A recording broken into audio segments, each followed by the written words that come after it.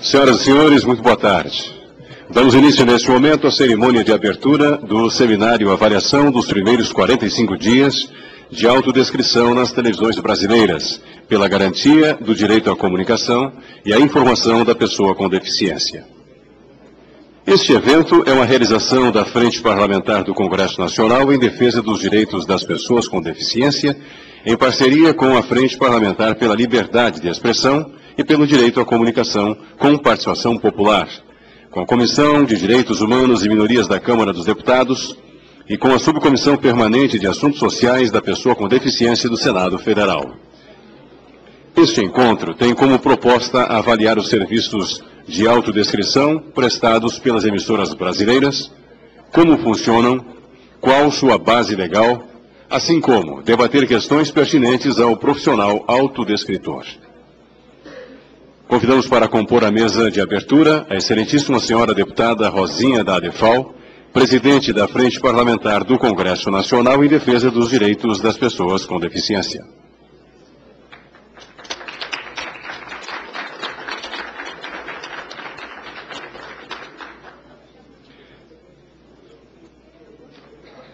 A excelentíssima senhora deputada Luísa Erundina, coordenadora da Frente Parlamentar pela Liberdade de Expressão e pelo Direito à Comunicação com Participação Popular.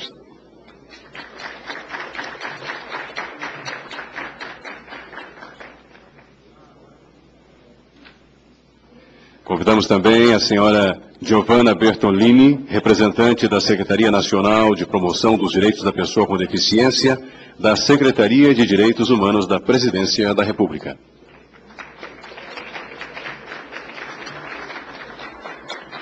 O senhor Moisés Bauer, presidente do Conselho Nacional dos Direitos da Pessoa com Deficiência, CONAD.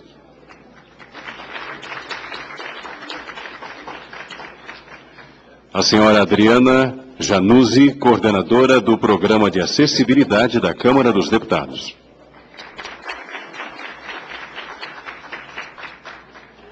A senhora Alessandra Anselmo, chefe do Núcleo de Conteúdo da TV Câmara.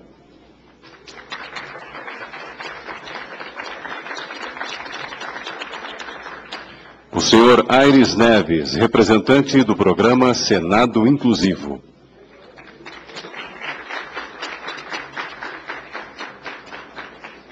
O senhor Max Fabiano, representante da TV Senado.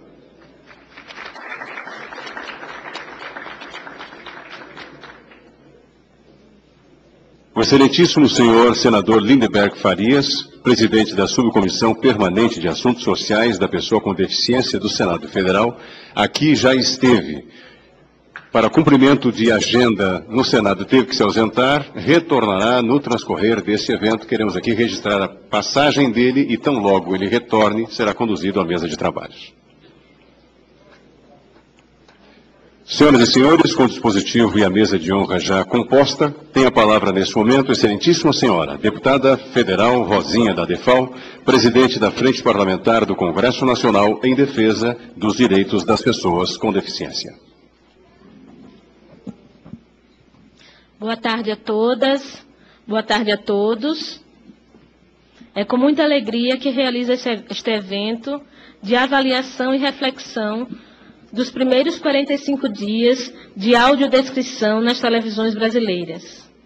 Primeiramente, agradeço aos colegas deputados e senadores que fazem a Frente Parlamentar do Congresso Nacional em defesa dos direitos da pessoa com deficiência, do qual sou presidente, e eu gostaria de saudar a todos. Eu não sei se o deputado Eduardo Barbosa ainda estará ali, ali atrás.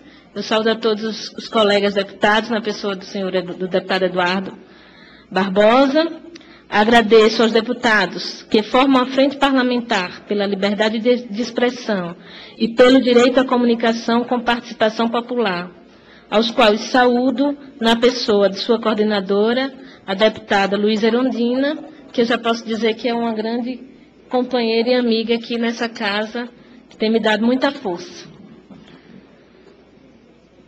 É, infelizmente, não poderemos ter a presença do senador Lindenberg, que é o presidente da Subcomissão Permanente dos Assuntos Sociais da Pessoa com Deficiência do Senado Federal, porque por motivos importantíssimos que breve ele ele tornará público, mas são reuniões importantes, inclusive para o nosso movimento, ele não pode estar presente hoje.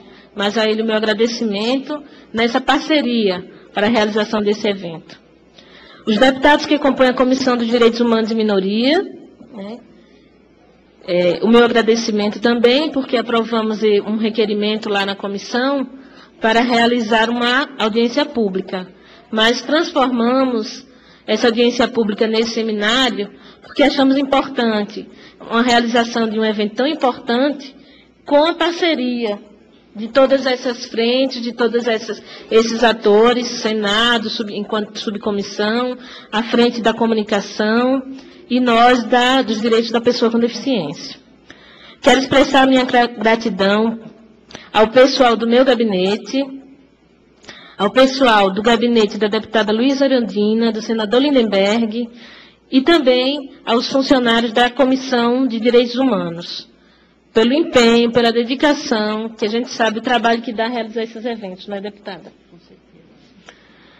No ano passado, ainda como vereadora em Maceió, tive meu primeiro contato efetivo com este recurso em acessibilidade, que garante a realização do direito à informação e à comunicação para as pessoas com deficiência, principalmente para as pessoas cegas. Rendi-me a sua importância e hoje sou entusiasta do recurso e faço sua defesa incondicional em meu mandato. Tanto que desde 1 de junho adotei um pacote de, medida, de medidas que busca a discussão desse tema e a sua implantação na Câmara dos Deputados.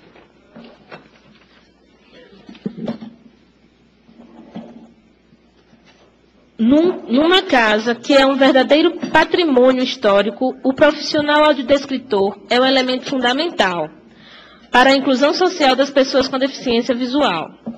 Faço votos que possamos sair deste encontro sensibilizados e preparados para a defesa da implantação da audiodescrição na rotina normal de funcionamento desta casa, principalmente nas TVs e nas visitas guiadas, momento, os quais, momentos os quais considero que as pessoas com deficiência visual experimentam a maior perda de informação. Antes de continuar esse meu discurso, eu gostaria de pedir desculpa aos colegas cegos presentes, porque eu não cumpri a regrinha que me ensinaram, não é, Moisés? De falar fora do microfone, para que vocês é, reconheçam de onde, onde eu estou localizada, de onde está vindo a minha fala, uma vez que saindo no microfone, eles saem todas as, as caixas de som. É assim, Luiz Irundina, que, eles, que os cegos eles se situam no ambiente. E aí eu estou aprendendo todo dia, mas de vez em quando a gente esquece essa regra. Me desculpem aos colegas aqui presentes. Então, por questões orçamentárias, não tivemos como promover a presença de todos os profissionais da área que sabemos seriam relevantes para a realização dessa discussão. Peço licença para nominar os que já acompanhamos a atuação, mesmo que à distância. São eles: Lívia Mota, de São Paulo, Lara Pozobon, do Rio de Janeiro, Eliana Franco, da Bahia, Vera Santiago, do Ceará, Mach, é, Bel Machado, de Campinas, São Paulo, Flávia Machado, de Ribeirão Preto, São Paulo, Rodrigo Campos, de Minas Gerais, Verônica Matoso, do Rio de Janeiro, Rô Barqueiro, de São Paulo, Cândida Alves, de Mato Grosso, e Léo Rossi, de São Paulo. Ainda bem que o meu Nordeste está aqui representado com a Bahia e o Ceará.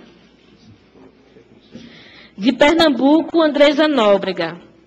Hernani Ribeiro, Fabiana Tavares, Liana Tavares, Paulo Vieira e Rosângela Lima, equipe por meio da qual eu conheci e proporcionei a Alagoas o primeiro evento audiodescrito em junho de 2010. Há mais profissionais envolvidos com a audiodescrição, como é o caso dos grupos que realizam trabalho em Manaus, além da TV Globo e da SBT. Fiquem todos muito à vontade para nos contactar e enviar sugestões relativas ao tema. Esperamos que seja possível a sua participação virtual hoje por meio do E-Democracia, o portal da Câmara dos Deputados, que permite a transmissão deste evento ao vivo e a interação por meio de salas de bate-papo, às quais estaremos atentos durante todo o evento. Não podia deixar de ter esse recurso, uma vez que a gente está fazendo essa parceria com a Frente pela Comunicação. E, e, e, essa tecnologia, quanto mais usada por nós, realmente nos permite esse acesso à comunicação de uma forma mais ampla, efetiva e, com certeza, é, é democrática. Como terei a oportunidade de me pronunciar mais uma vez, quando da moderação da terceira mesa de trabalho, encerrarei a minha fala. Mas antes, gostaria de comunicar, por também ser de interesse da pessoa com deficiência visual, que ontem dei entrada em um projeto de lei que dispõe sobre a produção nacional de obras científicas, literárias e artísticas, em formatos de texto digital acessível, pelo direito ao livro e leitura para as pessoas com deficiência visual. Este projeto recebeu o número 2029. É fruto de uma solicitação direta da sociedade civil cujo pedido eu recebi em mãos no mês de abril passado, durante a participação da décima REATEC, Feira de Acessibilidade, Tecnologia e Inclusão da Pessoa com Deficiência, realizada em São Paulo. Esperamos que seja possível a sua participação virtual hoje. Ai. Perdão, gente. Esse negócio de fazer discurso lido me Trabalhamos o texto do, do projeto com os proponentes e com a consultoria desta casa, até a semana passada. Agora o PL já está devidamente protocolizado e seu andamento pode ser acompanhado pela página da, da Câmara na internet. Por solicitação dos seus proponentes, dedicamos os trabalhos de construção deste projeto de lei a Laura Zera, a Laurinha,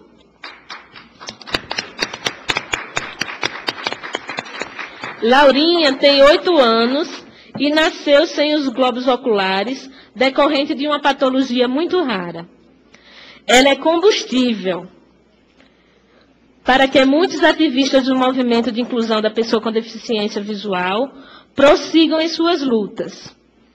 Assim, dedicamos esses trabalhos a Laura, pelo que carinhosamente passamos a denominar este projeto de lei como a Lei Laurinha.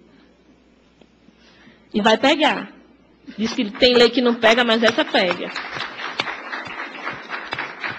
A mãe de Laurinha é a nossa primeira palestrante, a doutora Rosângela Lageira, que recebe essa notícia em primeira mão, bem como cópia do referido projeto de lei com as justificativas. Eu gostaria que a doutora Rosângela pudesse vir até aqui à mesa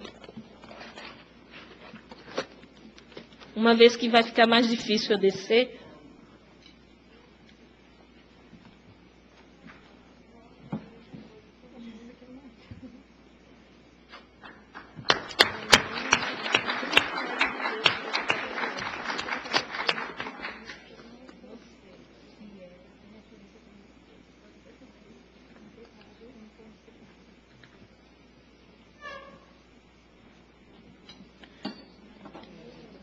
Eu conversava com, com Rosângela logo, logo mais cedo, e, e ela me falando das dificuldades da questão da educação da Laurinha. A Laurinha só tem oito anos.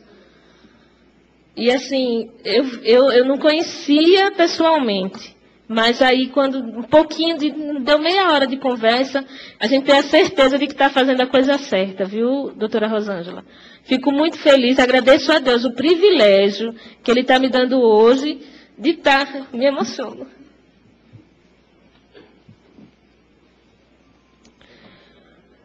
Doutora Rosângela representa os pais, representa a minha mãe, de crianças e adolescentes com deficiência visual. Nosso interesse com a sua participação é garantir às pessoas com deficiência e seus representantes, já que, no caso, estamos nos referindo às pessoas de menor idade, a oportunidade de participar da vida política e pública, nos termos do artigo 29 da Convenção dos Direitos da Pessoa com Deficiência. Eu peço desculpa pela emoção e, mais uma vez, eu digo que eu agradeço a Deus o privilégio de estar vivendo não só o dia de hoje, mas de estar vivendo esse mandato. E que ele possa realmente ser é, mais um instrumento para que a gente garanta a inclusão e a participação efetiva das pessoas na sociedade. Meu muito obrigada e daqui a pouco a gente se encontra na próxima mesa. Na, em outra próxima mesa.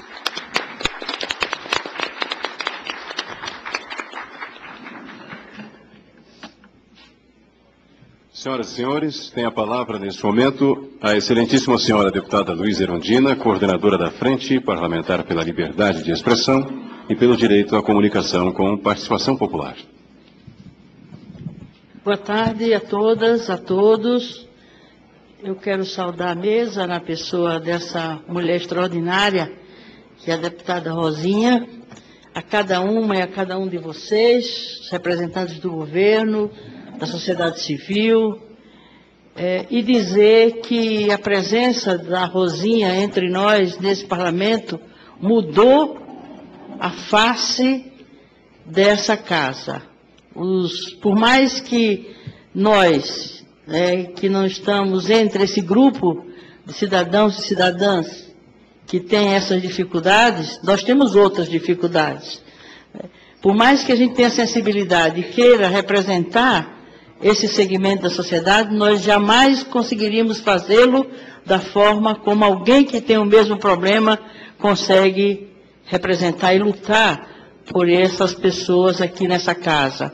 O Congresso né, tem a, o privilégio né, e tem a responsabilidade também, como representação, como Casa do Povo, de ter é, a atuação militante, competente, e generosa dessa extraordinária mulher que é a deputada Rosinha. Obrigada, Rosinha, por você existir, por você estar nessa casa nos ensinando e nos convertendo a uma realidade que por mais que o nosso coração e a nossa mente consiga chegar perto, não consegue fazer da mesma forma como você o faz aqui nessa casa.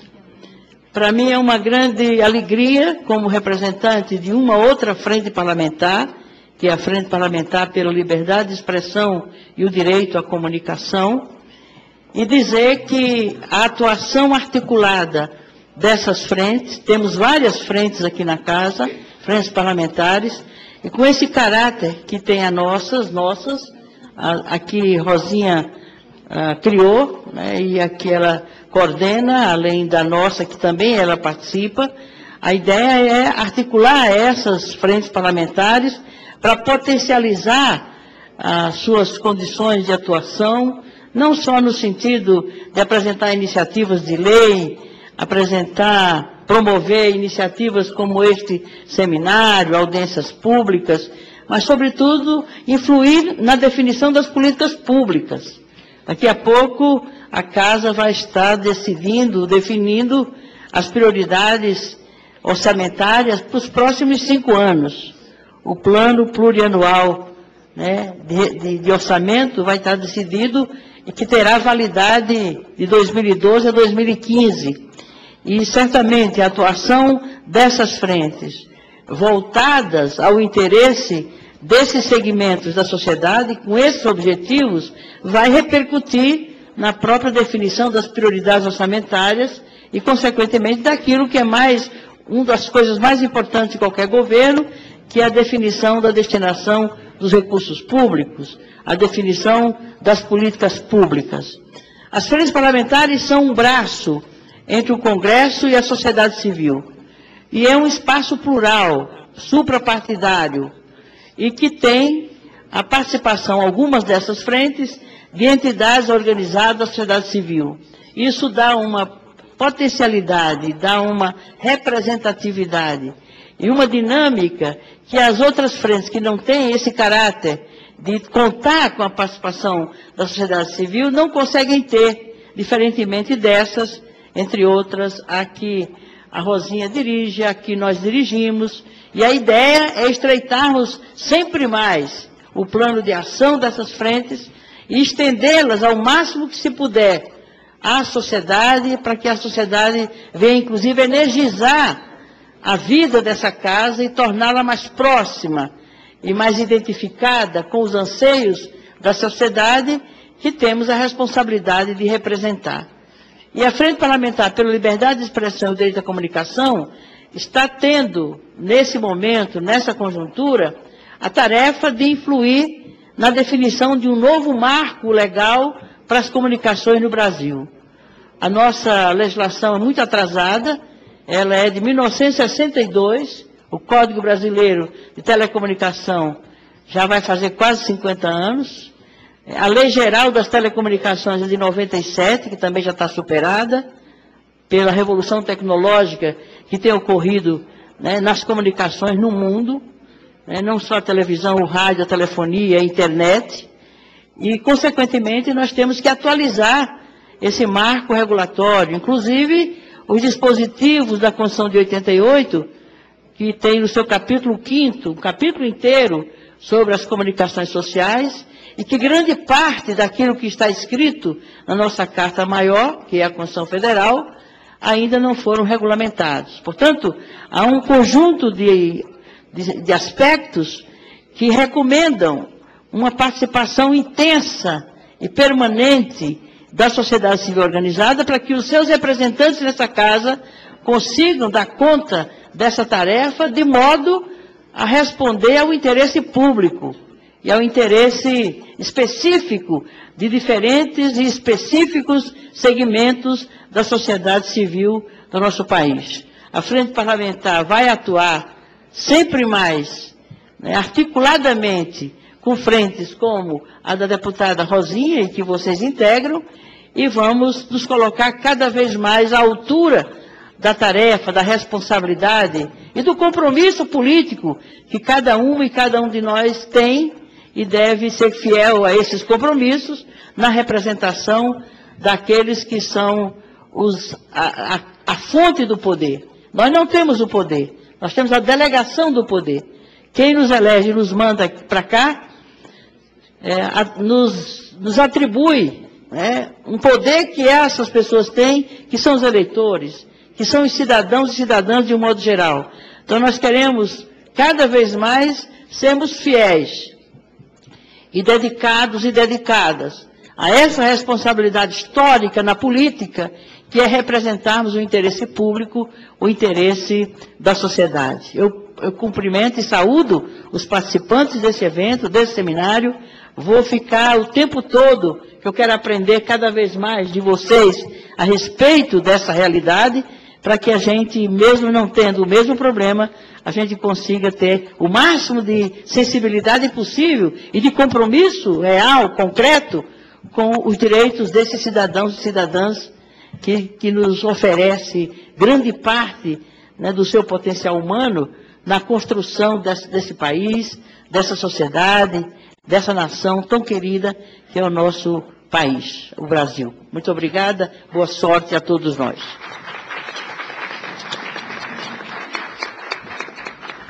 Senhor mestre de cerimônias. Pois não, senhora deputada. Quebrando o protocolo, se o senhor me permite. Fique à vontade. Eu gostaria ainda de fazer mais duas, uso da palavra para dizer mais duas coisas. Primeiro, agradecer a, a, as palavras da deputada Luísa Erundina, dizer que eu já, já antes do seminário começar, já estou feliz, porque aí o primeiro objetivo já foi alcançado. A deputada foi tocada, foi sensibilizada, porque já mais do que assumindo compromisso, ficando todo o evento, para entender, para aprender sobre o que é audiodescrição. Com certeza será uma grande lutadora aqui dentro dessa casa e fora dela, né? com certeza, para que a gente consiga fazer com que esta tecnologia ela realmente seja acessível a todos os brasileiros. Queria também aproveitar esse. É, eu gosto de microfone, mas ele vai me regular. Agradecer também é, ao programa de acessibilidade da Câmara na pessoa da Adriana, que todo dia eu levo um monte de problema para ela. Todo dia chega, Adriana, isso, isso, isso. Eu estou já uma fiscal aqui da, dos banheiros, das rampas, do batente. Isso é o mínimo, né? Fora os trabalhos que eu quero fazer audiodescrição. Ai, meu Deus, como é? Chega, ui. Mas tem sido realmente assim, uma grande parceira. É, toda a direção da casa, mas especialmente a Adriana, que tem é, nos orientados a ver, percorrer os caminhos aqui dentro da casa. E, enfim, agradecer a presença aqui do CONAD, na presença do seu, na presença do seu, na pessoa do seu presidente, Moisés Bauer, e da Secretaria de Promoção dos Direitos da Pessoa com Deficiência, que realmente, assim, é, a gente tem trabalhado junto com a frente para que as questões da pessoa com deficiência sejam muito mais do que só coisas pontuais. Aqui nessa casa, como bem disse a deputada, a gente está tentando mudar é, a, o, o, pensamento mesmo, sensibilizar. E, e, essas parcerias, elas são imprescindíveis. Então, muito obrigada a vocês também. Se me permite uma parte, nós estamos quebrando o protocolo, mas eu acho que o protocolo às vezes atrapalha muito. Né? Então, é bom quebrar a vez por outra. É, eu quero uh, dizer que daqui a pouco a gente vai inverter a demanda. Em vez de ter sido a, a, a frente parlamentar né, em defesa dos direitos das pessoas com deficiência, vai ser a Frente Parlamentar pela Liberdade de Expressão que vai pedir o apoio, a presença e a ajuda dessa frente pra, quando a gente estiver construindo o um marco regulatório que tem que incorporar nos suas, nas suas disposições e nas suas propostas os, os, aspectos que dizem respeito especificamente e diretamente à, comunicação desse segmento da sociedade. Com certeza, o marco regulatório, a partir da presença da Rosinha aqui e da organização de vocês na sociedade, nós teremos certamente capítulos ou um aspecto importante desse marco regulatório que vai estar dirigido, sem dúvida nenhuma, aos direitos, né, aos interesses desse segmento da sociedade, Rosinha. Muito obrigada. Muito bem lembrado. A gente vai realmente depois fazer outra parceria numa discussão com relação a Libras e os intérpretes de sinais. Para daqui a pouco. Registramos a presença conosco do deputado Eduardo Barbosa, do senhor, do senhor Yuri Gagarin de Mello, presidente da Comissão de Deficientes da OAB-DF, representante de ato, senhor presidente da Ordem, Francisco Caputo, senhor Marcos Caetano, representando a Infraero, senhora Joana Maria Souza, representando o Senai, e ainda professores do Departamento de Letras da Universidade de Brasília. Tem a palavra neste momento a senhora Giovanna Bertolini, representante da Secretaria Nacional de Promoção dos Direitos da Pessoa com Deficiência, da Secretaria de Direitos Humanos da Presidência da República. Obrigada. Boa tarde. Ilustres integrantes da mesa, senhoras e senhores, boa tarde. Antes de mais nada, quero deixar registrados aqui os cumprimentos do Secretário Nacional de Promoção dos Direitos da Pessoa com Deficiência, é, Antônio José Ferreira, a esta casa, aos organizadores do evento, a todos os presentes e aqueles que, embora ausentes nesse momento, são atores e parceiros dessa luta em defesa dos direitos das pessoas com deficiência. Direitos humanos são direitos de todos. O Brasil é reconhecido internacionalmente por seu trabalho na esfera dos direitos humanos e na defesa de valores como dignidade e igualdade. Por essa razão, a construção de políticas públicas inclusivas e a implementação de ações voltadas à promoção da acessibilidade tem sido um dos eixos centrais de atuação da Secretaria de Direitos Humanos da Presidência da República. Orientada pelos preceitos da Convenção das Nações Unidas sobre os Direitos da Pessoa com Deficiência e também pelo Programa Nacional de Direitos Humanos, a SDH por, por meio da Secretaria Nacional de Promoção dos Direitos da Pessoa com Deficiência, tem trabalhado para garantir a autonomia das pessoas com deficiência e sua plena e efetiva participação na sociedade com equiparação de oportunidades. Esta é uma longa caminhada, mas, nas palavras de Lao Tse, toda longa caminhada começa com o um primeiro passo. E aqui estamos nós, dando hoje os primeiros passos para possibilitar a continuidade da independência e a participação plena das pessoas com deficiência em todos os aspectos da vida. Estamos aqui para avaliar os primeiros 45 dias da audiodescrição nas televisões brasileiras. Esse recurso valioso que amplia o entendimento não só das pessoas com deficiência visual, mas também das pessoas com deficiência intelectual, dos idosos e dos disléxicos por meio de informação sonora. Como um exemplo vale mais do que mil palavras, eu vou aproveitar o tempo que eu tenho nessa fala de abertura para solicitar a gentileza de que seja projetado um vídeo. Peço a gentileza de que o projetor efetivamente seja desligado e que todos vocês possam ouvir um vídeo que é reproduzido em uma emissora de TV brasileira para a gente ter uma ideia da importância da audiodescrição.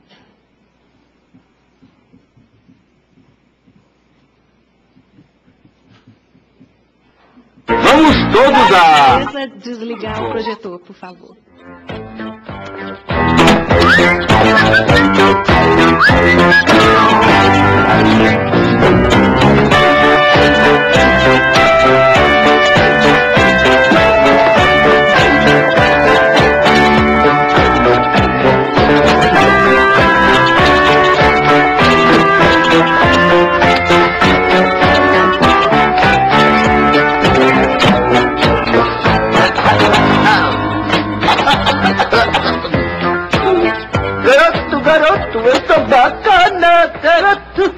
Ai.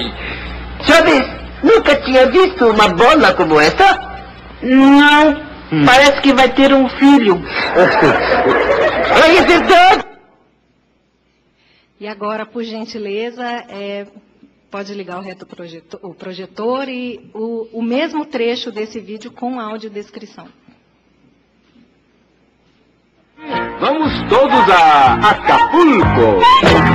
Chaves brinca arremessando uma bola pequena no barril. Kiko chega e observa a brincadeira.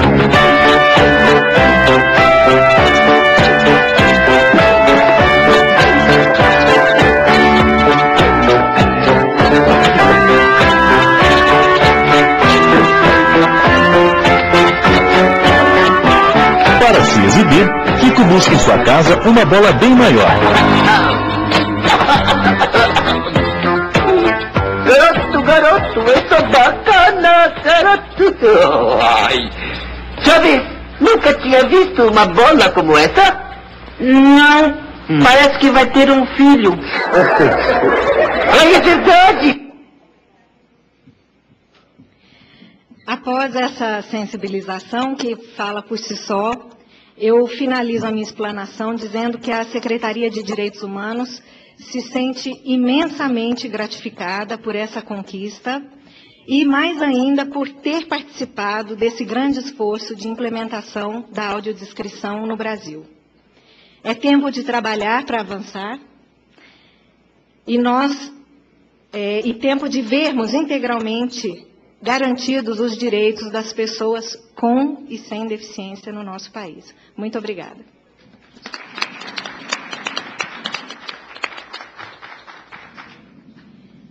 Registramos a presença conosco da deputada Luciana Santos. Tem a palavra nesse momento o senhor Moisés Bauer, presidente do Conselho Nacional dos Direitos da Pessoa com Deficiência, CONAD. É, boa tarde, boa tarde a todas e a todos.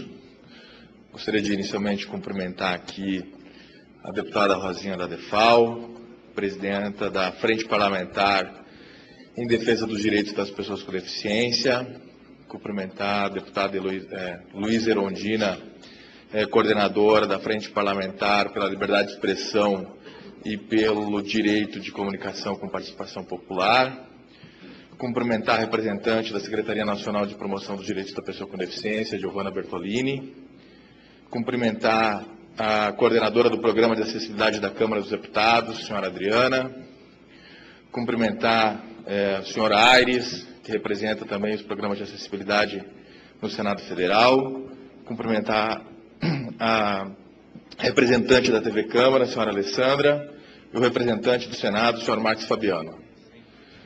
Cumprimento as senhoras e os senhores, dizendo que o Conselho Nacional dos Direitos da Pessoa com Deficiência, é, com muito orgulho, é, participa desse seminário, acompanhando com atenção todos os atos e todas as ações que foram exercidas nos últimos 45 anos, 45 dias, desculpe, pela implementação da audiodescrição em nosso país.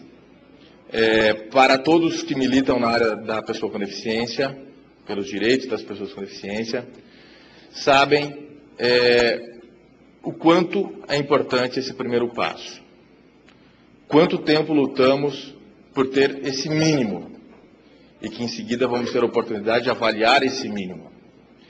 E o quanto fez diferença é, a atuação incisiva dos atuais gestores, é, tanto da Secretaria dos Direitos Humanos, do Ministério da Comunicação, quanto da atuação incisiva dos parlamentares que congregam a Frente Parlamentar de Defesa dos Direitos da Pessoa com Deficiência, recebendo agora esse importante apoio também da Frente Parlamentar pela liberdade de expressão e direito à comunicação. Deputada Luiz Erondina, a sua presença, a presença da sua frente parlamentar, que a senhora coordena, é, lutando por essa causa, tem um significado muito grande também. Nós precisamos convencer a cada um e a cada uma dos brasileiros, em especial os detentores dos direitos de transmissão, dos canais de televisão, é, que a audiodescrição não é um favor, não é um benefício, e sim um direito das pessoas com deficiência de ter acesso à informação. É um direito das pessoas com deficiência ter acesso a lazer, ao entretenimento, à cultura e ao conhecimento, que também é transmitido pelos canais de televisão. É, infelizmente, é, lutamos ao longo de vários anos para que esse direito fosse minimamente respeitado. Hoje é dia de comemorar esse respeito, embora que mínimo, e durante a primeira mesa que estarei compondo falarei um pouco mais sobre esse mínimo, é, mas também de deixarmos claro que não estamos satisfeitos com esse mínimo. Nós temos que seguir lutando, temos que garantir esse direito, talvez de forma mais expressa do que já está na convenção, do que já está nas leis, em uma lei ordinária também, que especifique claramente o tempo de duração, quais os programas ou quais as regras de transmissão da audiodescrição. Temos outros temas nessas áreas que também temos que trabalhar. É, nos preocupa bastante, e falarei um pouco mais sobre isso em breve, sobre a profissão de audiodescritor temos conversado com vários audiodescritores, percebido já alguns processos seletivos de audiodescritores e os critérios para a contratação desses profissionais ainda não são claros.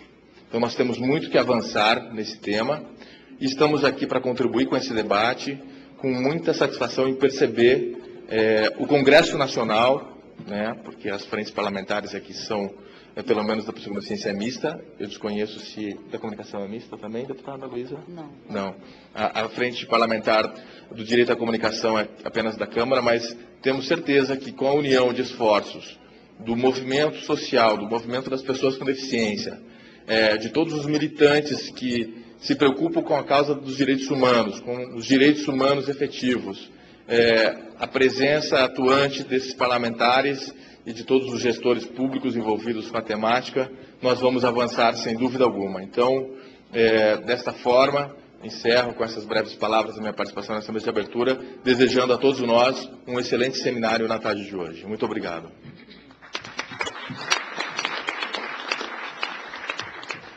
Tem a palavra neste momento a senhora Adriana Januzzi, coordenadora do Programa de Acessibilidade da Câmara dos Deputados.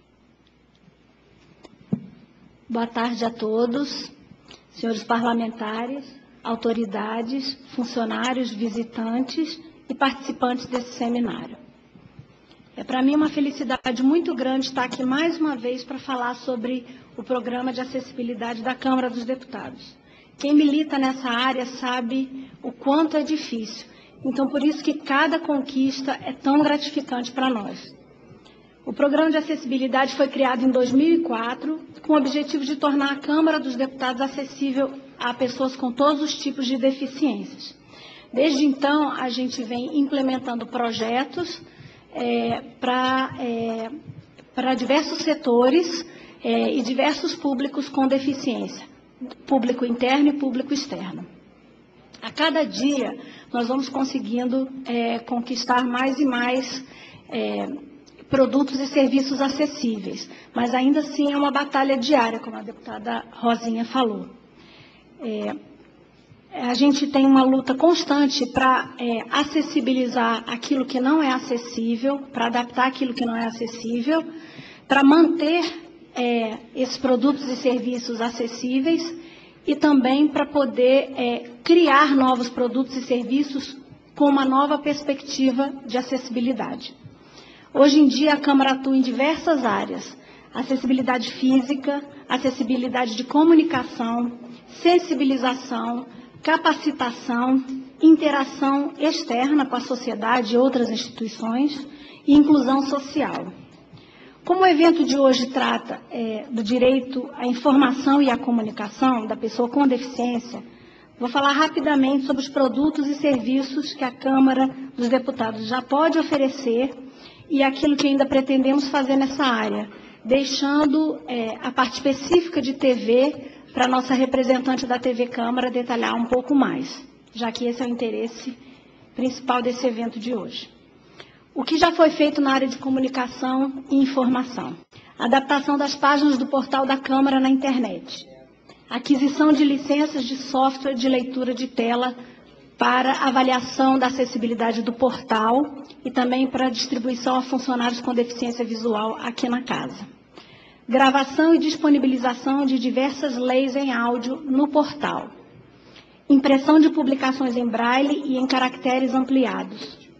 Desenvolvimento e instalação de um sistema ótico de votação eletrônica no plenário Ulisses Guimarães para utilização pela deputada Mara Gabrilli, que é tetraplégica. Inserção de libras e legenda oculta na programação da TV Câmara, sinalização visual e em braille em todos os prédios do complexo arquitetônico da Câmara dos Deputados, instalação da maquete tátil do Congresso Nacional para visita guiada no Salão Verde. A gente entende que ainda há muito o que fazer. Cada vez que a gente compreende um pouco mais sobre a deficiência e acessibilidade, a gente percebe o quanto ainda falta. A gente é, tem alguns projetos em andamento já ou em estudo. Vou citar rapidamente alguns deles. Ampliação dos serviços de interpretação de Libras para atender a eventos, portarias e visitas guiadas. Ampliação dos serviços de legendagem para eventos. Inserção dos recursos de audiodescrição na programação da TV Câmara, em eventos e nas visitas guiadas. Disponibilização de novas leis em áudio instalação de mapas táteis e sinalização podotátil. É, o público é, de fora que está aqui é, pode conhecer melhor esse trabalho que a gente faz acessando o nosso site na internet www.câmara.gov.br entre em responsabilidade social e lá dentro tem um item acessibilidade. Lá as pessoas poderão ver o trabalho que está sendo realizado aqui, os nossos projetos, ter acesso à legislação, aos audiolivros. É, convidamos também a todas as pessoas com deficiência a visitarem a Câmara dos Deputados. Muitas vezes nós queremos realizar algum projeto e as pessoas perguntam, mas para que, que vocês querem fazer isso? Não vem quase ninguém com deficiência aqui, não vem nenhum surdo, para que, que precisa colocar uma pessoa surda para atender na portaria? Então, é, é a presença das pessoas com deficiência nessa casa vai, é, que vai ser um estímulo maior ainda para que a gente possa é, realizar essas ações acessíveis. Sem o público com deficiência aqui, fica mais difícil a gente justificar por que, que a gente quer tornar algum produto ou serviço ou ambiente acessível. Então eu peço a vocês, pessoas com deficiência, pessoas sem deficiência que militam nessa causa, que frequentem o Congresso Nacional, venham cada vez mais, porque esse trabalho que a gente faz é para vocês. Muito obrigada.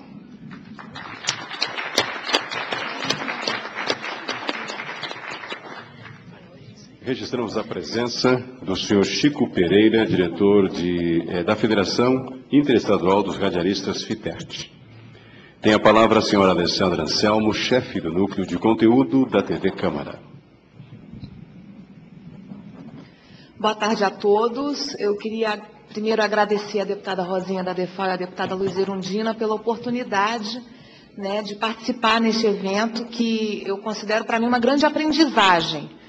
Na TV Câmara eu sou responsável né, pelos instrumentos de acessibilidade que a TV tem e infelizmente a TV ainda não conseguiu implantar a audiodescrição né, nos seus programas. Mas é, a nossa intenção é que esse, a audiodescrição possa ser implantada para ontem. É, eu considero assim, eu, eu, eu fui de certa forma fui pega de surpresa, né, é, no meados do semestre passado, com a, a, saber da legislação, procurei me informar, deputada, o gabinete da deputada Rosinha da Defal me mandou um, um, um material grande, né, sobre a audiodescrição, e agora também é outra oportunidade, porque eu vou ser a pessoa que vou ter que pedir à administração da casa que seja feita a licitação para a contratação do serviço. Então, eu pretendo amanhã, se possível, já fazer o termo de referência para que a gente possa ter a contratação desse serviço o mais rápido possível. Hoje. Sua Podem ficar. Hoje a TV Câmara já, já tem interpretação de Libras para todas as suas exibições ao vivo, de plenário e de reuniões de comissão. Totalizam, assim, cerca de 16 horas por dia de... 16 horas por, por semana, não, por semana, de... É, na verdade, assim, enquanto tem plenário no ar, ao vivo, enquanto tem comissão ao vivo, sempre tem tradução de Libras. Né? Quando a gente reexibe as comissões, a gente também consegue, em muitas delas, colocar a tradução de Libras. Já tem dois anos que a gente contratou os intérpretes, inclusive o Daniel e a Andressa fazem parte lá da equipe da TV Câmara, né? Pra, porque a gente considera que as discussões no plenário e nas comissões da Câmara são muito relevantes para ficarem restritas apenas a quem consegue escutar. Então, quem não consegue escutar, os surdos também têm direito de saber e de conhecer o conteúdo do que está sendo discutido no plenário e nas comissões da Câmara. Nós também, hoje, temos é, o recurso da legenda oculta, que vocês podem ver aqui à minha esquerda, como que funciona. Né? A legislação diz que hoje a gente tem que exibir no mínimo oito horas de legenda oculta na nossa programação, a gente consegue exibir hoje 16 horas de legenda oculta na programação da TV Câmara, o que eu também acho que é um recurso de acessibilidade importante, né, para quem não consegue ouvir e pode assim tomar conhecimento da, das discussões e debates que acontecem nos programas que a gente é, transmite. O recurso da, da audiodescrição ainda vai ficar limitado né, a, aos, aos canais digitais, Hoje a TV Câmara transmite é, digital aberto aqui no Distrito Federal em São Paulo, né, mas a gente pretende até o final do ano estar tá com a antena inaugurada também em Fortaleza, Belo Horizonte e Porto Alegre, ou seja, vai aumentar muito né, a, a, a possibilidade de pessoas cegas terem acesso à audiodescrição assim que a gente contratar o serviço. Né? A, a, legislação da audiodescrição ainda não atinge a TV Câmara, porque a TV Câmara ainda está operando em caráter científico experimental. Mas essa não é a questão. Não é a questão, não é ter a legislação.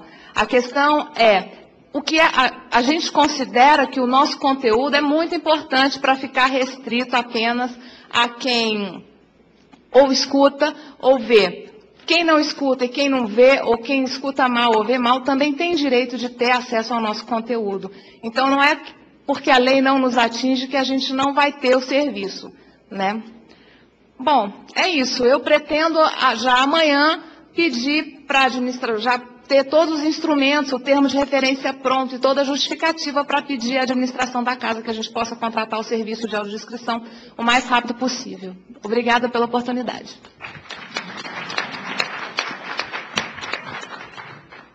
Com a palavra o senhor Aires Neves, representante do programa Senado Inclusivo.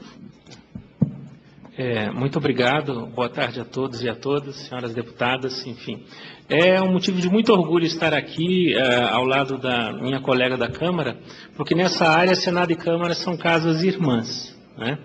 E é muito significativa essa questão do acesso à informação e à comunicação. Se por um lado a rampa, o elevador, enfim, é, a calçada rebaixada são importantes, a, a, acessibilidade na comunicação e na informação, ela faz do ser humano um cidadão. Porque hoje quem não tem acesso ao saber se torna um cidadão de segunda categoria, infelizmente. E é, foi com muita satisfação que nós vimos, por exemplo, a evolução da legislação na área da Libras. Hoje o profissional intérprete de Libras é reconhecido, a Libras é uma língua reconhecida pela lei. O Brasil tem dois, duas, dois idiomas oficiais, português e Libras, entendeu? E nós esperamos que também na área da audiodescrição siga o mesmo caminho, né?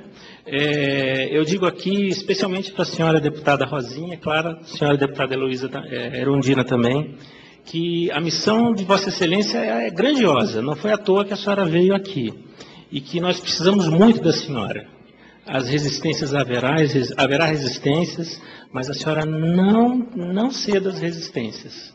Lembre da Laurinha, lembre do nosso colega Moisés, da Melissa e de outros milhões de brasileiros como nós, que somos pessoas diferentes no nosso país e que temos os mesmos direitos dos demais. A legislação está aí, é uma legislação muito, é, muito clara, mas é necessário que ela seja cumprida. E a força do parlamento está aí para isso também. Onde, onde quer que haja alguém lutando pela pessoa com deficiência, a senhora esteja junto. E que nós vamos estar também, onde quer que seja que a senhora precise de nós. Muito obrigado.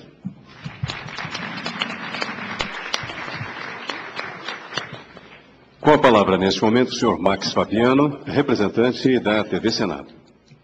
Boa tarde a todos. Eu queria agradecer inicialmente o convite em nome da TV Senado e aproveitar para parabenizar a Frente Parlamentar em defesa da pessoa com deficiência e também a Frente Parlamentar pela liberdade de expressão de permitir essa troca de experiências.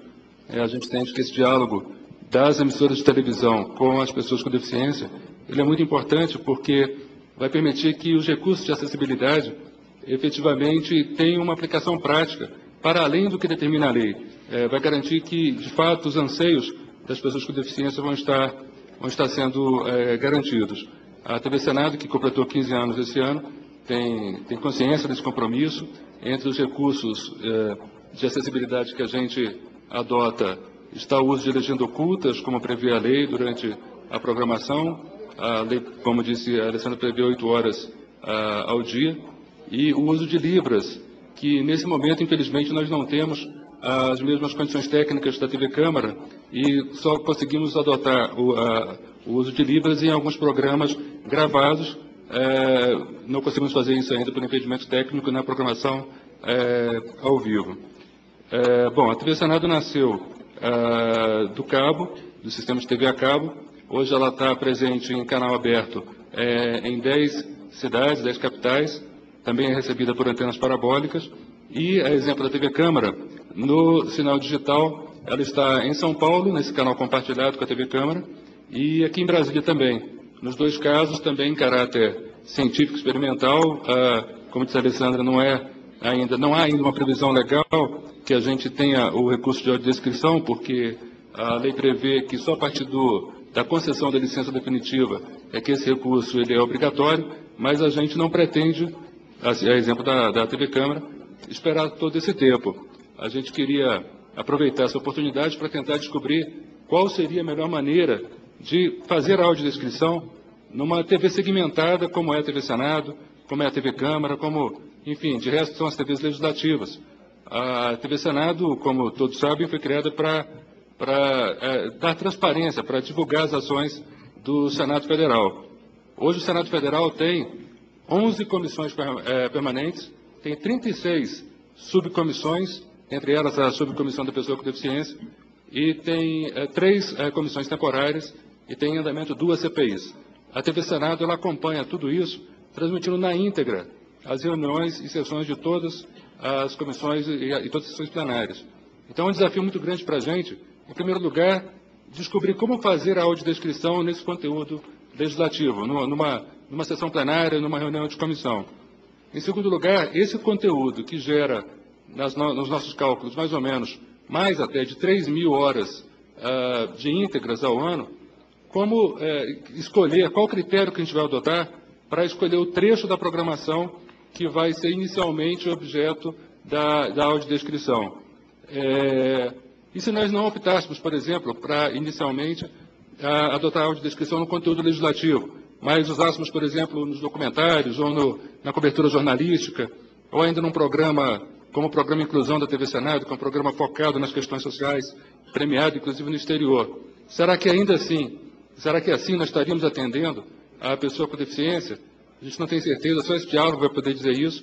A gente está aqui hoje para aprender e para essa troca de experiências e, e, e esperamos encontrar aqui juntos respostas para essas situações, para essas questões tão complexas. Muito obrigado.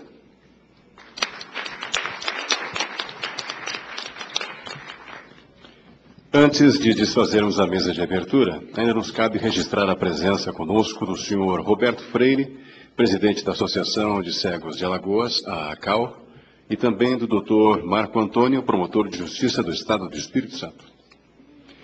Desface neste momento a mesa de abertura, ao mesmo tempo em que convidamos os senhores e senhoras para assistir ao painel com o tema O que pensa a sociedade civil. Para este painel, convidamos a senhora Rosângela Gera, que aqui representa os pais de crianças com deficiência visual. Enquanto os integrantes da mesa retornam, retornam para os seus lugares, obrigado pela presença, um bom evento a todos.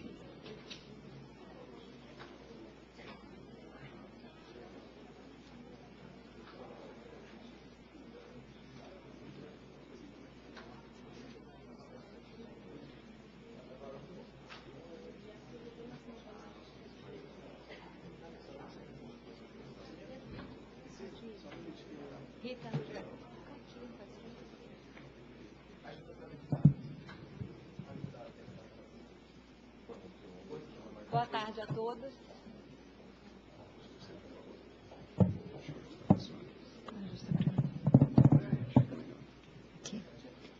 É, eu fui pega de surpresa, né, essa homenagem à Laurinha.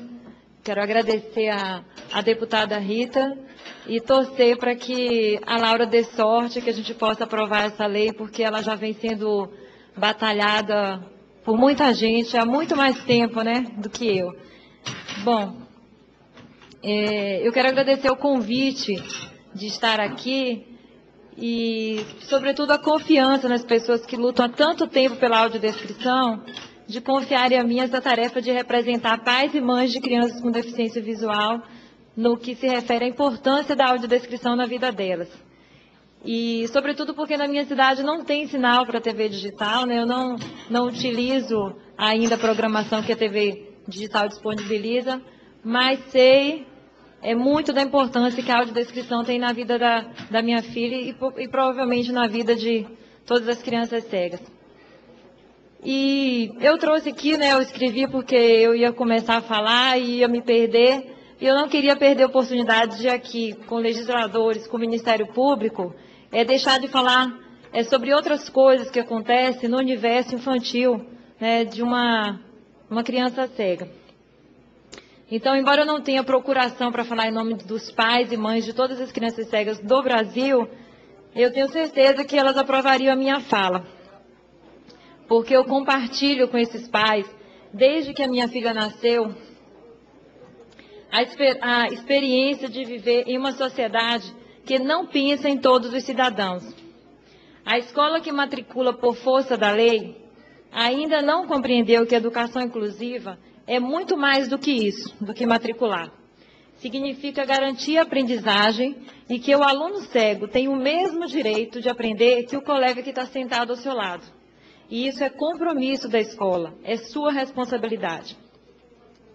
Eu compartilho com esses pais a experiência de ir a uma livraria ou a uma biblioteca e me deparar com uma fartura de títulos infantis, todos inacessíveis à demanda de uma criança cega. E é assim também com sites infantis, que produzem jogos que trazem apenas informações visuais. com os brinquedos, principalmente aqueles de tabuleiro que a gente vê nas lojas, né, que criança adora. Todos sem nenhuma marcação tátil que possa sinalizar e viabilizar a utilização por uma criança que não enxerga. É assim também com revistas em quadrinhos e com os desenhos animados, com os filmes infantis que passam na TV, no cinema, tudo isso inacessível. É como se, para todos esses fabricantes e produtores de entretenimento infantil, as crianças cegas não existissem, como se elas fossem invisíveis. Por que será que as pessoas acham que criança cega não gosta de assistir filme, não gosta de desenho animado, não gosta de brincar os mesmos jogos e brinquedos que outras crianças gostam?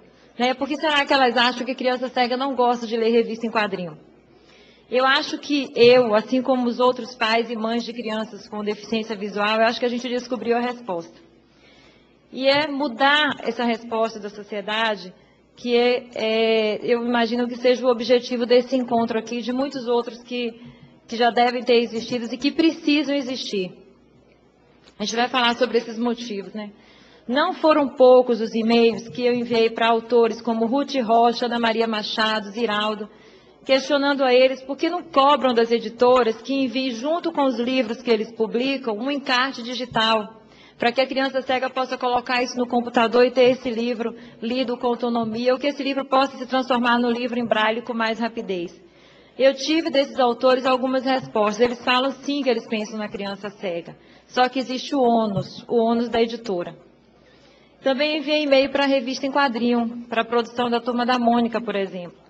E eles disseram o seguinte, que nós temos mais de 30 mil pontos de distribuição de venda da revista e fica muito caro fazer essa produção acessível. Precisaria de uma parceria com uma instituição da área, né, entre aspas. Então, eu sugeri, não precisa que o livro venha em braille, põe esse livro com audiodescrição no site, coloca um selo lá no lugar e fala assim, aqui tem revista em quadrinho que criança cega pode ler. Bom, também enviei e-mail para várias revistas que produzem jogos para criança, né? UOL, Recreio, Ciência Hoje, todos com jogos infantis que criança cega não pode brincar. Inclusive, eu mandei e-mail para o site do Plenarinho, que é um site produzido aqui na Câmara dos Deputados, e também lá não tem jogo acessível. Então, é, isso é uma pequena amostra que nos revela o universo infantil de exclusão em que nós, pais, temos que educar nossos filhos cegos e dizer a eles que eles têm o mesmo direito que as outras crianças, né? Para que eles cresçam fortes e com uma autoestima boa, que é o que deseja o pai e mãe de qualquer outra criança. Mas é difícil responder quando eles perguntam: por que, que não tem livro em braille aqui nessa biblioteca ou nessa livraria para a gente comprar? Por que, que no computador da escola, os joguinhos, os joguinhos que tem lá, eu não posso brincar? Ou então, quando ele diz assim, eu não quero ir ao cinema só com a minha amiga e a mãe dela, porque eles não vão, elas não vão me explicar tudo o que está acontecendo no filme. E a gente não gosta do que a gente não entende. E no final ele completa: filme não é coisa para cego. Mas vale lembrar que o nosso fórum de discussão aqui é o acesso à comunicação, informação, lazer, entretenimento, viabilizados pela audiodescrição. Se formos falar sobre a exclusão na sala de aula, Lógico que a gente precisaria de um outro fórum, de um outro momento. Mas voltando então, eu continuei mandando e-mails falando sobre a audiodescrição. E é por isso, provavelmente, que eu vim aqui hoje para representar pais e mães de crianças cegas no que se refere a esse recurso.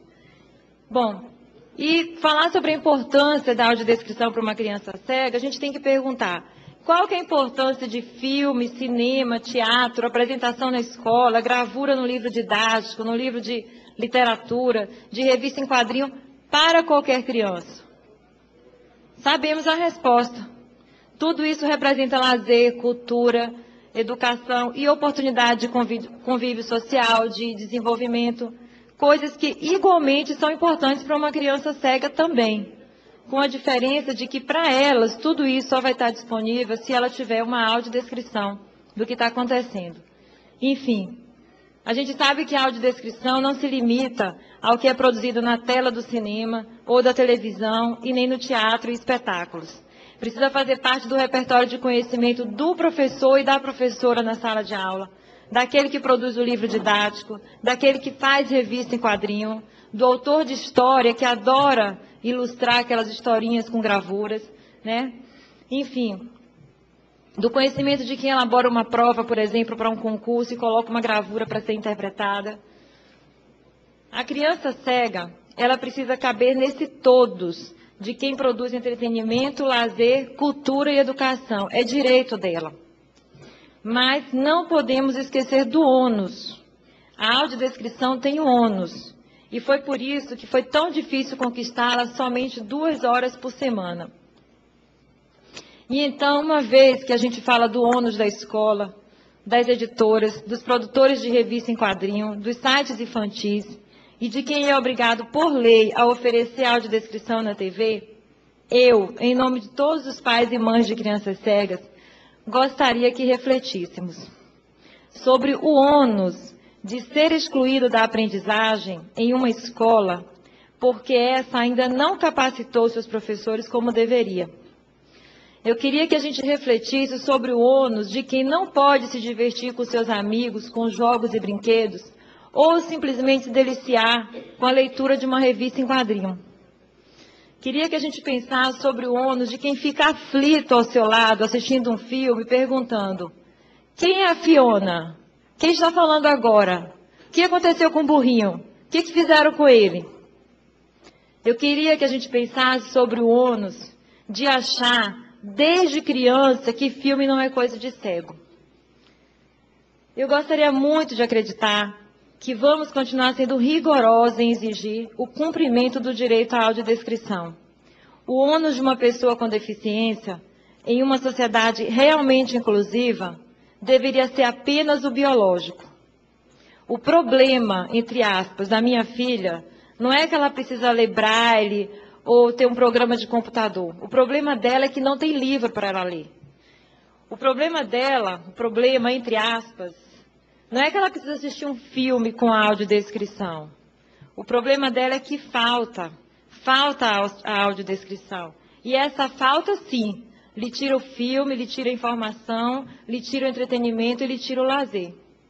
Era isso, gente, que eu queria dar assim, de recado para vocês e e eu espero que a gente possa refletir sobre esse ônus, o ônus que quem tem a capacidade de promover a acessibilidade é, alega que tem né, o ônus para promover a acessibilidade, mas a gente não pensa no ônus de quem vai ser o usuário dessa acessibilidade. Então a gente tem que realmente refletir sobre isso, que sociedade a gente quer para essas crianças que estão crescendo, né? Era isso. Obrigada.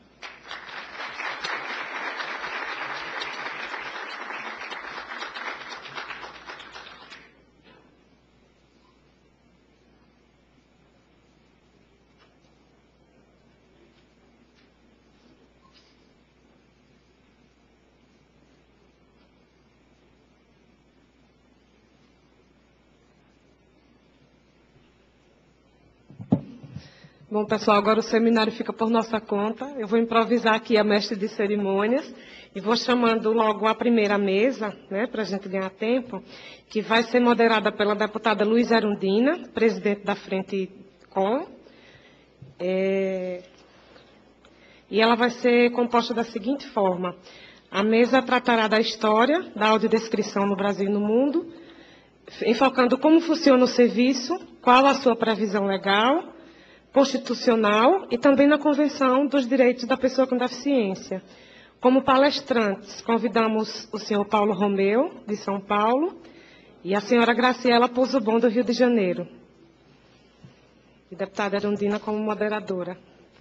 Ba é, Moisés Bauer, como debatedor, pode vir também para cá.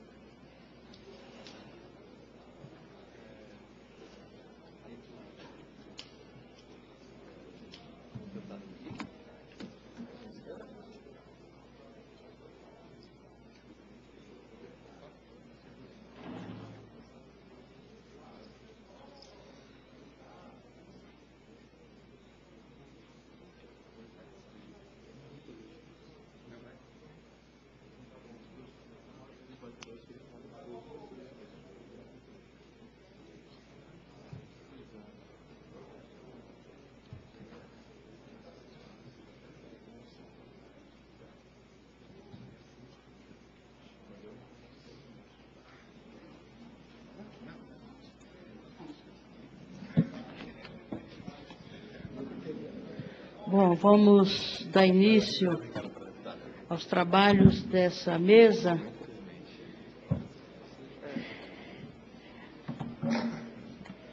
É, convidando o primeiro palestrante,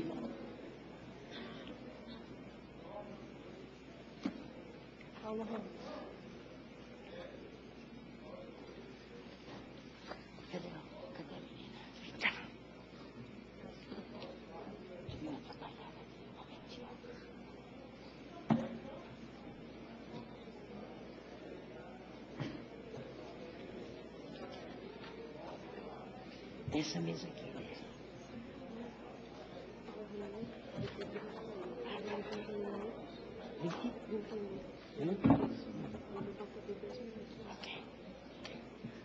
Bom, eu vou dar início aos trabalhos convidando o primeiro palestrante, Paulo Romeu, de São Paulo, e essa mesa, como já foi anunciado, vai discorrer sobre o tema O que pensa a sociedade civil.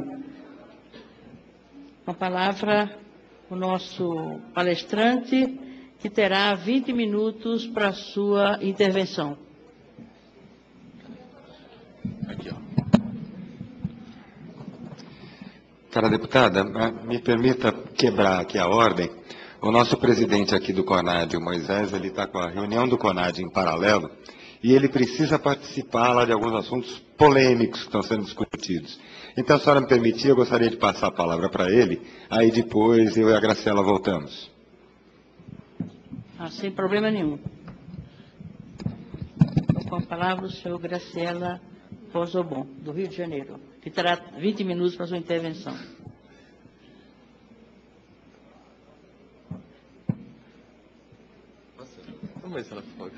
Quando faltar cinco minutos, a mesa informa para que a gente possa ter o controle do tempo. Com ok. Deputada, é, mais uma vez pedindo desculpas, é, é, eu realmente fui designado como debatedor desta mesa, mas eu tinha antecipado a, a, organização do evento que eu tinha um teto de 16 horas.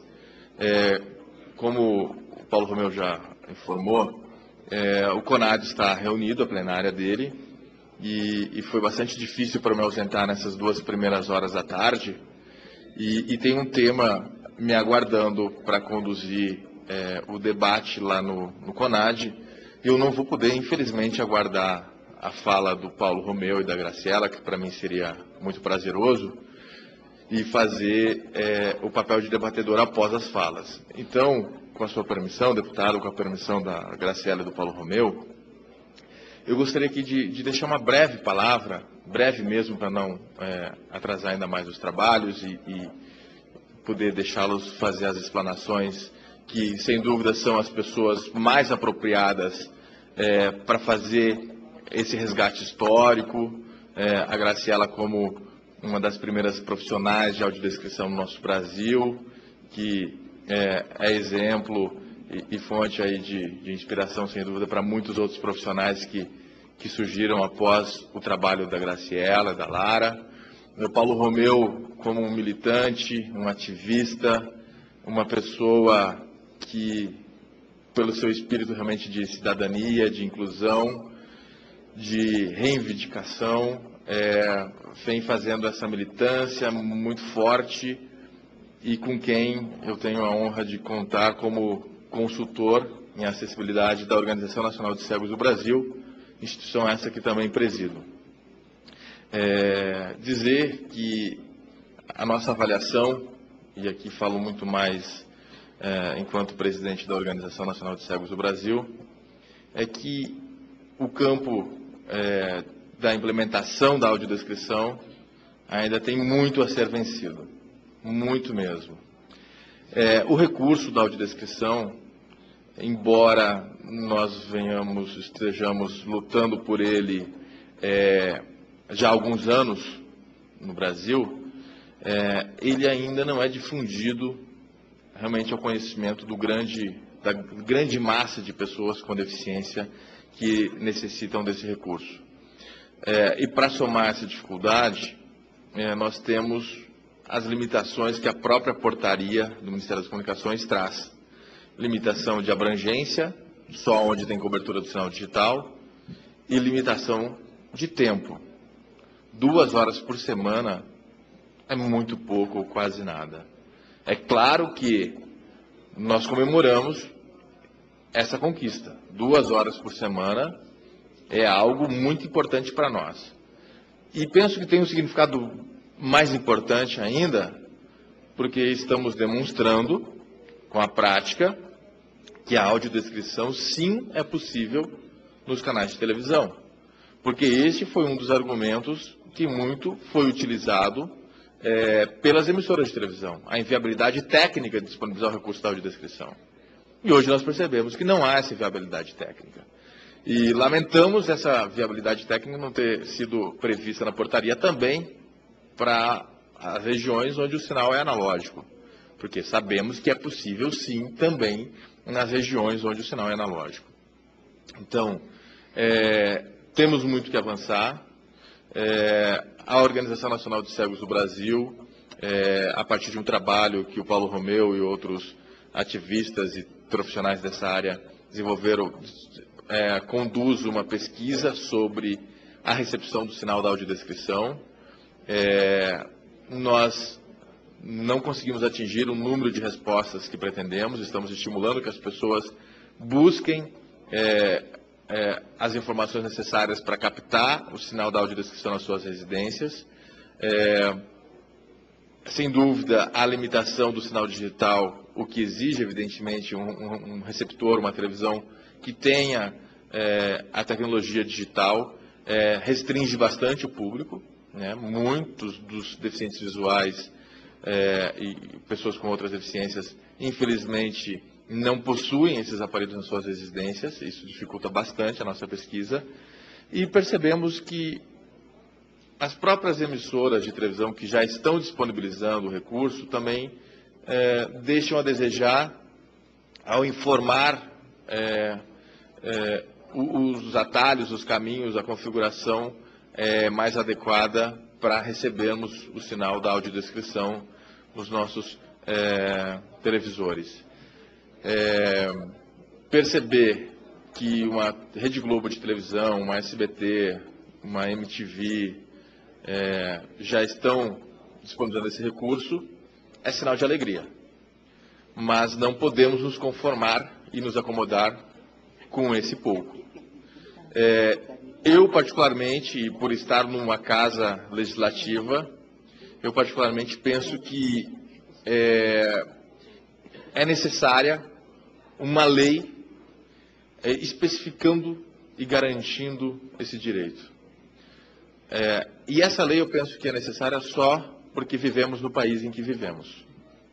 É, sem dúvida, o direito de acesso à informação, o direito à comunicação, o direito a ter essa tecnologia assistiva à disposição de nós, pessoas com deficiência, ele já está assegurado na nossa Carta Magna, na Constituição de 88, é, reiterado na Convenção sobre os Direitos da Pessoa com Deficiência, é, também assegurado na Lei 10.098, é, porém, infelizmente, se não tivermos um texto de lei dizendo é obrigatória a transmissão é, do recurso de audiodescrição nas emissoras de TV é, por tantas horas semanais, as coisas não acontecem. Infelizmente. É, essas emissoras que só agora estão disponibilizando esse recurso poderiam estar disponibilizando há muito tempo. Informação para isso eles tiveram já há muito tempo.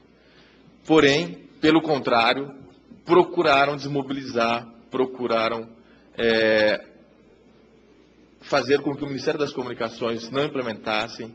Várias consultas públicas, isso aqui o Paulo Romeu vai detalhar sem dúvida alguma, foram é, postas, várias portarias foram suspensas sem motivo razoável nenhum. Nenhum. Inclusive, eu ouso dizer, utilizando de informações inverídicas. Inverídicas. Foi dito, foi dito, em, seja por emissoras de televisão ou por representantes governamentais, que os próprios cegos não queriam esse recurso, não gostavam desse recurso. Só que até hoje não me responderam quais foram esses cegos. Não me responderam até hoje quais foram esses cegos. Porque as instituições que representam esses segmentos, ou os cegos que têm militância nessa área dos direitos das pessoas com deficiência, tenho certeza que não responderam ou informaram isso. Então, é, nos chateia o histórico, que vocês vão conhecer mais detalhadamente na fala da Graciela e do, do, do Paulo Romeu. Nos orgulha termos conseguido neste ano efetivamente implementar, ainda que minimamente e ainda precariamente, mas precisamos cada vez mais estarmos unidos, atentos, fortalecidos com a representação parlamentar, com a representação governamental, para que esse recurso seja cada vez mais difundido, cada vez mais disponibilizado, para que atenda realmente aqueles que desse recurso necessitam. É, me sensibiliza ouvir falas como da senhora Rosângela Gera, me sensibiliza em perceber a dedicação de parlamentares é, que atuam nessas duas casas, Câmara e Senado, em favor dos direitos das pessoas com deficiência. Porém, nós precisamos, mais que nos sensibilizar, é nos fortalecer e lutar é, juntos por essa causa. Porque, em verdade, nós temos aqui, nesse campo, e sentimos isso na pele, Paulo Romeu está aqui do meu lado para comprovar, e todos vocês também sabem disso, uma luta de Davi contra Golias. São é, as pessoas com deficiência lutando contra o grande interesse econômico das emissoras de televisão. É uma luta muito difícil. E que se não tivermos aliados fortes, e se não estivermos bem afinados, vai ser difícil avançar nessa conquista, porque num primeiro momento é, recebemos, ouso dizer, migalhas. E já estamos felizes. Mas queremos muito mais. Queremos ver os nossos direitos respeitados efetivamente porque penso que não se respeita direito de acesso à informação, dando duas horas por semana e sem direito de escolha ainda de quais são os programas que queremos assistir. É, eu já muito assisti o Chaves, mas hoje não me interessa mais. Respeito muito é, a opção dessa emissora de televisão escolher o programa Chaves. Acho que é importante para as crianças cegas também terem acessibilidade nesse tipo de programação mas aleatoriamente, sem uma consulta, e também sem o Ministério das Comunicações se preocupar um pouco mais com esse critério, é, acho que temos bastante prejuízo ainda. Essa é a minha avaliação. É, vou encerrando a minha fala, é, dizendo da preocupação que mencionei na minha fala de abertura, quanto à profissionalização é, de audiodescritor. Hoje nós temos pessoas maravilhosas que se dedicam a estudar o tema, pesquisadores universitários, acadêmicos, é, profissionais autônomos e que desenvolvem um excelente trabalho. Isso, sem dúvida alguma, é, nos orgulha bastante, porém, nos preocupa quando percebemos e recebemos a informação de que, é, de que a empresa brasileira de comunicação abre um edital para selecionar audiodescritor, onde o requisito que coloca é ensino fundamental, se eu não estou enganado. Que seja ensino médio. E aí a formação. Será que qualquer pessoa com ensino fundamental ou médio tem condições de fazer audiodescrição? Com tantos pesquisadores, tantos acadêmicos que temos, que temos hoje no Brasil estudando esse tema, será que é suficiente um requisito dessa natureza? Então, é, aqueles parlamentares que estão aqui presentes, acompanhando, assessores, nós temos que pensar com brevidade em regulamentar a profissão de audiodescritor. Porque não é com uma narração qualquer que vamos ter esse direito de informação, direito à comunicação garantido na audiodescrição. Nós precisamos de um serviço de qualidade também. É claro, conversamos muito, refletimos muito. É, vamos garantir o tempo, depois brigamos pela qualidade. Mas quando é, percebo editais de seleção dessa natureza que referi, é, fico bastante preocupado e penso que temos que estar atentos a essa, a essa questão também. Então, dessa forma, pedindo mais uma vez mil desculpas, deputada Luiz Erondina, deputada Rosinha, mil desculpas aqui também a, a Graciela e ao Paulo. É, eu preciso me retirar, preciso mesmo, e desejo a todos vocês aqui um, um ótimo painel, um ótimo seminário, e até breve, se Deus quiser. Obrigado.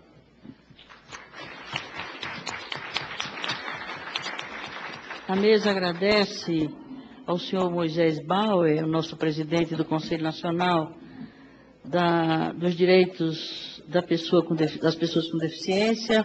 A mesa vai ficar desfalcada de debatedor, que era a função que estava prevista para ele. A, a plateia, segundo ele, terá o tempo que era destinado a ele ao debate. Mas nós agradecemos a importante contribuição que o senhor veio trazer a essa a esse seminário e dizer da oportunidade desse seminário e das observações que ele acabou de fazer, porque nós estamos exatamente na fase de repensar toda essa legislação das comunicações sociais no país. Inclusive, a digitalização do sistema de radiodifusão oferece N oportunidades, amplia as possibilidades e a, a legislação precisa refletir essa mudança tecnológica para ampliar o direito de acesso a essa a, a comunicação nos marcos dessa, dessa novas tecnologias desse, e ter um marco legal efetivamente adequado e justo face a essas inovações que ocorreram e estão ocorrendo ainda no sistema de radiodifusão e no sistema de comunicação de modo geral. E essa obrigatoriedade em relação à questão da audiodescrição deve constar dos termos de concessão de rádio e TV que o governo brasileiro deve né, é, é, possibilitar quem queira operar o sistema de rádio e televisão em nosso país, inclusive os outros meios. Portanto, ao, se, ao governo, ao Estado, né, autorizar ou, ou otorgar uma concessão a um grupo privado, ou um empresário, ou a, a quem queira operar esses mecanismos de comunicação de massa, terá que é, incluir na legislação ou no termo de, de concessão é, é, essas, essas condições e essa obrigatoriedade. Portanto, nós estamos num momento absolutamente é, é, importante, estratégico, oportuno, para que a gente possa atuar conjugadamente a Frente Parlamentar pela Liberdade de Expressão e Direito de Comunicação, quando estaremos atuando no debate sobre esse novo marco regulatório, junto com esse segmento e outros segmentos da sociedade que têm direitos e, e demandas que precisam ser contempladas pelo, pelo, pela, pelo, novo, novo processo de regulação das comunicações sociais no país. Então, vamos passar agora, voltar né, ao que estava previsto na nossa programação, é passar a palavra ao senhor Paulo Romeu, de São Paulo, que terá 20 minutos para sua exposição. Deputada Luiz Erondina, muito obrigado. Deputada Rosinha da DEFAL, demais parlamentares presentes, agradeço a todos a oportunidade de estar aqui para falar para vocês de um tema aqui que eu venho lutando por ele desde 2005.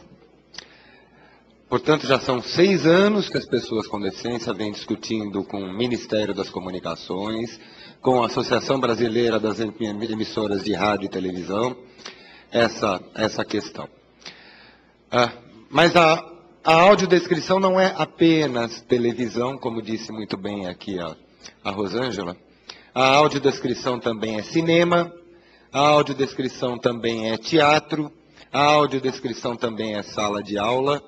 Portanto, peço encarecidamente, Ministério da Cultura, Ministério da Educação, precisamos conversar a respeito da audiodescrição nesses outros espaços de educação, nesses outros espaços de cultura. Tudo bem, há uma pesquisa nacional de amostragem por domicílios, realizada pelo IBGE, mostrou que 95,7% dos domicílios brasileiros possuem pelo menos um aparelho de televisão. Este é o maior meio de entretenimento, informação, comunicação, cultura, lazer de todos os brasileiros. Portanto, é natural que começasse por ele mas não pode se encerrar nele. Ministério da Cultura, Ministério da Educação, também precisam uh, tratar dessa questão da audiodescrição para, por exemplo, um produtor de cinema, um produtor de teatro, que vai solicitar um financiamento para a sua, sua obra, para o seu, seu filme no Ministério da Cultura, e o Ministério da Cultura não obriga, não, não obriga nada, nenhuma contrapartida desse produtor em termos de acessibilidade daquele produto audiovisual para pessoas com deficiência. Não precisa de lei para isso, para exigir uma contrapartida. Precisa de lei para exigir alguma coisa. Para alguém que vai prestar um serviço para mim. Mas para alguém que vem me pedir financiamento para produzir alguma coisa, sequer de lei precisa. É uma contrapartida mais do que natural. Portanto, Peço, volto a pedir, Ministério da Cultura, Ministério da Educação, o problema não está restrito a Ministério das Comunicações. Mas o título deste, deste seminário, o título desse evento é uma avaliação dos 45 dias após o 1 de julho, que foi a data em que teve início a audiodescrição na TV. Então quero focar mais nisso e a Graciela depois explica melhor o que é a audiodescrição, essa história da audiodescrição. Pois bem, é, nos primeiros dias, ficamos até razoavelmente satisfeitos. É, é, Para quem assistia à televisão usando uma antena de OHF, uma antena própria, tem conseguido sim receber a audiodescrição. O problema é que ah, apenas 60 milhões de brasileiros, dos 200 milhões de brasileiros, que moram nos 400 e poucos municípios brasileiros, que hoje têm sinal digital, estão aptos a receber o sinal digital. Mas menos de 10% da população brasileira, tá certo? Já teve condição de adquirir um televisor digital, que são os mais caros disponíveis hoje no mercado. Nós também sabemos, de acordo com pesquisas de amostragem do IBGE, que mais de 80% das pessoas com deficiência, dos quase 30 milhões de brasileiros com deficiência, eles vivem naqueles segmentos de menor poder aquisitivo da população. Mas ainda assim nos exigiram, nos impuseram que a audiodescrição acontecesse apenas no sistema digital de televisão. Eu até entendo essa determinação, porque pela TV analógica, pelo SAP, o Programa Secundário de Áudio, apenas algumas capitais, como São Paulo, Rio de Janeiro, Brasília e tal, possuem os transmissores analógicos necessários para colocar a audiodescrição na TV analógica. Tudo bem, mas por que não fazer isso desde já? Para aquelas cidades que já têm isso, para uh, aumentar a, a, a, quantidade de pessoas que hoje já têm um televisor analógico, que não tem condição de comprar um televisor digital, mas já poderem ter acesso a esse recurso tão importante para nós. Por quê? Porque para as emissoras de televisão, aquele público que gosta de assistir um programa de televisão falado no idioma original, falado em inglês e sem legenda de tradução, portanto que domina o idioma inglês, é mais importante do que os 30 milhões de brasileiros com algum tipo de deficiência. Será que 30 milhões de brasileiros têm fluência suficiente para compreender um filme todinho falado, obrigado, falado em inglês, sem precisar de legenda? Não sei. Gostaria que alguém me passasse esse, esse número, me passasse essa informação, caso tivesse. Mas os problemas não se restringem a isso.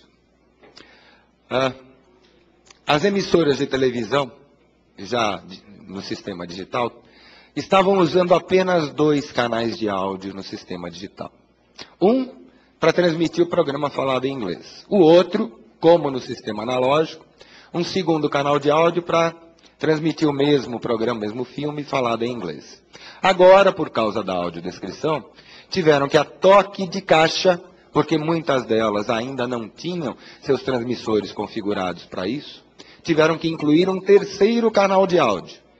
Esse canal de áudio, o terceiro, é por onde estão transmitindo os programas com, com audiodescrição. Aí o que está acontecendo? Eu mesmo, na minha casa, Eu sou assinante de TV por assinatura, da NET. Eu não consigo captar pela NET o terceiro canal de áudio das emissoras de televisão. Por quê? Não sei. Onde está o problema? Com antena de UHF eu consigo receber a programação com audiodescrição. Pela TV a cabo, eu não consigo. Aí eu ligo para Central de Atendimento ao Telespectador, por exemplo, tá certo? Não foi só para a Globo, não, liguei para outras também. Mas, para a Central de Atendimento ao Telespectador da Globo, e aí eles me dizem, nós estamos cumprindo a obrigação do jeitinho que a portaria 188 manda. Você vá ver lá com a NET o que está acontecendo. Aí eu ligo para a NET, protocolo uma reclamação na NET, e me dizem, nós estamos mandando para você, de acordo com o que a lei da TV a cabo manda, nós estamos mandando para você exatamente o sinal que aquela emissora de televisão está mandando para a gente. Se ela está nos mandando um sinal com dois canais de áudio, nós estamos te repassando com dois canais de áudio.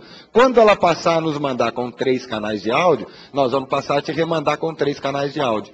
E aí eu me sinto como aquele boneco de criança inflável, o João Bobo, que bateu de um lado, eu caio para lá, bateu do outro, eu caio para cá, no meio de duas gigantes da comunicação, e eu, pobre telespectador, como é que eu me viro? Como é que eu descubro onde está esse problema? Eu gostaria que alguém desse uma, uma explicação, que alguém fizesse um esclarecimento. Está com as emissoras de televisão, está com as emissoras de, de, de, com as operadoras de TV a cabo? Não sei. Gostaria muito, muito mesmo de saber.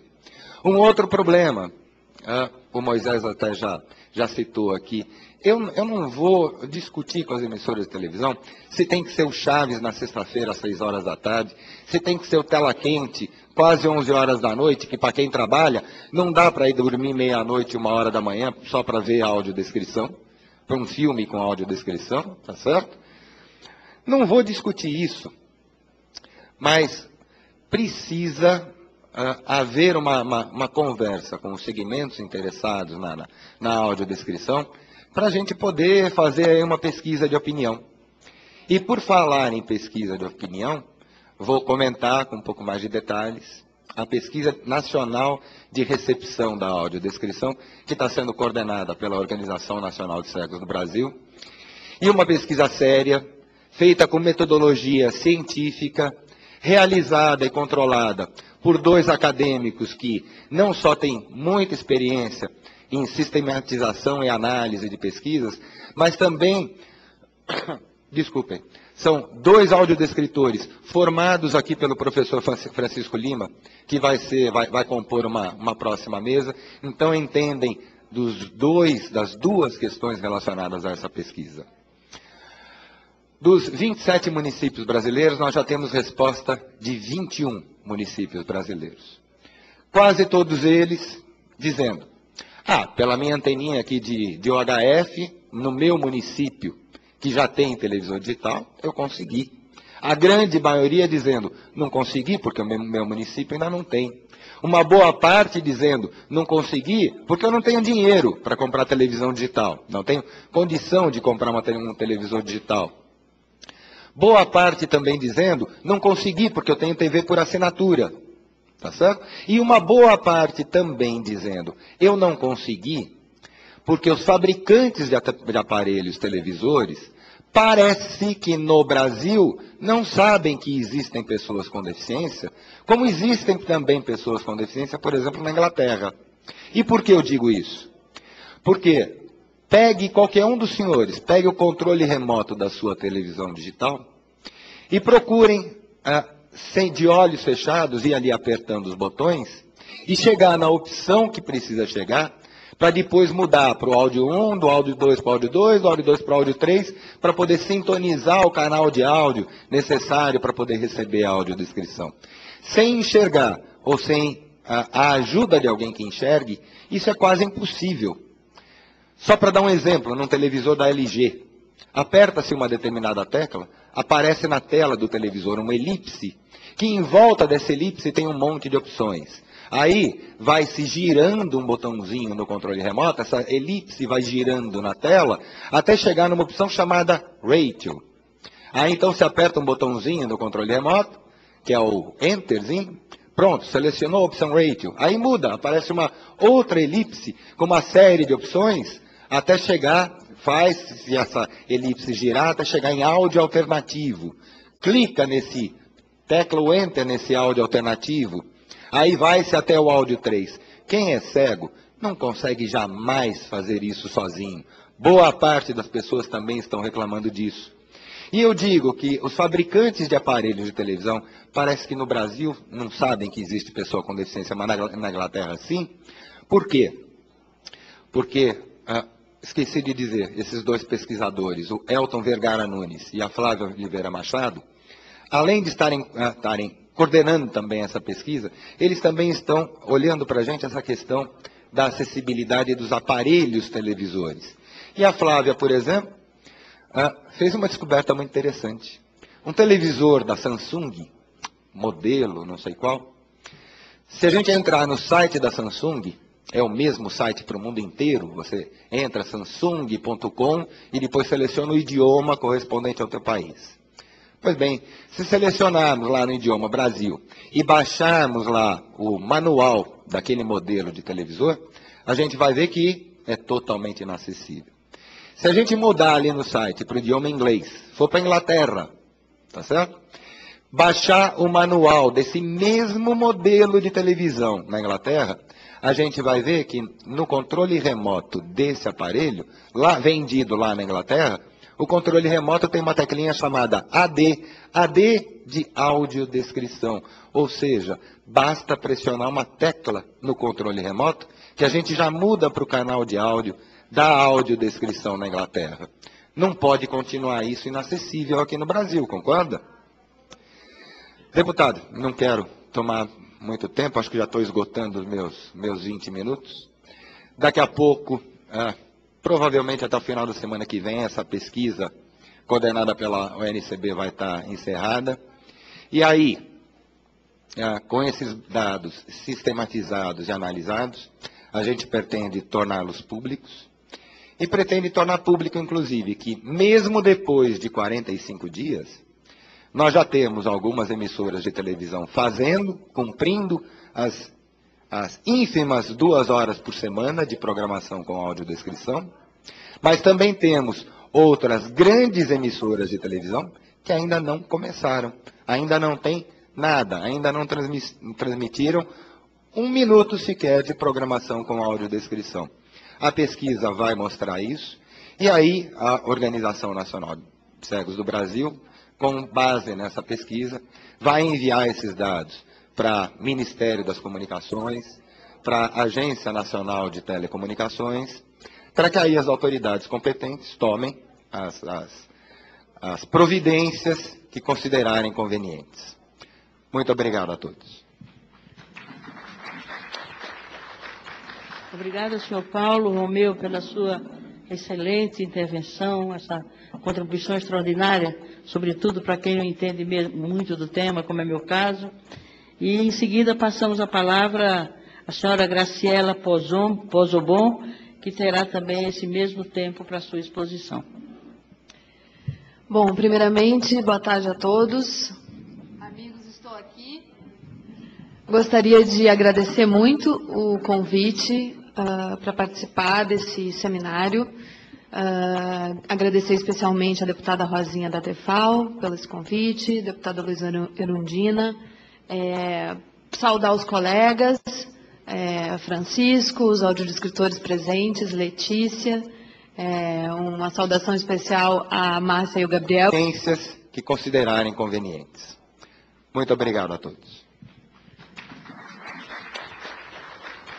Obrigada, senhor Paulo Romeu, pela sua excelente intervenção, essa contribuição extraordinária, sobretudo para quem não entende muito do tema, como é meu caso.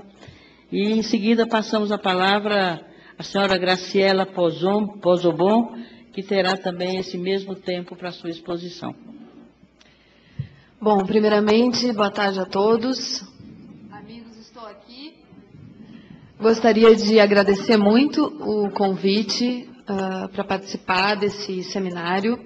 Uh, agradecer especialmente a deputada Rosinha da DEFAL pelo esse convite, deputada Luiz Erundina, é, saudar os colegas, é, Francisco, os audiodescritores presentes, Letícia, é, uma saudação especial à Márcia e o Gabriel, que estão fazendo a audiodescrição nesse evento.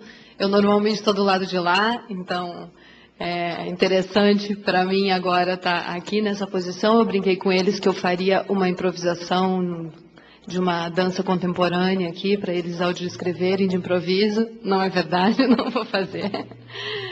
Um, é, gostaria muito de, de, agradecer aos parlamentares, às autoridades, por terem tomado para si esse tema tão caro, tão importante.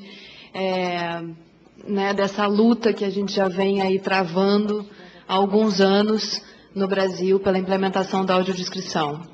É, eu sou produtora de projetos culturais uh, no tema da pessoa com deficiência e não, né, nós produzimos cinema, teatro, é, eventos, festivais, alguns deles relacionados a essa temática e outros não.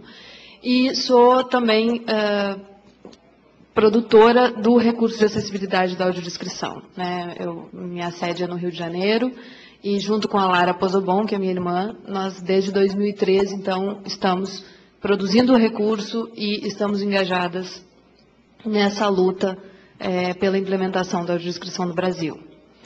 É, eu estou aqui, eu acho, um pouco para esclarecer um pouquinho e explicar o que é esse recurso, né? Porque todos sabemos que o recurso da audiodescrição é o recurso que permite a inclusão das pessoas com deficiência em produtos culturais em geral, produtos audiovisuais, mas eu gostaria de esclarecer rapidamente, explicar um pouquinho como é que se faz né, a audiodescrição, porque eu acho que é interessante para quem se interessa pelo assunto, é interessante para as pessoas que estão aqui que querem implementar esse recurso nos, nas suas TVs, nos seus, enfim, nos seus espaços, é, saber um pouquinho do passo a passo da produção desse recurso, eu acho que é, é, isso é o, o, meu papel aqui. Né? É, apesar do, do é, dessa realidade que ainda é muito aquém do desejado, é, eu sou otimista e eu acho que a audiodescrição, atualmente a gente pode dizer que ela é uma realidade no Brasil. Né? Claro que esse país é muito grande, que as coisas começam nos, nos grandes centros, que o interior do Brasil é sempre uh, né, é, assim, prejudicado nesse sentido, é muito difícil a gente levar os recursos a todos os lugares.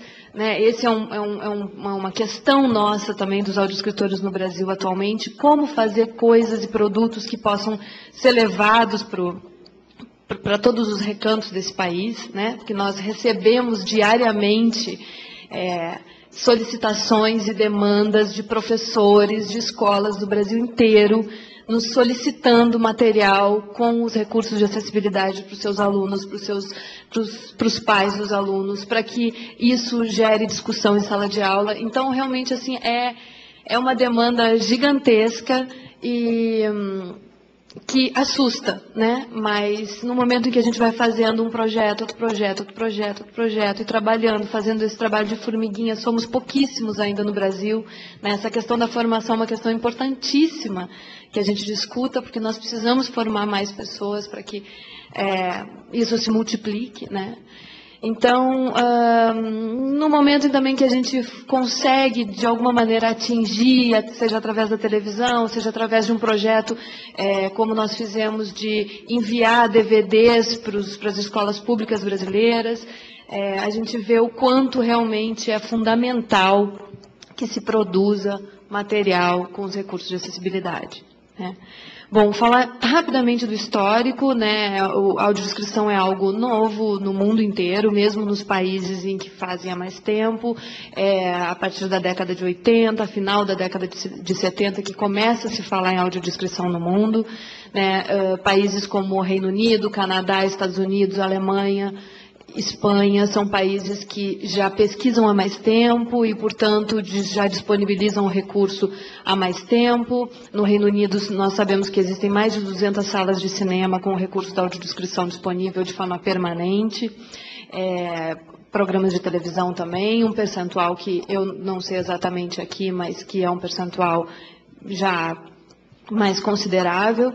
E, e no Brasil, então, a audiodescrição começa a ser feita a partir de 2003, uh, no festival de cinema chamado Festival Assim Vivemos, que é um festival de filmes sobre deficiência, é um festival único no Brasil, pouquíssimos festivais no mundo que tratam desse tema, e então uh, considerou-se a possibilidade de começar a colocar, implementar os recursos de acessibilidade, já que se tratava de um festival de filmes sobre deficiência.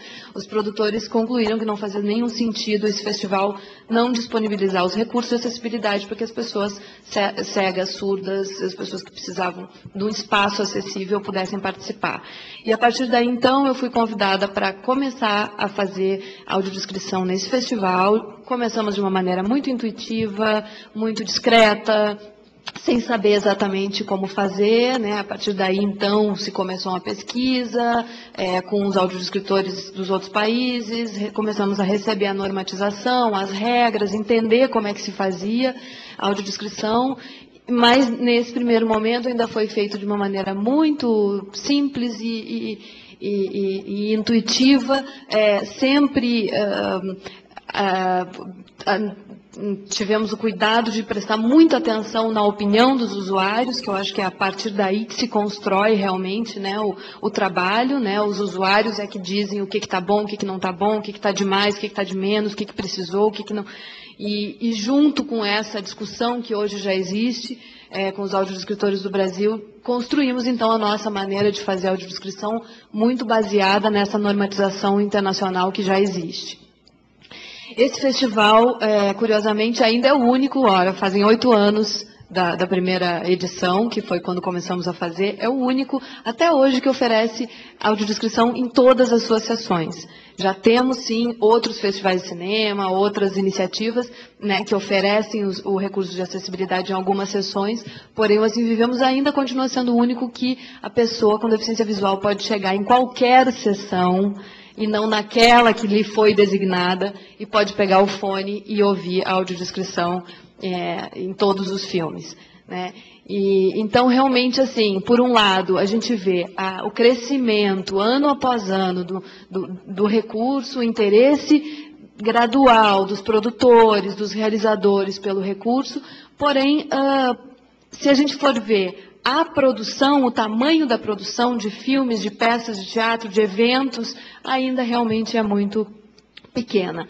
Né? Existem, uh, para explicar um pouquinho a questão da transmissão, né? são, são diferentes formas de transmitir. Então, por exemplo, é, é, na televisão, a audiodescrição ela é transmitida via tecla, tecla SAP, é, porém, a audiodescrição ela, ela pode ser transmitida de forma independente do uh, do evento em si, como, por exemplo, aqui está sendo transmitida de forma totalmente independente. Então, eu posso afirmar hoje que é possível colocar o recurso de acessibilidade da audiodescrição em qualquer evento. Em qualquer evento esportivo, em qualquer evento cultural, porque basta que o evento tenha o, o, o, o sistema que é o mesmo da tradução simultânea, que é um sistema totalmente independente do, do, sistema de exibição, da sala de cinema ou do teatro, e, e através desse sistema independente transmitir audiodescrição. Nós fizemos agora audiodescrição no Carnaval do Rio, da Sapucaí, é, para os cegos que estavam presentes lá no setor da Prefeitura do Rio, e foi algo assim revolucionário. Né? Imaginem vocês, a pessoa não enxerga, está na Sapucaí, gosta de carnaval, e fica ouvindo som e, enfim, absorvendo o ambiente apenas, né, aquele ambiente barulhento com o samba e tal. E esse ano eles puderam ter, então, através do, do, desse sistema independente, todas as informações de todas as escolas, de todas as cores, de todas as fantasias, de todas, inclusive assim é, peculiaridades como um, uma, um, alguém que, que, que que se uma escola que se atrasou, um, uma pessoa que passou mal na avenida e que os bombeiros entraram para acudir, todos os detalhes foram descritos para essas pessoas no carnaval desse ano. Então, a partir daí, desse grande evento que nós fizemos e que vimos que, que é possível, é, eu digo assim, não tem mais desculpa. Ah, mas o meu evento é lá na lona cultural. Não tem problema. É só levar o, o sistema de transmissão de tradução simultânea, o áudio escritor e é possível descrever. Ah, mas o meu evento é no ginásio esportivo. Não tem problema. Também é possível fazer audiodescrição lá. Né? Então, é, Bom, vou explicar um pouquinho como é que funciona essa produção desse recurso para a TV. Né? O audiodescritor, então, ele recebe a, a, obra que vai ser descrita, no caso de um filme, vamos pensar num filme, num, num longa-metragem. Ele recebe a obra a ser descrita é, e ele faz um, um, estudo daquela obra, né? e nós fazemos uma produção de um roteiro. Então, o que, que é o roteiro da audiodescrição? É uma criação literária de um texto que não existe. Né? O audiodescritor, ele é, produz as falas que serão descritas, né, que vão fazer parte desse, dessa descrição. O que, que a gente descreve? A gente descreve tudo que, todas as informações visuais relevantes que as pessoas uh, cegas não estão vendo e por isso não estão conseguindo apreender. Né? Se a gente pensar num filme, um filme é composto de imagem, diálogo, sons, ruídos, né? Sons, ruídos e música, digamos. A pessoa com deficiência visual, ela está aprendendo as músicas, os ruídos e os diálogos, e não está aprendendo a informação visual. A, a, audiodescrição, ela dá conta de descrever, então, todas as informações visuais relevantes para a compreensão daquela obra, que são Entradas e saídas de personagem. A mulher entrou no quarto, sentou numa cadeira, abriu uma gavetinha, tirou um bilhete, começou a ler, se emocionou, tomou um copo d'água, levantou, amassou o bilhete, jogou no chão e saiu. Essa cena, por exemplo, acontece no silêncio. Eu inventei agora essa cena. Ela acontece no silêncio. Se não tem a descrição, a pessoa com deficiência visual não saberá que isso aconteceu. Né? Então, esse tipo de ação que acontece nos silêncios, ou então é, é, alguma informação em relação ao cenário, é, algum objeto que alguém pegue na cena, é, é, expressões faciais, né, de tristeza, de choro, de alegria, de, de algum sinal que alguém está chamando o outro para ir. Todas essas informações que são visuais são descritas pela audiodescrição. Para a gente saber o que descrever, então a gente produz esse roteiro de falas. Nós pegamos o filme, sentamos no computador, com o filme aberto no programa lá, e começamos então a produzir esse roteiro, é, inserindo a audiodescrição de maneira harmoniosa dentro desse material que já existe. Tá? Então, é, esses, essas interferências da audiodescrição, elas vão entrar onde? Elas vão entrar nos silêncios e nas pausas, e nunca em cima das falas dos personagens. Né? Então o personagem falou, houve um diálogo, aconteceu um diálogo, daqui a pouco há uma pausa nesse diálogo e é aí que a audiodescrição entra. Então, o, a audiodescrição ela é algo uh, que, digamos assim, que vai pontuando os, os, os momentos do filme e vai interferindo porém nesses momentos de pausa, de silêncio ou sobre músicas, né? Para quê? Para que esse conteúdo final ele fique harmônico, eh, né, eh, aos ouvidos dessas pessoas que não estão vendo. Né? Então, nós nunca sobrepomos audiodescrição a falas, por exemplo, porque a fala é um conteúdo importante a ser preservado.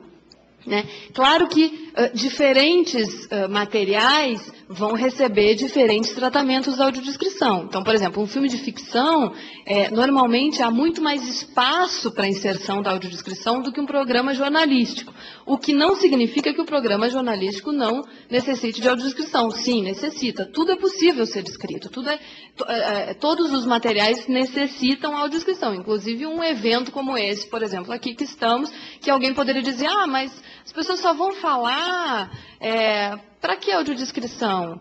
Mas a gente não se movimenta, não tem uma parede vermelha aqui, não tem um ambiente, não tem, não tem uma, uma legenda acontecendo aqui, não tem um tradutor de libras ali. Se não tiver alguém para descrever isso, a pessoa cega não vai saber que, que isso está acontecendo aqui. Né? Enfim, então tudo é possível ser descrito, né? Desde um conteúdo de ficção, passando pelos documentários, é, passando por, por, desenho animado, é, tudo é possível é, a inserção desses momentos de descrição nesses, nesse, nesses pontos chaves que que a gente escolhe, né? Bom, depois desse roteiro produzido, então, é, nós vamos para o estúdio de gravação, onde nós vamos gravar essas falas da audiodescrição. Depois de gravar essas falas da audiodescrição, que também seguem uma série, de, uma série de critérios, porque é diferente da dublagem, é diferente da locução, a voz do, audio, do audiodescritor ela tem que ser neutra e discreta, ela não pode ser uma voz impostada, como, por exemplo, na dublagem. Então, nós vamos para o processo de mixagem dos sons, que é quando o técnico, ele pega o som do filme, o som original do filme, e mixa no uh, no, na nova, na, no novo arquivo de áudio que foi gravado para audiodescrição. Então, ele faz isso. Né? Essa mixagem, ela exige ajuste de volumes para que esse conteúdo fique harmônico. Né? Então, a gente imagina assim, é, uma audiodescrição que entra em cima de uma música muito alta. Se a gente não fizer essa mixagem de sons, de ajuste de volumes fino, vão ficar dois sons altos e isso não vai ficar agradável. Então, nesse momento, é, é baixa-se um pouquinho o som do filme para colocar o som da audiodescrição, depois volta o volume original do filme. Então, é, é feito esse ajuste final. É, eu teria muita coisa para falar aqui para vocês ainda, não vou conseguir. É, me avisaram que faltam cinco minutos, agora devem faltar quatro. E eu gostaria então de exibir pequenos trechos que eu acho que é interessante a gente ver exemplos. É, nesse caso, claro que a audiodescrição está audível para todos aqui na sala. Se estivéssemos numa sala de cinema, estaria no fone, né? E a gente já provou, já fizemos teste, que há tecnologia possível de transmitir sem nenhum problema para o fone de ouvido apenas a audiodescrição. Aqui vai ficar audível para todos, porque, justamente porque é uma demonstração. Então, pediria, por favor, para o senhor é, colocar o... Isso. Obrigada.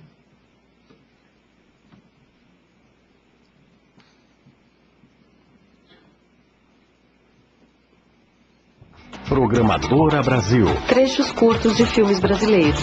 Filmes e vídeos históricos e contemporâneos.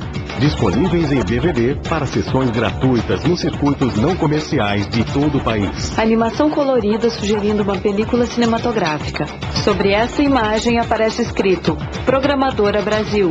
Secretaria do Audiovisual, Ministério da Cultura. Brasil, um país de todos. Cinemateca Brasileira, Fundo Nacional de Cultura, Ministério da Cultura. Signo de elemento Terra. Imagem do planeta Terra girando no espaço. Ao mesmo tempo em que o planeta gira, vai se aproximando e enchendo a tela até ficar bem próximo com os continentes visíveis. Carícia outros astros lhe são Imagens vão se sobrepondo aos continentes. Primeiro uma grande floresta, um gavião voando no céu, um macaco-aranha, pássaros pousados em galhos, uma aranha, uma onça preta, uma formiga carregando um pedaço de folha, uma coruja, uma borboleta, uma perereca, um beija-flor, um caramujo, uma onça, uma tartaruga e um macaco. Aos poucos vai entrando o título do filme, O Brasil é o Bicho, um filme de Denner Giovannini. Imagem de um centro urbano, um homem toca acordeon entre os passantes. Em seguida, Bena Giovannini conversa com Maria Vanilda Oliveira, pesquisadora de cultura popular na Bahia. O povo brasileiro é um, um verdadeiro arsenal de, de, de lendas Dentro do ônibus antigo, detalhe do motorista dirigindo. Uma chuva intensa cai no para-brisa. O casal senta em bancos ao lado de uma janela que está aberta com a chuva entrando. O rapaz tenta fechar a janela, faz força e consegue. Ele passa a mão pelo braço dela para secá-la. Vai, diz Toninho, vai. Não, agora não. Oh, o que é isso, negócio? Conta pra mim, vai. Agora não, pronto. Tá bom.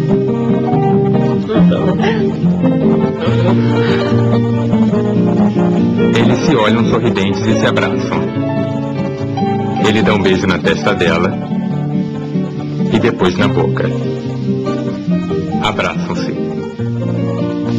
Ponto de vista do alto de uma rua estreita com um ônibus se aproximando na chuva. Aparece escrito Cenografia Marcos Weinstock e Jefferson de Albuquerque. Direção musical Radamés Nhatari. O ônibus para e o casal desce. O rapaz coloca o casaco por cima da cabeça de ambos e caminham abraçados. Aparece escrito, música tema, Nós não usa black ties. A do Niran Barbosa de Francesco Guarnieri. O casal segue andando pela rua, pisando no chão de asfalto molhado. Logo em frente, policiais revistam alguns homens que estão encostados em um camburão. Peraí, é gente boa, companheiro, trabalhador, eu respondo por ele.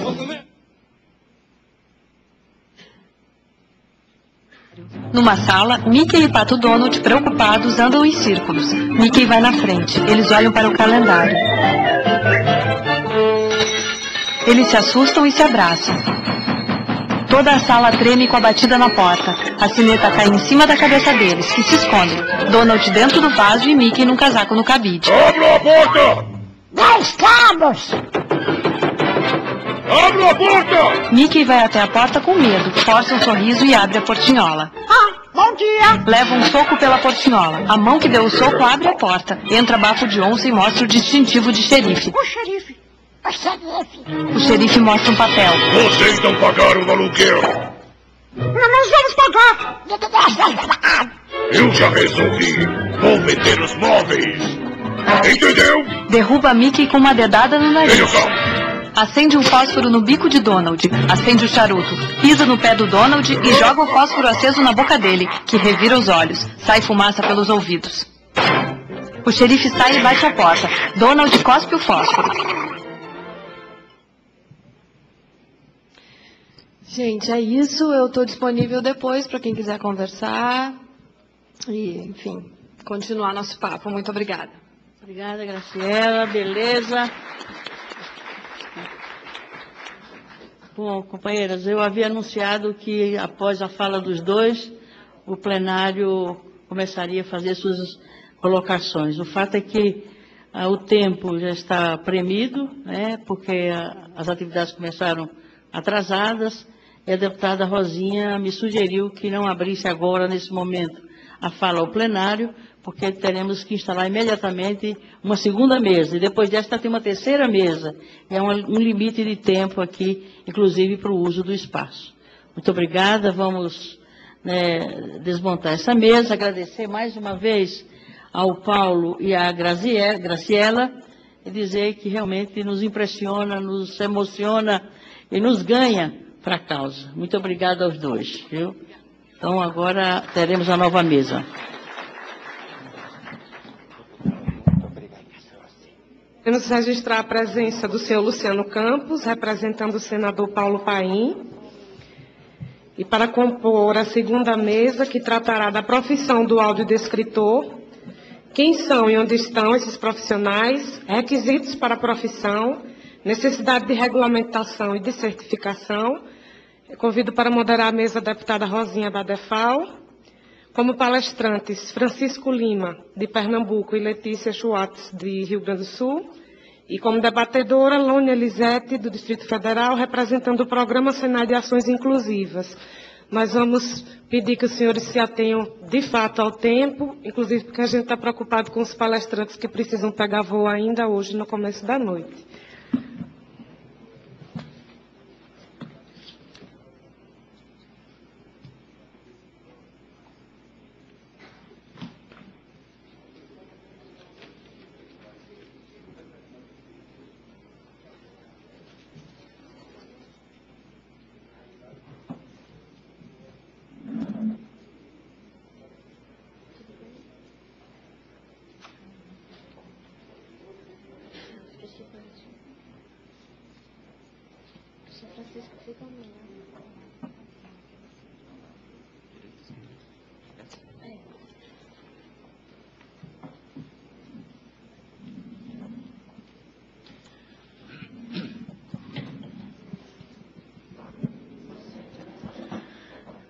Boa tarde, mais uma vez.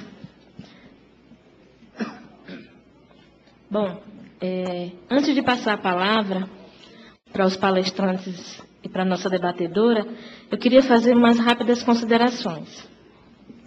Quando eu tive meu primeiro contato com a audiodescrição, propriamente dita, eu já tinha lido, conversado e escutado das pessoas que a audiodescrição era um recurso de acessibilidade comunicacional importante para as pessoas com deficiência visual.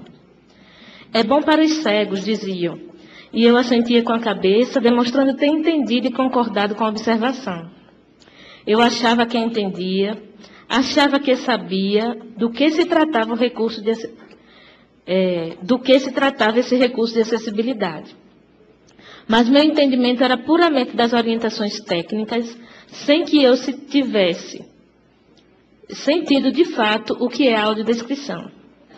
Como já mencionei, no mês de junho do ano passado, ainda quando era vereadora em Maceió, proporcionei este recurso num evento de acessibilidade nas relações de consumo. Começamos o evento. Para mim, aparentemente nada normal, a não ser os fones de ouvidos utilizados por parte da plateia como eu vejo hoje novamente. Mas aos poucos, foi me chamando a atenção as expressões de espanto, a concentração, os sorrisos em sintonia, como que num segredo, só dos seus usuários. O que lá estava escutando? O que dividiam entre si? A curiosidade foi maior e não, não resisti. Solicitei um fone. E fui me deixando envolver pela narração. Fui conduzida a imaginar cores, formas, sensações, como há muito já não fazia. A rotina da vida nos embrutece, e naquele momento me permiti viajar pela suavidade do que me era sugerido. Me senti valorizando coisas que há muito passavam desapercebidas. Me senti mais humana com a experiência.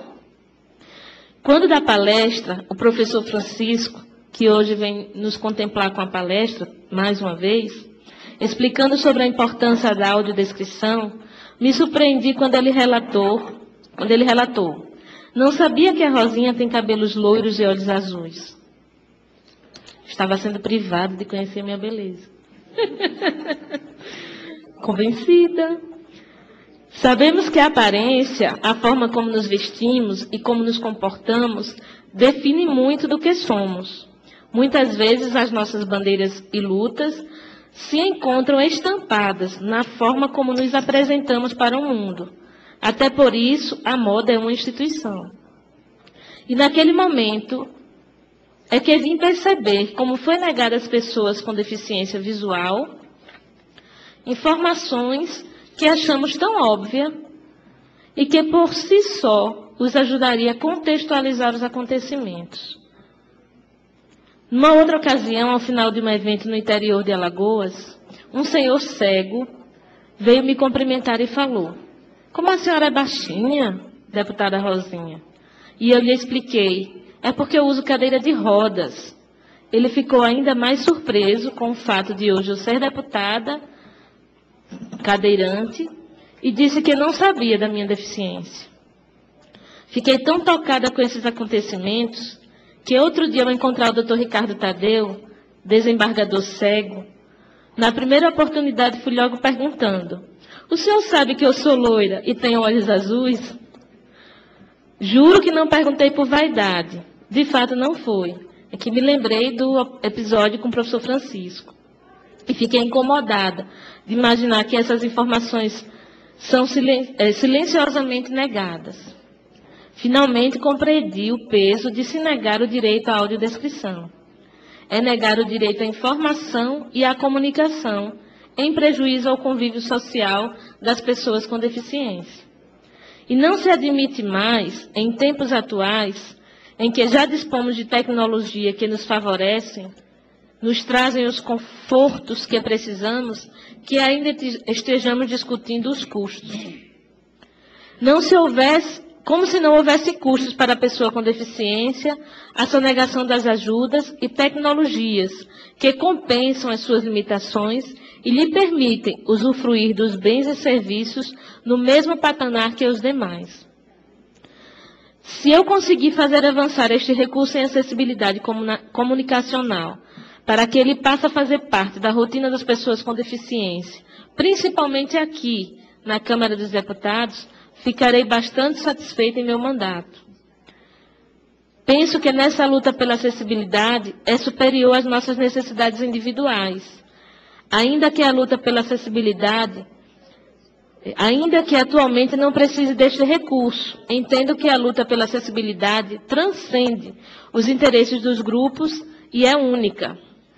A vitória que cada um traduz na vitória de todos nós, pessoas com deficiência. Este relato eu publiquei no último volume da revista brasileira de tradução visual.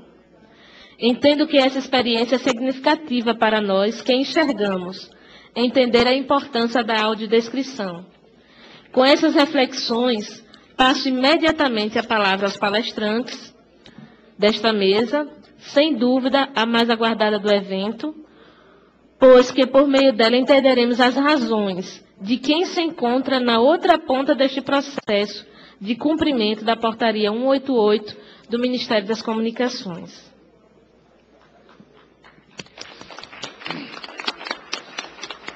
Então, eu passo a palavra agora para o professor Francisco Lima, para que ele faça a sua palestra.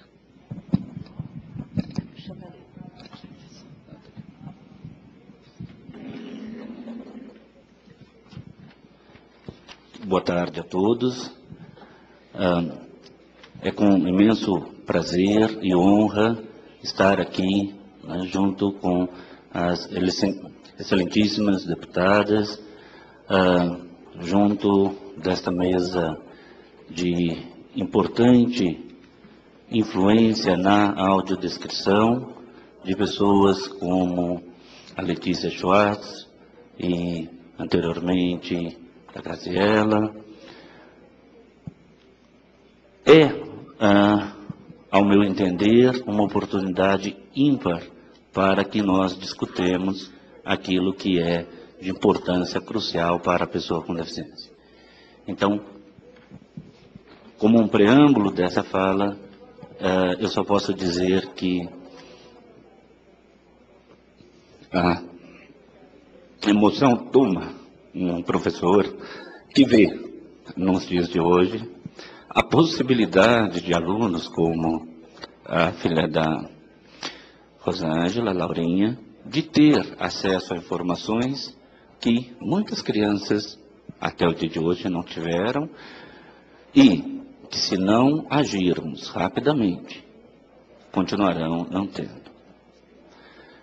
Eu vou pedir a digníssima deputada que nós façamos um pequeno ajuste na apresentação dos slides, considerando né, o público que não está aqui presente, mas está pela internet, que está nos assistindo, dentre os quais pessoas com deficiência, pessoas com deficiência intelectual, dislexia, pessoas cegas com baixa visão, e que certamente quererão saber o que nós estamos apresentando em nossos slides. E aí, então, uh, se me permite, eu gostaria de fazer o convite à Letícia, que lesse para a gente os slides, já que os amigos, o Gabriel, a Márcia, estão fazendo a audiodescrição no fone, o qual, a propósito, eu estou usando, a partir do qual eu também vou receber as informações daquilo que vocês estão vendo.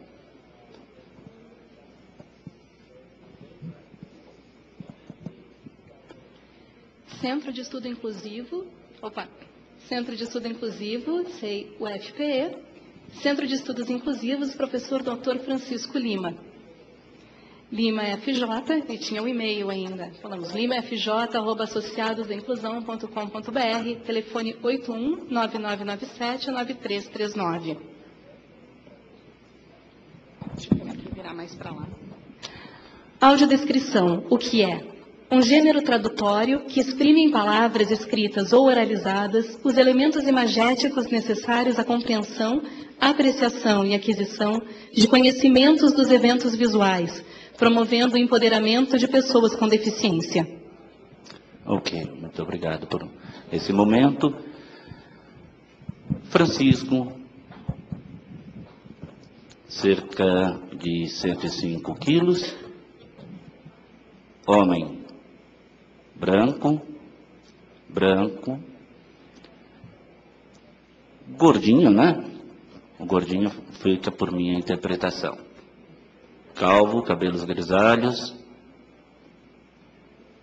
Esse é um breve relato e não uma audiodescrição, nem ainda uma autodescrição. Tá? Às vezes a gente confunde audiodescrição com autodescrição. Audiodescrição é, portanto, um gênero tradutório. A audiodescrição é trazer para as palavras aquilo que os olhos veem e levar ao cérebro, através do som, aquilo que os olhos levam através de imagens. Ao mesmo tempo que o tradutor, o audiodescritor, vê uma dada imagem e, simultaneamente, a traduz, como é este caso, para palavras que vão ser lidas, que vão ser oralizadas, verbalizadas e lidas, e lidas, por exemplo, em braille. Uma pessoa surdo-cega tem direito à audiodescrição. E, obviamente, se nós restringirmos o entendimento de audiodescrição a som, essas pessoas continuarão excluídas. Ora, se nós entendemos, e agora nós já entendemos, a importância da informação visual, gráfica, imagética, para uma pessoa com baixa visão, uma pessoa cega, nós também entendemos que uma pessoa que é surdo-cega precisa dessa imagem, dessa informação viso movimentada, que a gente vai chamar de sinestésica. Então não são só as aparências, né? mas são também os movimentos. O Francisco movimentou, mas o que, que eu fiz? Só movimentei? E quem não viu o que, que eu movimentei? Movimentei o quê? De que maneira? Com que energia? Né? Eu, né? os audiodescritores me ajudam, o que, que eu fiz mesmo? Né? Será que eu soquei o ar ou será que apenas dei um tchau? Audiodescrição não é meramente transformar imagens em palavras, é dizer aquilo que, na linguagem imagética, transmitiu ao vidente, de maneira que, por intermédio do áudio ou da palavra escrita, se transmita ao ouvinte ou ao leitor. A audiodescrição, portanto, está no escopo da tradução.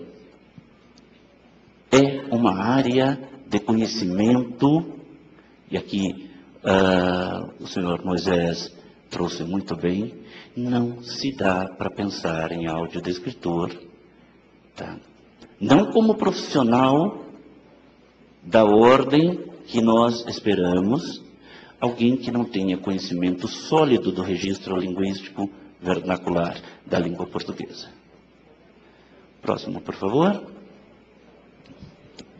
Audiodescrição e empoderamento. O empoderamento constitui o processo pelo qual indivíduos, organizações e comunidades angariam recursos que lhes permitem ter voz, visibilidade, influência e capacidade de ação e decisão. Orochovski Meirelles, 2009, página 486. Obrigado. Bem melhor que meu sintetizador de voz. pois bem, né? Quando nós falamos de audiodescrição, nós estamos falando de um gênero tradutório que diverge da tradução da uh, descrição. A descrição é feita desde que o mundo é mundo, desde que o homem saiu da árvore, foi caçar e ao voltar contou o que, que ele viu que, que ele fez? Ele descreveu, inicialmente, através das próprias imagens, mais tarde, através da oralidade e ainda mais tarde, através da escrita. Audiodescrição difere da descrição porque ela visa o empoderamento. Ela visa dar aquilo que a Constituição brasileira define como sendo isonômico entre as pessoas. O direito de acesso à informação, à cultura, ao lazer. O artigo 208 da Constituição diz que todos devem ter o direito à educação. Nós todos devemos ter o direito de acesso aos níveis mais elevados do conhecimento técnico e científico. Ora, como dizer hoje que as instituições que comunicam acadêmica, escolar, lazer, culturalmente, já não estão em débito legal com os cidadãos brasileiros desde 1988, quando pela primeira vez uma pessoa, um indivíduo com alguma deficiência, se tornou pessoa. Antes disso, o Francisco não era pessoa, não. Porque foi só em 1988 que a Constituição definiu pessoa portadora de deficiência. Foi um grande passo e nós portamos não a deficiência, mas a capacidade de inquirir porque o nosso direito não está sendo respeitado. Mas nós portamos também o direito de questionar esta casa, o Congresso, o nosso ministro, por que as pessoas humanas com deficiência são vitimadas em sua dignidade ao serem denegadas o acesso à cultura, à informação, ao lazer. Nós estamos falando né, com representantes, com a excelentíssima uh, deputada que trata das questões de direitos humanos. Audiodescrição é, em essência, direitos humanos. E é também um direito humano denegado nos dias de hoje. Por favor. Audiodescrição. Por quê? Respeito legal, Constituição brasileira, resoluções internacionais e bom senso. Bom senso. Ora, eu nunca comprei tanto DVD da turma da Mônica. Né? Foi. Né? Antes de ter audiodescrição. Eu comprava sim, mas um só. Agora eu compro para dar de presente para minha filhada, eu compro para dar de presente para o Paulo Romeu, não dei esse presente para ele não. Mas eu estou dando esse exemplo. É, eu estou esperando uma turma da Mônica Malta, os adolescentes estão esperando a audiodescrição para o gênero fílmico que lhes agradarão. A audiodescrição não pode ser só deste ou daquele gênero. Tem de ser de todos os gêneros. Tem de ser da educação, eu fico triste ao assistir pela manhã programas educativos, ensinando matemática, por exemplo, ou ciências, e, de repente, quando eu estou quase entendendo, ele, ele dá, e o resultado é este. Veja nessa tela. As pessoas com deficiência visual têm o direito de acesso igualitário à educação. Tem o direito mas também tem o desrespeito a ele quando não recebe esse direito. Por favor.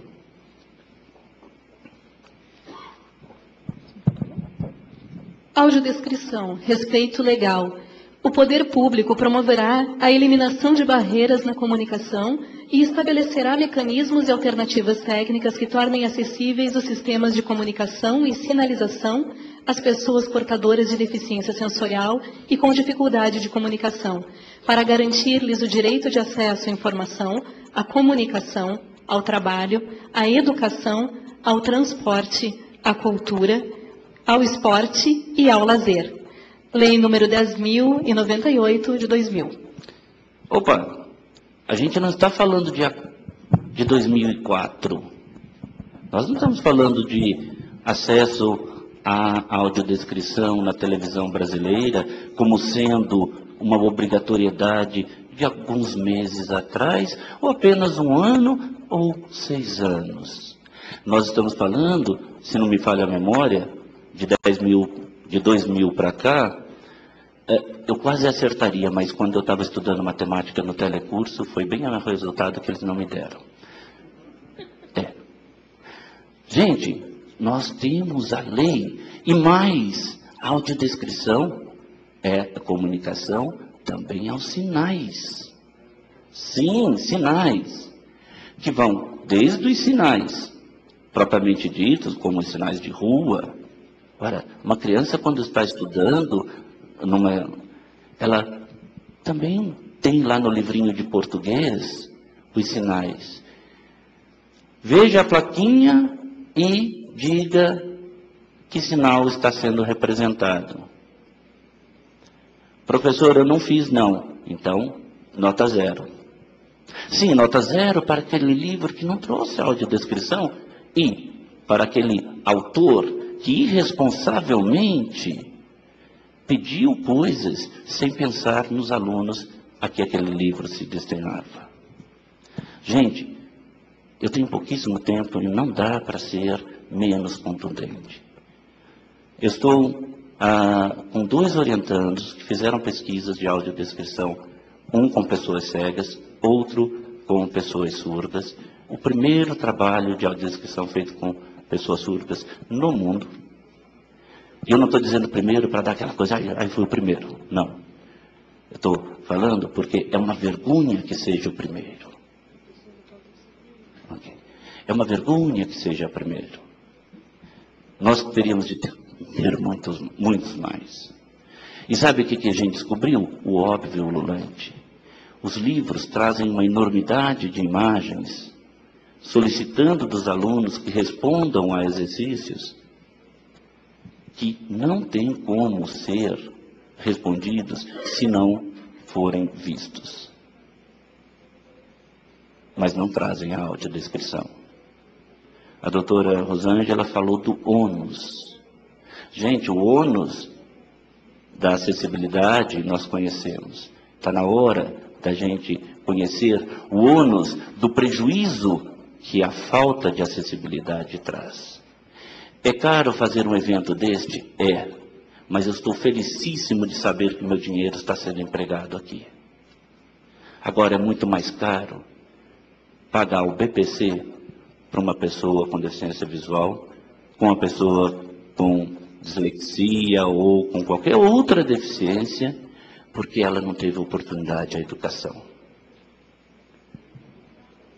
É vergonha que nós tenhamos tão pouca audiodescrição e ainda tenhamos argumentos do tipo daqui a 10 anos, daqui a 20 anos, aí o Francisco terá audiodescrição 24 horas por dia. Só que daqui a 20 anos, quando passar, eu vou falar assim, o que estava passando mesmo? Por favor, é, só leia o título dos dois seguintes.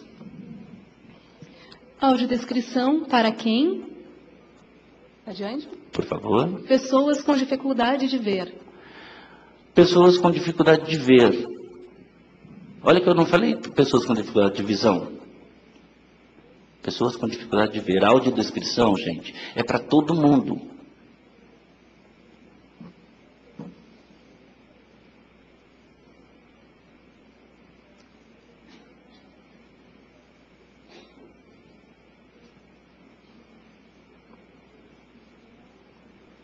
Pois é.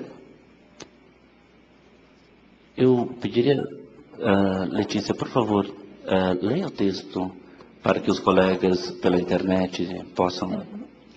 100% da população brasileira e mundial que em algum momento estejam lacuna.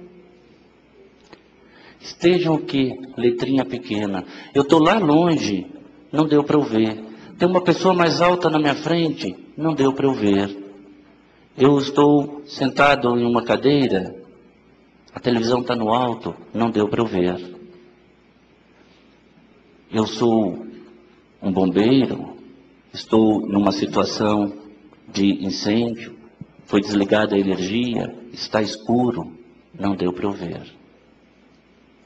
Mas daí tem um colega lá fora que conhece bem o espaço e vai audio descrevendo. Porque caberá ao bombeiro fazer, tomar as decisões. Por favor, o próximo, estou quase terminando, só preparei 49 slides. O papel da audiodescrição.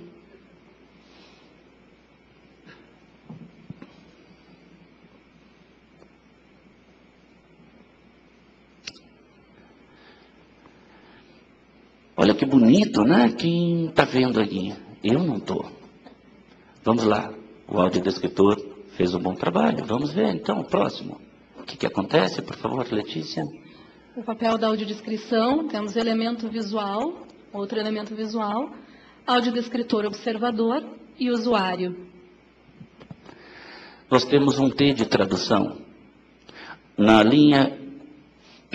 Desculpa, gente. Na linha horizontal estão o texto observado, ou seja, os elementos visuais observados, e, do outro lado, os elementos visuais reconhecidos. Observados pelos olhos, representado pelo uso da luneta, e reconhecidos no uso do balão, que é uma representação gráfica dos livrinhos, né, das tiras, né, que foi falado aqui, que são denegadas às pessoas cegas, às pessoas com baixa visão. E veja bem, não está nem mais alto nem mais baixo, tem que produzir na mente de quem ouve, tal qual a imagem na mente de quem a viu. Por favor, a próxima. Eu vou pular algumas, tá? Audiodescrição da imagem. Sigo. Sim, pula, por favor. Referência da imagem. Ok. Pode pular mais uma. Papel da audiodescrição. Como fazer? Ok. O que, que nós temos aqui? Temos aqui uma história em quadrinhos. Ah, na primeira, um personagem numa carroça, atraindo o animal com uma cenoura presa no anzol, dizendo a cenoura não está funcionando, vou trocar. No segundo, trocou por cachorros, ah, o animal foi substituído por cachorros. Ele está dizendo ueba. É de níquel náusea, botando os bofes de fora, São Paulo, Devir, 2002, página 46. Na sequência, por favor, Letícia, você só leu só o, o, o título mesmo de cada item. Só para vocês terem ideia, gente, que uma imagenzinha dessa elicia, provoca de trabalho no áudio do escritor. Por favor, Letícia. Papel da audiodescrição. Como fazer? Notas proêmias. Pula, por favor. Uh, notas proêmias continuação. Por favor. Uh, análise da imagem. Autoria, tema, tipo e técnica, idades da imagem e estilo. Ok, continua por gentileza. Uh, análise da imagem, continuação, elementos constituintes. Um elemento humano, gênero, características fenotípicas, características faciais. Por favor. Análise da imagem, continuação. Elementos constituintes, continuação. Características faciais e características corporais. Próximo. E ainda a continuação da análise da imagem e dos elementos constituintes, os elementos do mundo animal. Ok, seguinte. Análise da imagem, continuação, relações semânticas, relações de posição. Mais ainda. Relações entre elementos da imagem, imagemas e relações hierárquicas. Ok, a próxima. Relações semânticas são relações de inclusão. E a última? Ainda relações semânticas, relações de conjunção e disjunção e relação temporal. Quem diria que aquele né, desenho lá daria tanto trabalho para o audiodescritor? Né? E aqui é só um mapinha de que, que a gente vai buscar para poder fazer a audiodescrição. Né? Próximo, por favor. Referência da imagem e da análise. A próxima. Audiodescrição, profissionais e certificação. pesquisadores, técnicos, audiodescritores, locutores e consultores. Aqui, apenas para citar alguns dos profissionais envolvidos numa audiodescrição. Alguns. Um trabalho de audiodescrição é um trabalho de pesquisa. Se você vai fazer audiodescrição para um museu, por exemplo, você tem que entrar em contato né, com o pessoal da área específica, catalogação, por exemplo. Se é uma amostra, você vai ter que conversar né, a respeito dessa amostra. Enfim, é toda uma pesquisa. Mas há um aspecto importante, há uma locução. E essa locução não é, como já foi mencionado aqui, uma locução do tipo dublagem. A locução diz, por exemplo, que vai entrar um crédito sem necessariamente falar crédito. Que vai entrar uma legenda sem necessariamente falar legenda. A entonação é importante, mas como já foi mencionado também, não se pode interpretar no sentido teatral. O audiodescritor é aquela vozinha que fica no ouvido sem interferir na imagem. Mas, por favor, sigamos. Audiodescrição, profissionais e certificação, Inglaterra, Ok, próximo. ah, ainda profissionais e certificação, continuação. Ah, alguns dos módulos são tradução audiovisual, Oh, pode, pode seguir o- título. Nós temos então Inglaterra. Espanha. Espanha. Por favor, próximo. agora continuação, Ok. Espanha. Ainda sobre Tá. Espanha, Ok. Portugal, Ok. Agora. continuação sobre Portugal ainda. Gente. Pode ir passando, por favor. Canadá, Ok. continuação acerca do Canadá. Brasil. Ah, chegamos ao Brasil. Estamos quase terminando. Eu peço a paciência, mais três minutinhos, pode ser? Leio. Ah, de onde nós estamos falando aqui? Vamos começar por, por cima. Então, Brasil. Ceará, Minas Gerais, Procad, US e UFMG.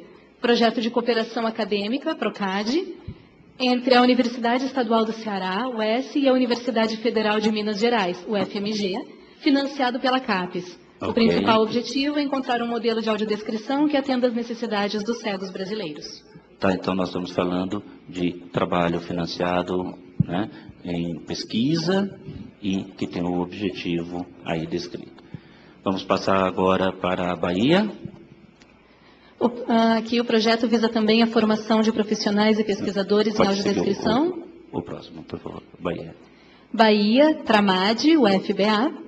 O Tramad, Tradução, Mídia e Audiodescrição, é um grupo de pesquisa da UFBA e o primeiro no Brasil a se dedicar ao estudo sistemático e implementação da acessibilidade audiovisual para cidadãos deficientes visuais através da audiodescrição, uma modalidade de tradução audiovisual.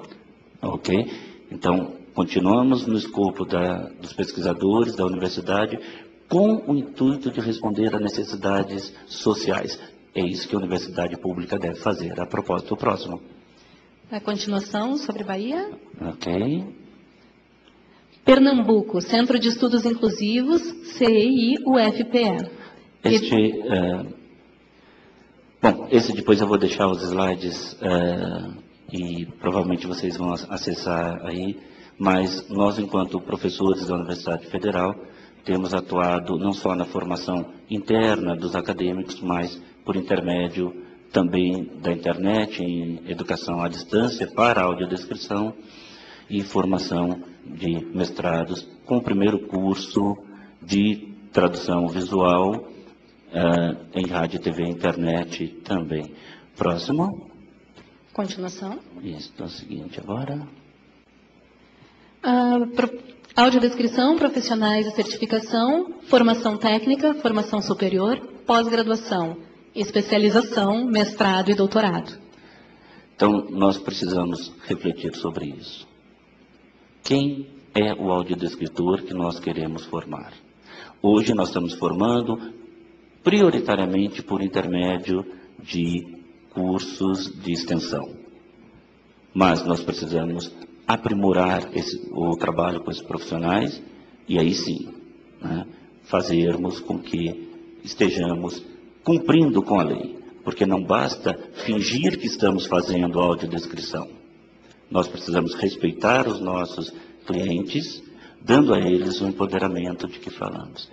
Próximo, Conteúdo da formação. por favor. Pessoa com deficiência, mitos e preconceitos a respeito da deficiência visual, barreiras atitudinais no trabalho com audiodescrição, percepção visual, pessoa com deficiência visual e o potencial para compreender imagens. Eu vou acabar aqui. Obviamente, eu não estou dizendo que este é o único conteúdo de um curso, mas esses assuntos precisam ser tratados. As pessoas com deficiência, enquanto clientes de serviço, não podem ser tratados sob a égide das barreiras atitudinais. Não podem ser vistas como seres a quem se destina um serviço porque são pobres coitados incapazes de reconhecer ou de fazer uso de imagens, que até agora estava no limbo da ignorância, mas com a audiodescrição sairá dela. A audiodescrição não é para o entendimento da obra, é para o entendimento da imagem. A compreensão das imagens pode levar ao conhecimento da obra. Muitas pessoas que enxergam, ao assistir a uma obra fílmica, ao ver uma pintura, necessariamente não a entende. Talvez o próprio autor, talvez o pintor, talvez o diretor, queira mesmo que não se tenha certeza daquilo que se está vendo. A audiodescrição, gente, não é mera descrição. A audiodescrição é uma ferramenta que propicia ao cidadão com deficiência ou não tomar decisões a partir da informação dada. Eu quero dizer que, para mim, a principal, o principal ponto de ter estado aqui hoje, o que me deixou mais feliz, emocionado, foi poder dizer para vocês: há muitas Laurinhas por aí.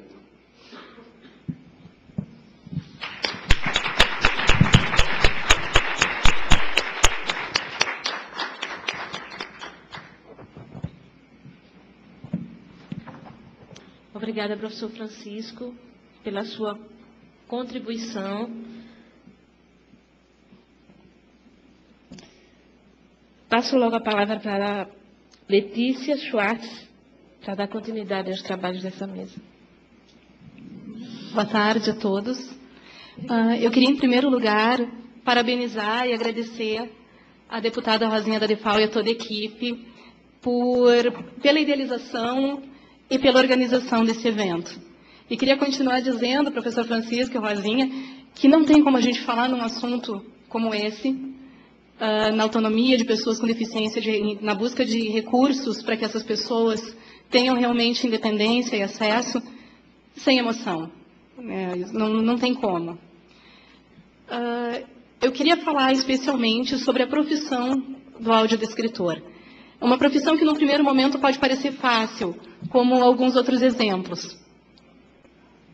Um fotógrafo, afinal de contas, ele só precisa mirar e apertar um botão, não é? Uma professora de educação infantil, de pré-escola, só precisa brincar com as crianças. Um pescador só precisa atirar a rede e depois puxar de volta. Nesse sentido, se puder passar, por favor, o conceito da audiodescrição é tremendamente simples. É só descrever o que a gente está vendo. No entanto, assim como essas outras profissões, tem muita coisa por trás desse conceito. E é um pouco sobre essas coisas que eu quero falar para vocês. para a gente fazer a descrição de uma imagem, pode passar, por favor, de qualquer imagem.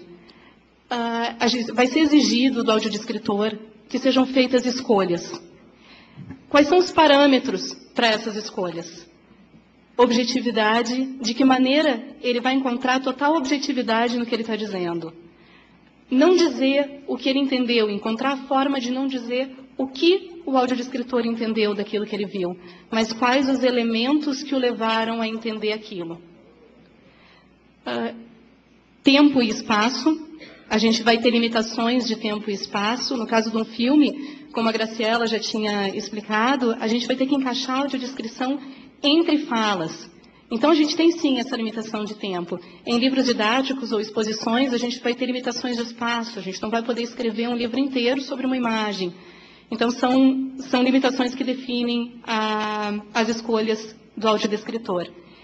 E a consciência acerca do público receptor. Existem muitas possibilidades de público receptor e isso vai interferir diretamente na, no formato dessa audiodescrição. É para pessoas cegas? É para pessoas com deficiência intelectual? É para pessoas com problemas de aprendizagem, com dificuldades de aprendizagem? Qual é a idade? É voltado para crianças, para jovens, para adultos, para idosos? Ah, é voltado para estudantes? Bom, voltado para estudantes do ensino médio ou para estudantes universitários? É um material que vai ser encaminhado para leigos ou para especialistas? Tudo isso vai determinar a construção dessa audiodescrição, o vocabulário escolhido e a forma de narração. Todas essas são escolhas complexas e que vão exigir um profissional muito bem preparado. Eu levantaria, apontaria como a principal característica de um audiodescritor a capacidade de escolha. E só tem uma forma dele conseguir chegar às escolhas adequadas, que é numa relação de empatia com o receptor. É ele se colocar uh, na situação do receptor da audiodescrição e conseguir prever de que maneira essa pessoa vai entender, vai imaginar, vai interpretar a narração dessas imagens. O audiodescritor, uh, ele não trabalha sozinho. Normalmente a gente trabalha em equipes de audiodescrição. Algumas das funções dentro dessa equipe, elas podem ser acumuladas, mas não todas, como vocês vão perceber, se puder passar, por favor. A gente tem o roteirista, que é o responsável por elaborar o roteiro da audiodescrição, Uh, esse profissional ele vai ter que trabalhar muito com suas características do profissional uh, roteirista. A sumarização, a observação, uma cultura geral tremenda, gosto pela pesquisa, porque ele vai ter que se envolver sim na pesquisa dos temas abordados no material que ele está descrevendo, domínio da língua portuguesa, Uh, em geral, a gente tem aqui profissionais uh, da área de letras, especialmente de tradução, de teatro, de cinema e TV, de publicidade, de jornalismo. São os profissionais que buscam a formação como um, audiodescritores roteiristas. Tá? Em geral, profissionais ligados justamente à produção de texto. A segunda das funções é o narrador. O narrador precisa ter dicção, precisa ter um tom de voz, né, uma boa dicção, um tom de voz sutil e discreto, uma adequação à dinâmica e ao gênero da obra, e ele precisa ter a habilidade de desenhar imagens com a voz. Uh, ele não pode, em momento algum, cair na interpretação ou na teatralidade. Então, a, ele precisa chegar a essa narração discreta de quem realmente está contando alguma coisa para outra pessoa. Não é tão fácil quanto parece. Em geral, a gente trabalha com atores uh, com locutores e com dubladores. Mas uh, é bastante difícil chegar a esse equilíbrio, essa, essa sutileza necessária. O que é fundamental para esse profissional da narração é perceber que não é a audiodescrição a, a estrela da situação. A pessoa foi assistir o filme porque ela quer assistir o filme. Ela foi assistir a peça porque ela quer conhecer a peça. A narração da audiodescrição vai só dar acesso, ela vai funcionar como ponte ela não pode chamar atenção para si. Ela não é parte integrante daquela obra. Uh, depois a gente tem a outra função que é o técnico de áudio. E, e é uma função muito importante, porque a gente, para quem enxerga, uh, a qualidade da imagem é essencial. Para a pessoa com deficiência visual, a qualidade de som tem que ser equivalente. Então, a gente, um som ruim, ele vai atrapalhar a, a compreensão da audiodescrição e ele vai atrapalhar a, a fruição daquele produto, daquela obra que a pessoa estiver assistindo. Um técnico de áudio experiente, ele vai conseguir uma gravação sem ruídos e sem distorções. Ele vai promover uma edição que interfira o mínimo possível no som original. Tá? O que acontece é o seguinte, uh, o, o roteiro, o audiodescritor roteirista, ele já prevê no roteiro os pontos de inserção mas a gente depende da sensibilidade do técnico de áudio para conseguir uh, ajustar isso de, de acordo com uma certa dinâmica, se adequando à dinâmica da obra em questão. E, por fim, a mixagem, onde ele vai equilibrar volumes para harmonizar o áudio do filme, ou, enfim, da, da obra gravada, com a audiodescrição. Para que tudo seja ouvido, enfim, com clareza, né, todas as informações sonoras. Uh, a última das funções é um consultor com deficiência visual. Uh, é altamente recomendável a presença de um consultor com deficiência visual. Isso pode acontecer de duas formas. Ele pode acompanhar o processo inteiro ou ele pode participar como um revisor no final do processo.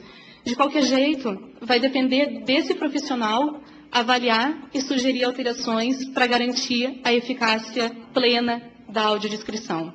É, é o nosso controle de qualidade. Só uma pessoa com deficiência visual vai ter noção completa de como ele vai, de, de como aquilo está funcionando. Então a gente precisa sim passar pelo crivo dessa pessoa. E ainda em alguns casos a gente agrega mais um profissional, que é o consultor técnico. O que acontece eventualmente é que a obra ser descrita, uh, ela exige certos conhecimentos que ultrapassam uma, assim, uma, a pesquisa que o audiodescritor pode fazer. Então, nesses momentos, a gente chama esse consultor técnico. Por exemplo, um, um filme que a gente descreveu algum tempo atrás era um filme sobre judô, era um documentário sobre, sobre um judoca. Enfim, eu realmente não tenho muito conhecimento sobre a área e não teria como uh, fazer uma pesquisa que me trouxesse isso. Isso é uma questão de vivência, não de uma simples pesquisa. Então a gente contratou um sensei que uh, nos deu toda essa parte de poder da gente poder estar entendendo com precisão as imagens para poder fazer a descrição. E queria salientar muito a importância do, da pessoa com deficiência visual nesse processo, em dois momentos. Uma como consultor ou revisor, e a outra, vez, uh, outro momento, como espectador. Porque o feedback do espectador é essencial para que o trabalho do audiodescritor continue em evolução. Pode passar, por favor. Uh, outra função do audiodescritor, eu diria uma função agregada, é orientar o cliente para que a produção final seja acessível. Uh, ele deve chamar a atenção do cliente para a necessidade de que a obra como um todo seja acessível e, dentro do possível, oferecer alternativas. Então, por exemplo, uh, um museu não basta que tenha um audioguia descrevendo as obras. A, a descrição das obras não vai ser suficiente se, não, se esse audioguia não tiver também orientações para que essa pessoa com deficiência visual consiga se movimentar pelo local da exposição com autonomia. uma sala de cinema, uma sala de teatro, pode ter o seu espetáculo, o seu filme com audiodescrição, mas ela precisa que os seus funcionários aprendam a conduzir a pessoa até o seu lugar, que aprendam a, a entregar, a explicar para a pessoa como regular o radinho transmissor. Aprendam a recepcionar esse, esse novo espectador. No, no outro caso, um menu de DVD. Muito bem, o DVD saiu com audiodescrição e o menu.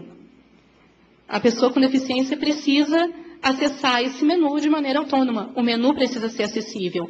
Então, o que acontece às vezes é que, bom, a gente vai fazer uma audiodescrição, uh, o, o, produtor de cinema vai lá e, e diz, ó, oh, eu quero audiodescrição do meu filme. Muito bem, vamos fazer a audiodescrição do filme. Mas também cabe a nós alertá-lo para o fato de que a gente vai precisar, o, o consumidor final vai precisar um menu acessível. Então, essa orientação faz parte do escopo de trabalho do audiodescritor. Uma característica da audiodescrição uh, é uma diferenciação entre quem é o cliente e quem é o consumidor. O cliente da audiodescrição, normalmente, é o produtor de cinema, a emissora de televisão, um curador de uma exposição. Uh, é a pessoa que vai contratar o serviço, seja porque a lei obriga, seja porque a pessoa tem consciência uh, social ou porque percebe o potencial de mercado. De qualquer jeito, em geral, quem contrata o serviço não é uma pessoa com deficiência visual. O nosso contratante, o nosso cliente, não é o nosso consumidor final. Por isso, normalmente essa pessoa não tem elementos suficientes para avaliar uh, a qualidade desse serviço. E nesse sentido, a única solução é solicitar com muita frequência a, a opinião, a posição da pessoa com deficiência visual. É importante também a gente começar, uh, dentro dessa nova ideia de mercado que vem se formando, a, a separar as ideias de acessibilidade e de assistencialismo. E, a, e separar as ideias também de profissionalismo e voluntariado. Pode passar adiante, por favor. Nós temos agora o um mercado de informação. É um momento crucial para a audiodescrição, em que a gente precisa valorizar a capacitação e discutir sobre momentos de regulamentação e de, e de certificação. Uh, nós temos agora, nesse momento, uma série de cursos que estão sistematizando a, o aprendizado da audiodescrição. É um aprendizado que se baseia uh, em, em, assistir audiodescrição, ler, conversar com audiodescritores, conversar com pessoas com deficiência visual, experimentar. Então, uma série de profissionais da área da acessibilidade vem sistematizando isso e desenvolvendo cursos de formação. Uh, pode passar, por favor os cursos eles são estruturados em, em quatro eixos. O reconhecimento do público, mais uma vez a importância da gente estar uh, em contato e muito ciente das necessidades do público com deficiência visual. Então, os cursos em geral agregam uma, uh, um momento em que se discute definição de cegueira e de baixa visão, causas, abordagem e convivência com pessoas com deficiência visual e uma série de vivências práticas que, em geral, uh, por exemplo, um passeio pela sala com os olhos vendados, ou assistir um filme com os olhos vendados, sem a imagem e sem a audiodescrição. Vivências que coloquem o futuro audiodescritor uh, passando pela experiência de não ver. No segundo momento, a gente tem um estudo de diretrizes, em que a gente estuda conceitos teóricos e analisa obras com audiodescrição. Depois, atividades práticas de roteirização e narração. E isso é absolutamente essencial, porque a gente pode aprender as diretrizes, a gente pode aprender o conteúdo teórico, mas a sensibilidade necessária ao audiodescritor não se aprende, se desenvolve. Isso só se conquista através de prática. E, por fim, apresentações finais, com debate, uh, que é um momento de contato desses futuros audiodescritores com o seu público, um momento de troca de ideias, uh, um momento de aprender também a receber feedback, a filtrar, a avaliar e, e a evoluir no seu trabalho a partir do feedback.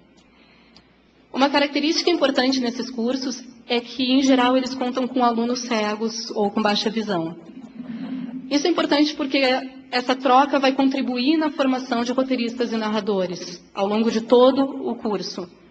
Mas isso é mais importante porque significa formação de consultores. O fato de não enxergar não transforma o cego, não habilita um cego a ser um consultor.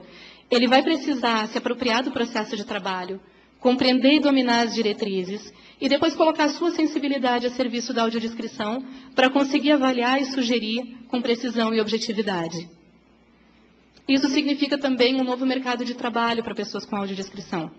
E um mercado diferenciado, porque a gente uh, percebe, né, no momento em que os mercados estão se abrindo para pessoas com deficiência, são empresas se adequando para receber essa pessoa, ou a pessoa se adequando a, a, a essa empresa. Na audiodescrição, uh, isso é fora de cogitação. A equipe da audiodescrição precisa de uma pessoa com deficiência visual. A gente precisa desse profissional. Então, além da remuneração que o serviço vai trazer, tem uma questão de autoestima, de independência, de valorização, de alguma coisa que só essas pessoas vão poder estar trazendo. Uma, é uma colaboração para o trabalho que só a pessoa com deficiência visual vai poder estar agregando. Pode passar, por favor. Uh, vou falar brevemente sobre regulamentação. Uh, existe nesse momento um grupo de trabalho tá, que tem se reunido uh, na intenção de redigir normas para a BNT. São audiodescritores, consumidores, pesquisadores, acadêmicos, que estão desenvolvendo, então, ah, essa redação de normas, essa pesquisa sobre normas. Ah, eu estou falando de normas, mas na verdade está errado, porque não vão ser normas. A ideia é que sejam diretrizes. Ah, por quê? Porque para audiodescrição, cada produto é um produto, cada público-alvo é um público-alvo. Não é possível ter normas rígidas. A gente vai precisar adequar essas, então, diretrizes a cada nova situação.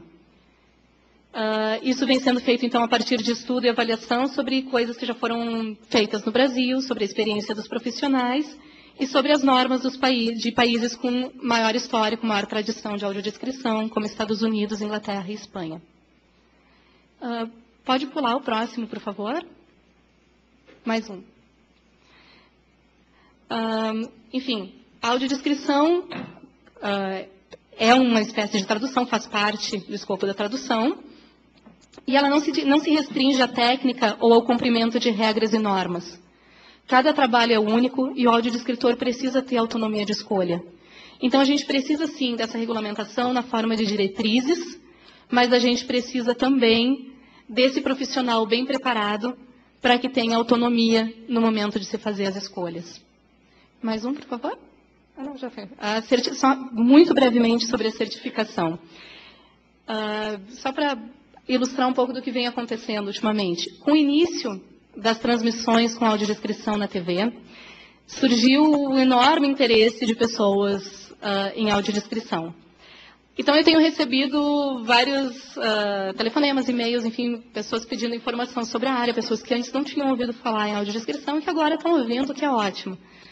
Muitas dessas pessoas, graças a Deus, a maioria, têm perguntado sobre cursos de formação que é o ideal, são pessoas querendo se formar ah, como audiodescritores e atuar como audiodescritores, tendo sido capacitados. Mas eu tenho também recebido telefonemas perguntando simplesmente, Letícia, uh, não precisa certificação para audiodescritor, né? Não, não precisa. Ah, tá, obrigada. Com a clara intenção de começar a atuar como audiodescritores, sem formação, uh, sem estudo, sem preparo, a partir de meia dúzia de linhas que leram numa revista ou de uma matéria num programa de televisão. Então é importante nesse momento se buscar um modelo de certificação, senão a gente vai ter que simplesmente apostar que o mercado vai absorver espontaneamente os profissionais devidamente preparados. Então, muito obrigada.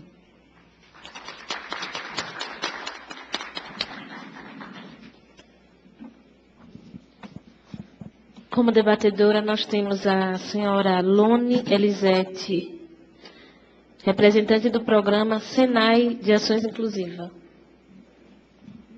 Obrigada. Tá.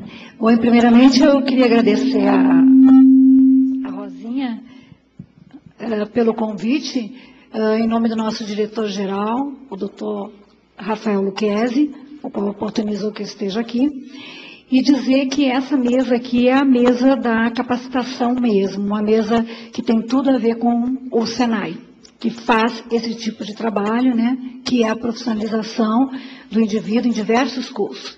Então, eu vou me permitir rapidamente falar um pouquinho do que a gente já está fazendo em audiodescrição e que eu acho que complementa e também é, é o debate dessa nossa mesa. Né?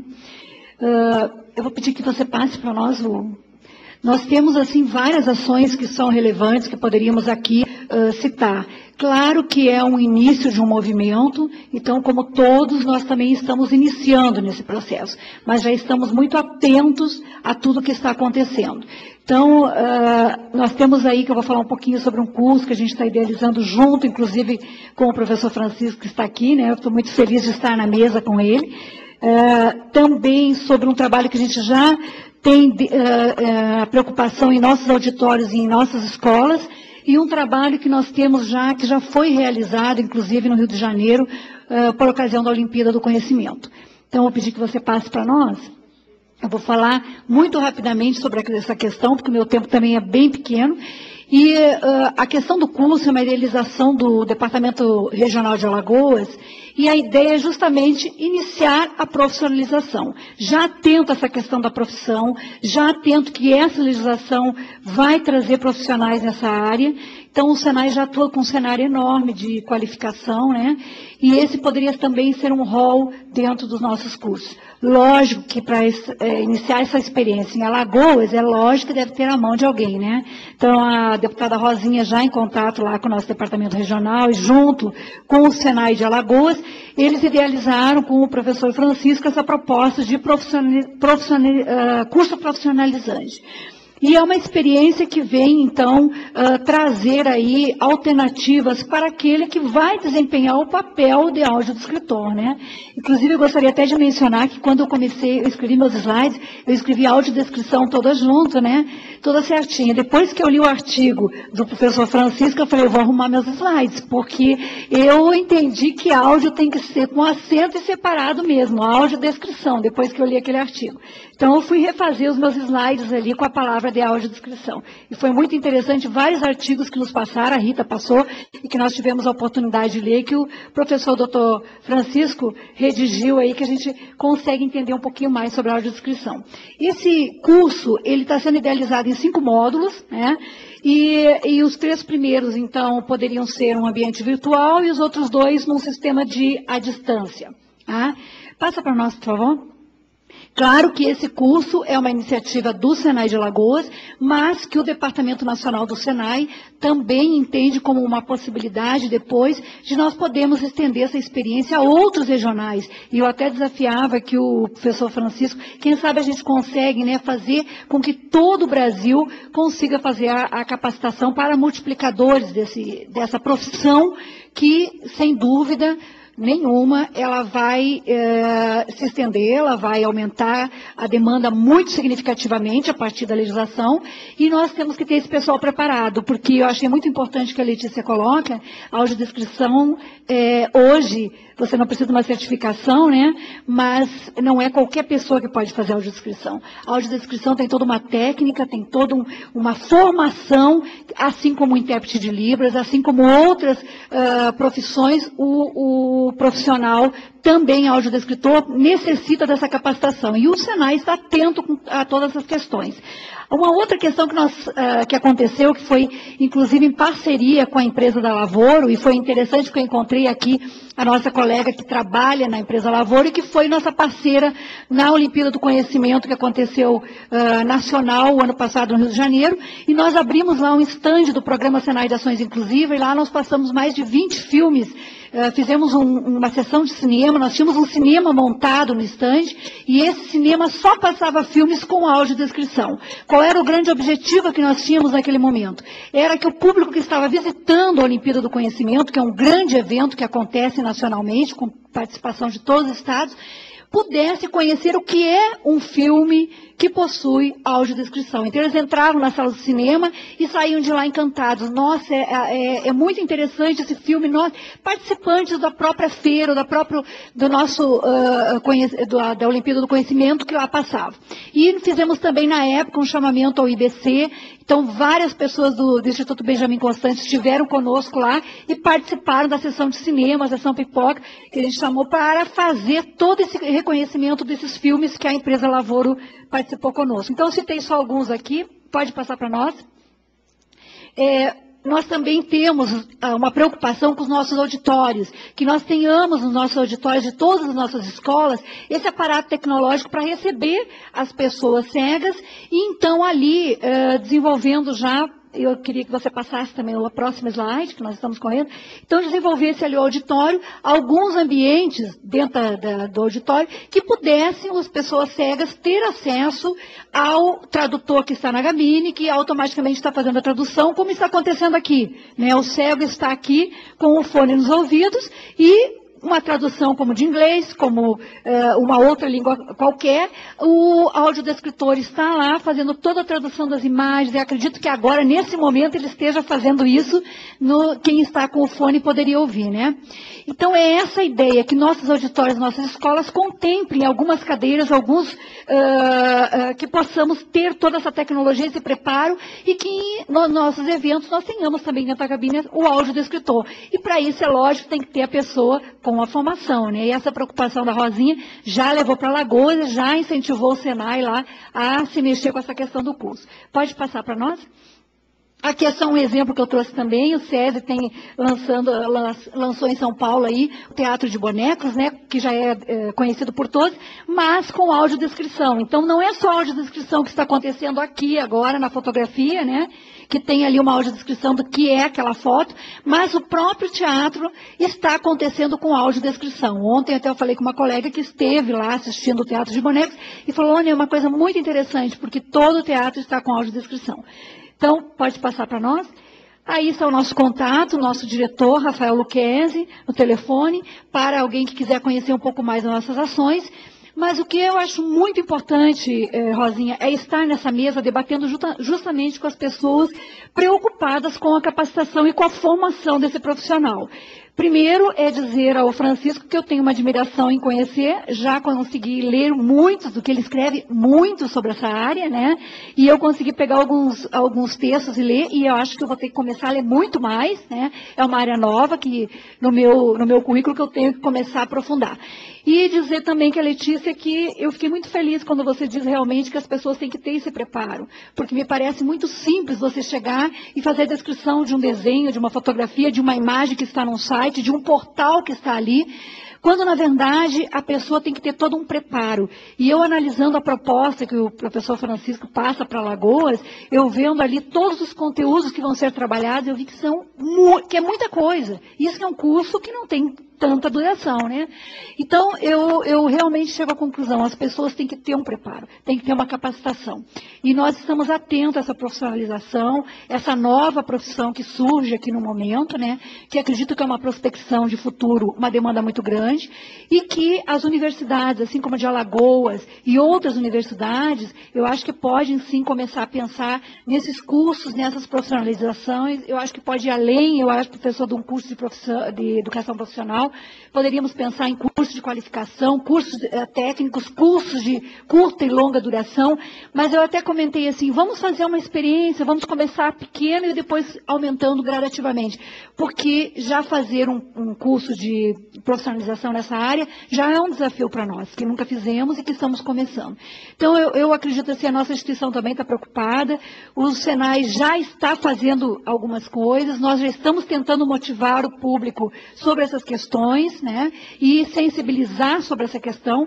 E é importante dizer que nós temos a preocupação com a acessibilidade. Nós uh, já desenvolvemos três turmas de cursos de braille para docentes, atuar com alunos cegos, tanto em matemática quanto em português. Já desenvolvemos quatro turmas de Libras, inclusive um último curso totalmente à distância, que tivemos mais de 250 docentes do Senai participando.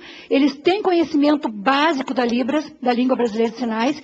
Isso também é uma forma de acessibilidade. Nós temos um curso que nós desenvolvemos quase que anualmente sobre uh, os softwares uh, eu diria hoje, assim, sem medo, o Senai é uma referência em termos de informática, em termos de software, para atuar com alunos cegos. Nossos docentes estão todos preparados para receber o aluno cego e para ensinar esse aluno cego o domínio do computador, o domínio da ferramenta uh, uh, da informática. Então, nós trabalhamos agora, acabamos uma turma, estamos certificando nossos docentes em NVDA VDA, JAWS, Virtual Vision e DOSVox. E ainda tivemos uma amostra grátis é, do Digital Vox, que é um, um novo que está surgindo aí, gratuito, e que ensina como mexer no teclado desde o início, para um analfabeto digital realmente, e que gostaria de iniciar o processo de digitação. Então, eu acredito assim que essa acessibilidade, e, e eu não, e me corrija, professor, se eu estiver errado, errada, mas eu acredito que a audiodescrição é uma acessibilidade, nós não temos como fugir, porque sem ela nós também teremos dificuldade de repassar a nossa uh, deficiente visual, uh, inclusive uh, alguns cursos, como por exemplo, edificações, cursos de engenharia, cursos de, me ajude aí, outros cursos que nós teríamos dificuldades, geografia, química, artes, porque exige muito de imagem, muito de gráficos, e que isso só é possível abrir a inscrição para essas pessoas no momento em que nós tivermos a audiodescrição. E a audiodescrição necessita de pessoal capacitado. E para isso, então, inicia-se aí essa parceria. Obrigada, Rosinha, mais uma vez, em nome do nosso diretor. Alegria de nós estarmos aqui, podendo discutir essa profissionalização, essa capacitação como um início no Brasil. Acho que é um marco muito importante de nós estarmos pensando em curso de educação profissional na formação de audiodescritores. Né? Um abraço.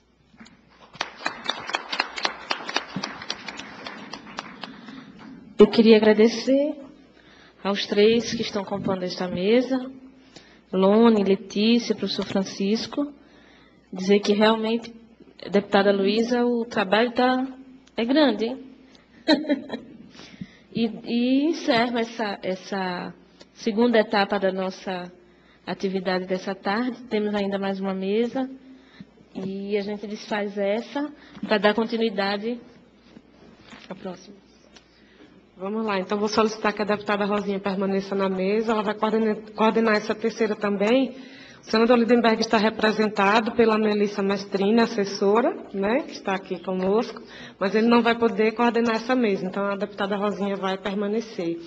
É, essa terceira mesa trata é, dos primeiros 45 dias da audiodescrição nas TVs brasileiras, apresentando as dificuldades para a implementação, caminhos e perspectivas. Né? É um momento que eu acho que todo mundo, de fato, está esperando. Nós queremos, inclusive, agradecer as pessoas que estão acompanhando esse evento pela web, tanto pelo E-Democracia, quanto pelo link das comissões de direitos, da Comissão de Direitos Humanos e Minoria. E já convocamos os palestrantes é, representante do Ministério das Comunicações, representante da Associação Brasileira de Emissoras de Rádio e Televisão, ABER, senhor Rodrigo Machado Moura, representante do Ministério Público Federal, Ana Lúcia de Andrade Hartmann, e vamos prosseguir os trabalhos o mais rápido possível, que nós estamos lutando contra o tempo, né? Representando as comunicações, quem vem? Representando o Ministério das Comunicações, Patrícia Bonito Brito de Ávila.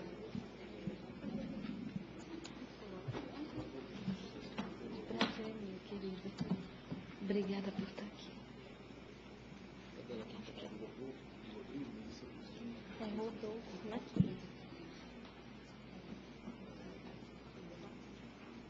Tudo bom, querida? Prazer é meu. Bom, sem mais delongas, uma vez que a gente já está com o tempo bem apertadinho, eu gostaria já de passar a palavra para a doutora Patrícia Brito de Ávila, que está aqui representando o Ministério das Comunicações, para que ela possa já fazer essa avaliação desses 45 dias. Tem uma apresentação? Fique à vontade.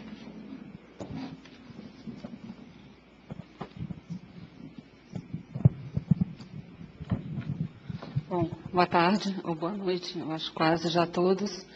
É, queria agradecer o convite para estar aqui em nome do ministro. Queria agradecer a vocês que ainda estão aqui ouvindo a gente. A ideia da apresentação do Ministério é ser bastante breve. A gente vai apresentar um histórico do que foi discutido no âmbito do Ministério em relação à regulação da audiodescrição. Depois eu vou falar um pouquinho sobre é, o que está valendo hoje, em termos de, de norma que a gente tem no Ministério. E, por fim, eu vou concluir falando um pouquinho das dificuldades que a gente tem para poder implementar a audiodescrição na radiodifusão. Quem passa?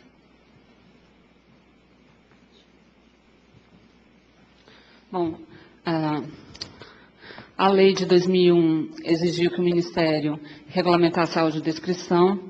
Inicialmente, essa, atribuição foi é, delegada à Anatel. A Anatel explicou que não seria com ela, o Ministério Público cobrando.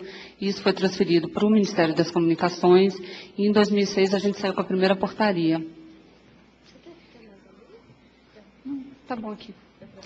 Isso, é a portaria 310 né, que estabeleceu o cronograma e alguns requisitos técnicos para que a programação da TV fosse aberta e acessível a pessoas com deficiência. Não só de descrição, mas também legenda oculta e ah, Libras, não, tem mais um. É audiodescrição, janela oculta, oh, audiodescrição, legenda oculta, li, closed caption, dublagem, isso. Obrigada. Em 2008, é, a gente teve uma pressão dos radiodifusores bem grande, porque eles tinham dificuldades técnicas. Realmente, com a TV analógica, a gente diminuiria a qualidade do sinal e houve uma portaria prorrogando.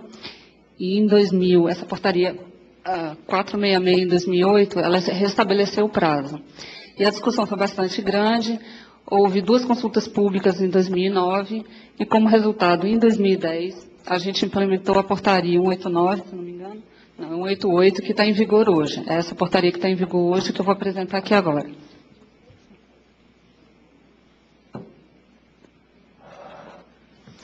Bom, é, só para explicar, a audiodescrição na TV analógica ela não foi viável por conta da qualidade do sinal. Então a gente passou a implementar isso na TV digital. Então quando a gente falar de audiodescrição na radiodifusão, a gente está falando sempre de TV digital. Tá? É, a TV digital ela tem a, algumas questões que são importantes a gente destacar. Primeiro, a gente ainda está com prazo para todas as geradoras cedentes de programação para que elas façam a transferência, ou seja, para que elas solicitem uma consignação do canal digital. Então, esse prazo ainda está aberto, vai vencer no final do ano. Final do ano que vem, vai vencer o prazo das retransmissoras. Ou seja, então, até o ano que vem, as emissoras vão estar, tá, é, tem um prazo para solicitar a consignação do canal delas em digital isso significa o quê? Que nem todo mundo está transmitindo digital ainda. Então, quando a gente fala em audiodescrição, a gente tem que saber que isso não está indo para todo mundo, isso ainda é restrito. Fora isso, a gente ainda tem a questão uh, do consumidor, que ele tem que ter um, um receptor adequado para poder estar tá ouvindo o que está sendo descrito. Então, a gente fala em audiodescrição, fala que está implementado tudo, mas tem algumas questões que precisam ser é, reforçadas para que as pessoas entendam que isso é um processo. Então, o que, que o Ministério está fazendo? O Ministério bancou, junto com a BERT, acho que o Rodrigo pode falar um pouco disso depois, Rodolfo, desculpa, pode falar um pouco disso depois, a gente bancou junto com a BERT que a gente não, a gente vai implementar porque é importante que tenha. Se eu não me engano, é o primeiro país da América Latina que está implementando esse tipo de recurso mas ainda tem algumas questões técnicas e tem todo o processo de transferência da tecnologia analógica para digital que impacta na demora no, na recepção é, do recurso pe, pela pessoa com deficiência. Tá? Então, esses são os prazos que estão em vigor hoje. A gente começou, é, a partir de 1 de julho de 2010, as emissoras tiveram um ano para implementar a audiodescrição. A partir de 1 de julho de 2011, elas estão com duas horas na programação. Acho que a Globo fez uma divulgação grande disso, a SBT implementou também, são as que eu me lembro agora. Só que a gente ainda não tem a obrigatoriedade da divulgação do horário, que é uma coisa que a gente está pensando em fazer. E. É, é, oi? É, o horário seria o programa, né? Na grade de programação da publicidade é isso. Mas a gente já tem essas duas horas. A ministra Maria do Rosário esteve até conversando com o ministro, perguntando sobre a possibilidade da gente aumentar o número de horas e tudo tal, mas é uma coisa que, por conta de todas essas restrições técnicas, a gente achou que, que nesse momento esse cronograma atenderia. Até porque ah, as emissoras também estavam com algumas dificuldades, de pessoas com áudio, ah, empresas que fornecessem o serviço e tal, então que a gente resolveu, vamos deixar a grade como está e vamos passo a passo avaliando. Se a gente precisa, precisar depois rever, isso a gente altera no futuro. Pode passar. A outra questão é a seguinte: a gente tem as transmissoras, que são as geradoras que cedem a programação para as retransmissoras. No caso das retransmissoras, não adianta eu ter a, a retransmissora querendo na parte dela de programação própria local, querendo fazer a audiodescrição, se a geradora não manda o sinal com a audiodescrição. Ou seja, se a, retransmissora for para digital, ela só vai funcionar se a emissora que estiver gerando a programação estiver transmitindo em digital e com audiodescrição. Então, essa é uma outra limitação que a gente tem. Tá? A retransmissora, ela passa a ter que retransmitir, a- a- passa a ter que veicular com a audiodescrição, disponibilizar o recurso a partir do momento que ela entra em digital. Então, pode ser que ah, uma, uma retransmissora da Bandeirantes esteja em analógico, a Band já está em digital, então essa retransmissora não está transmitindo, ela vai ter um prazo até final de 2012 para pedir o canal digital. Ainda tem um prazo de consignação do canal, de licenciamento, isso gera mais ou menos um ano e meio, então pode ser que ela só entre em 2015, tá? Só para título de exemplo. Mas ela só consegue entrar se a geradora tiver transmitindo em digital. Bom, segundo tema é em termos de fiscalização. Em termos de fiscalização, às vezes é um pouco confuso para as pessoas quem faz o quê. Eu gosto sempre de, de apresentar essa tabelinha porque eu acho que facilita a compreensão. A gente pacificou o entendimento de que a competência para fazer a fiscalização técnica é da Anatel. E é a Anatel que executa também. A questão do conteúdo, e aí está incluso os recursos de acessibilidade, a competência é do Ministério, mas a gente tem um, um acordo de cooperação com a Anatel, um convênio, que é ela que executa isso para a gente. Esse convênio foi estendido agora em agosto, e a Anatel está fazendo para a gente não só o monitoramento da programação, como ela está também, ela vai passar agora também a formar os processos, que são os processos de apuração de infração, quando a gente detecta que a emissora não está cumprindo com alguma obrigatoriedade legal que ela tenha. Então, esse monitoramento dos recursos de acessibilidade, ele é feito pela Anatel. A Anatel monta um processo quando ela encontra algo irregular e manda para a gente. E aí a gente vai sancionar, ou seja, vai aplicar multa, ou a suspensão, ou, no caso de reincidência dupla, a cassação. E a gente tem sido bastante incisivo em relação a isso. É, vamos disponibilizar até o final do ano um regulamento de sanções que vai dar maior transparência é, a, a todo o processo de sanções das emissoras quando elas não cumprem com alguma obrigatoriedade. E a ideia é apertar. Então, o que a gente tem em termos de, de ah, modos de cobrar das emissoras é a parte sancionatória. E a gente vai apertar isso com o regulamento de sanções. Pode ir. Bom, o que, que a gente fez? A gente implantou o recurso a partir de 1 de julho. A primeira ação da gente foi solicitar na ANATEL uma fiscalização para ver se as emissoras estavam cumprindo para ver se as emissoras estavam cumprindo a obrigatoriedade de disponibilizar o recurso de audiodescrição. A gente solicitou em Belém, Maceió, Salvador, Belo Horizonte, Vitória, São Paulo, Curitiba, Campo Grande e Manaus, que são as cidades onde já tem algumas emissoras transmitindo em digital, num total de 16 emissoras. Felizmente, eu tentei cobrar deles para ver se a gente já tinha um resultado para apresentar aqui, mas houve um problema técnico, porque, ah, o- tentar explicar de uma forma simples, as emissoras ah, disseram que iam transmitir num canal de áudio, esse canal de áudio foi monitorado, mas na verdade elas transmitiram em outro. Então a gente não teve como apurar para ver se elas transmitiram corretamente, então a gente refez o monitoramento e esse resultado eu estou aguardando da Anatel. Além disso, pode passar. A gente tem um planejamento anual de fiscalização, que foi encaminhado agora em julho para a Anatel. Esse planejamento prevê que nos próximos quatro anos a gente vai fiscalizar todas as emissoras e retransmissoras de televisão. A ideia é fiscalizar cerca de 2.500 por ano, para daqui a quatro anos, ou seja, em 2015, a gente ter todas as emissoras fiscalizadas.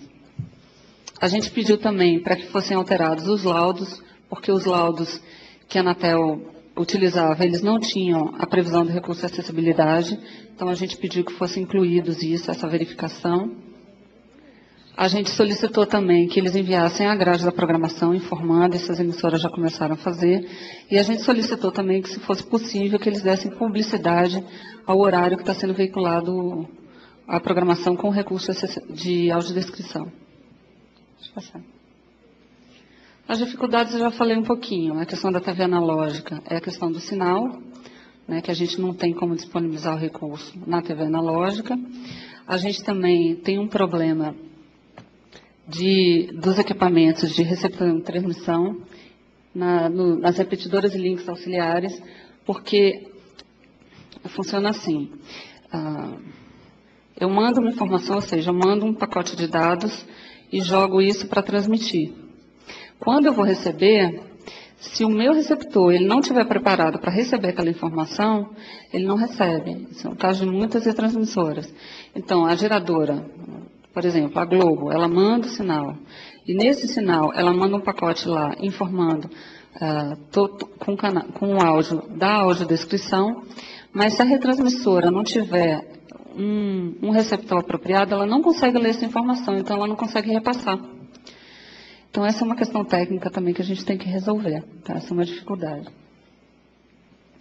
Por fim, é, a questão que eu falei, que são as, dificuldades de monitoramento por discrepância no canal de áudio, que isso a gente já resolveu. Pode passar. Bom, aí é o meu contato. Dúvidas, se vocês precisarem de alguma coisa, a gente está à disposição. Obrigada.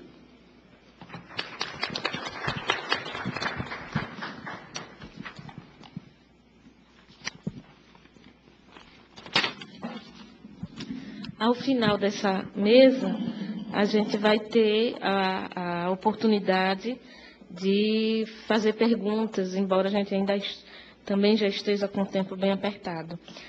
Eu passo agora a palavra para o representante da Associação Brasileira de Emissoras de Rádio e Televisão, ABERT, é, Dr. Rodolfo Machado, que a gente, por equívoco, chamou de Rodrigo, peço desculpas. É, o senhor tem a palavra. Deputada, eh, muito boa tarde. Não tem problema a esse equívoco, eu sempre brinco com, a, com meu pai, porque a ideia do nome Rodolfo foi dele, de que eh, poderia ter me dado, de repente, um nome mais comum, que ficaria, evitaria de, de às vezes, ser, ter essa troca, mas não tem problema algum. E eu acho que sempre a gente tem que procurar aprender alguma coisa ah, em todo evento que a gente participa. E eu aprendi bastante aqui, eu acho que eu, eu tenho assistido aqui desde da, de quando começou, achei extraordinária a iniciativa de, se trazer essa questão de audiodescrição, a senhora e a frente de parabéns, a deputada Luísa Lundina, que é sempre muito atenta com todas as questões que envolvem a comunicação, e uma coisa, a primeira coisa que eu aprendi hoje aqui é que eu deveria sair um pouco do microfone para que as pessoas que porventura não tenham a visão possam perceber de onde está vindo o, o som, né? E isso eu vou levar, não só isso, mas várias outras coisas eu vou levar, eh, acho que por muito tempo. Eh, e parabenizando já essa iniciativa mais uma vez, eu gostaria de tecer umas breves palavras sobre a ABERT. A ABERT é uma, é uma associação eh, composta por empresas de, de. Nós somos eh, basicamente representantes da radiodifusão comercial privada, que é a grande maioria das emissoras nesse país. A ABERT é uma entidade que vai completar ano que vem 50 anos. O, o rádio completa 90 ano que vem, para caso você não saiba, a, a ABERT vai completar 50. E a ABERT é uma entidade que hoje congrega cerca de 3.500 emissoras eh, em todo o país. Nós temos emissoras em todas as unidades da federação.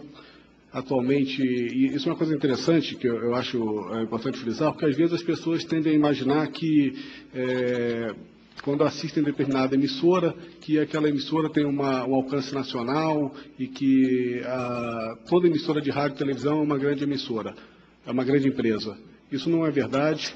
Nós temos, por exemplo, no nosso quadro associativo, mais de 80% das associadas da ABERT são empresas que estão optantes do simples, ou seja, são micros ou pequenas empresas, isso se vê em todo o país. Você tem, inclusive, muitas emissoras de televisão que são emissoras é, optantes do simples, ou, são, ou seja, são emissoras que têm um faturamento não muito alto. É, isso parece, às vezes, um pouco surpreso, porque certas pessoas que não militam no meio têm a impressão de que, por exemplo, quando estão ah, em Fortaleza e ligam a, a televisão, vem lá que está passando a programação do SBT, eles acham que aquela é uma programação do SBT. A programação é do, do SBT, mas a empresa que faz a geração lá é a TV Jangadeiro.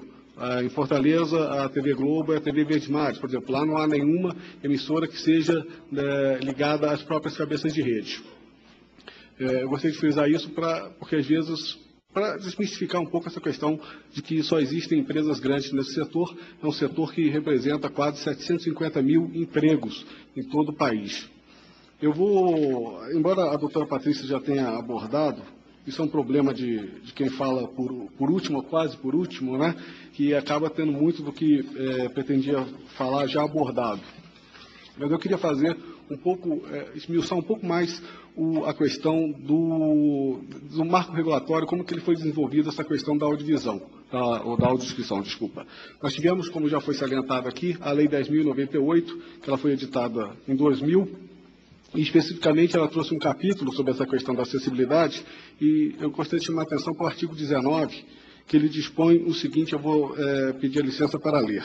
Artigo 19. Os serviços de radiodifusão sonora, de sons e imagens adotarão plano de medidas técnicas com o objetivo de permitir o uso de linguagem de sinais ou outra subtitulação para garantir o direito de acesso à informação às pessoas portadoras de deficiência auditiva, na forma e no prazo previsto em regulamento. Só chamar a atenção que a, a lei faz referência tão somente a pessoas portadoras de deficiência auditiva. Ela não faz a pessoas portadoras de deficiência visual. Mas isso é só um, um detalhe que eu queria chamar a atenção, até porque, é, embora nós já tenhamos, nós acreditamos que juridicamente o decreto extrapolou um pouco o que dispõe a lei, isso nunca foi, é, nunca foi intuito de nós contestarmos isso judicialmente. Tá? A BERT entende que ela tem, as emissoras têm um papel social a cumprir e que, obviamente, não poderia, isso aqui deve ter sido uma falha do legislador, de não incluir o deficiente visual, incluir tão somente o deficiente auditivo, mas que esses recursos de acessibilidade são muito importantes para agregar uma parcela da população que efetivamente precisa da atenção, precisa. É, ser, ter, a, a sua vida já é tão é, mais complicada que a nossa, tendo em vista a determinadas é, limitações que eles têm, que nós acreditamos que todo esforço que possa ser empregado para diminuir esse gap que existe entre a vida de uma pessoa dita sem essas dificuldades e as pessoas que têm é, uma dificuldade a mais, deva ser é, feita para, para ser suprida. E aqui vou até dar um depoimento pessoal, eu tenho, um, a maioria das pessoas às vezes não nota, mas quem trabalha comigo sabe, eu tenho uma, uma certa deficiência auditiva. Eu tenho, por exemplo, eu tenho um problema grave, eu não assisto mais televisão à noite, porque é, eu tenho um menininho de sete meses e ele dorme no meu quarto junto com a minha esposa. E aí minha esposa assiste televisão lá, só que ela assiste numa altura que eu não consigo, de jeito algum, eu, eu, para mim a televisão não está nem ligada. E enquanto eu não conseguir ter um, um, um, fone de ouvido com fio bem longo para chegar na televisão, eu já desisti, eu viro para o lado, abro um livro e fico ali porque eu não, não consigo. Mas uh, vou passar adiante aqui, feito esse, esse breve relato pessoal. Posteriormente, apenas em, a lei é de 2000, mas apenas em 2004 veio o decreto regulamentador da lei, que aí sim ele trouxe a questão de que haveria uh, três três mecanismos de, de, acessibilidade que deveriam ser disponibilizados, que seria a, sub, a legenda oculta, a Libras e a audiodescrição. E, bem, isso nós estamos em 2004. Nós, nós tivemos algum, alguns entendimentos com o Ministério das Comunicações nesse, nesse período, porque, efetivamente, é, eu acho que isso é uma coisa importante de destacar. As emissoras de televisão, as pessoas que trabalham nas emissoras de televisão, te, televisão é imagem, é basicamente imagem. Tá? Tem o som, mas o fundamental da televisão é a imagem. Então, as pessoas que trabalham com televisão são muito focadas nessa questão da imagem.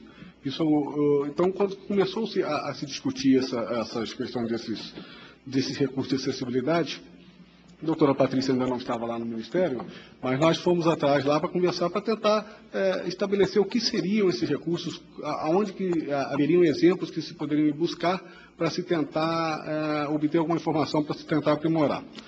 É, esses entendimentos foram feitas algumas reuniões.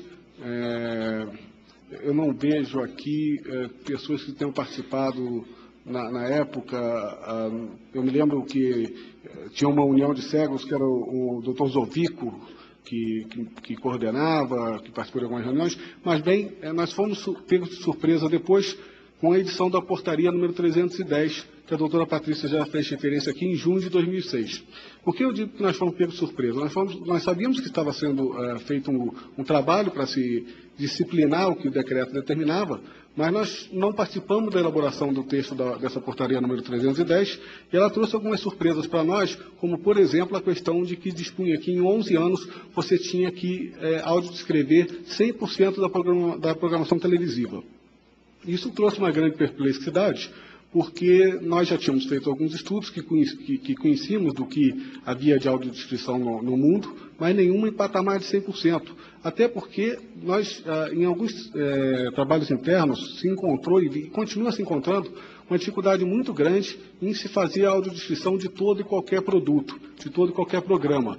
Eu até sempre eh, eh, nós vamos levar algumas questões, por exemplo, a questão dos programas ao vivo, que até hoje tem sido uma dificuldade muito grande, algumas, ah, alguns temas que, de, de- que algum drama, ou programas eh, jornalísticos, ou até esportivos. Ah, Por exemplo, o que, que seria a audiodescrição numa partida de futebol? Seria transformar a narração televisiva numa narração radialística, vamos chamar assim? A gente não conseguia essas respostas do Ministério das Comunicações, eles não souberam no- no- nos passar à época como é que se faria esse desenvolvimento dessa, dessa, dessa totalidade da programação diária. Oi? Quem? Ah.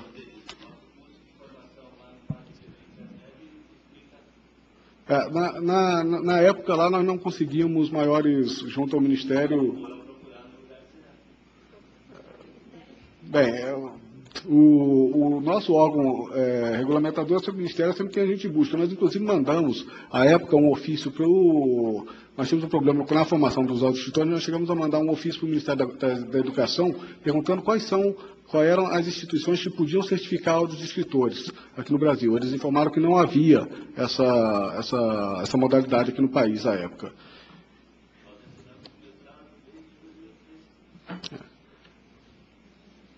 Bem, eu vou. A, a, portaria, depois veio a, a portaria número 403, que foi a doutora Patrícia já fez referência, que suspendeu a aplicação no tocante à audiodescrição.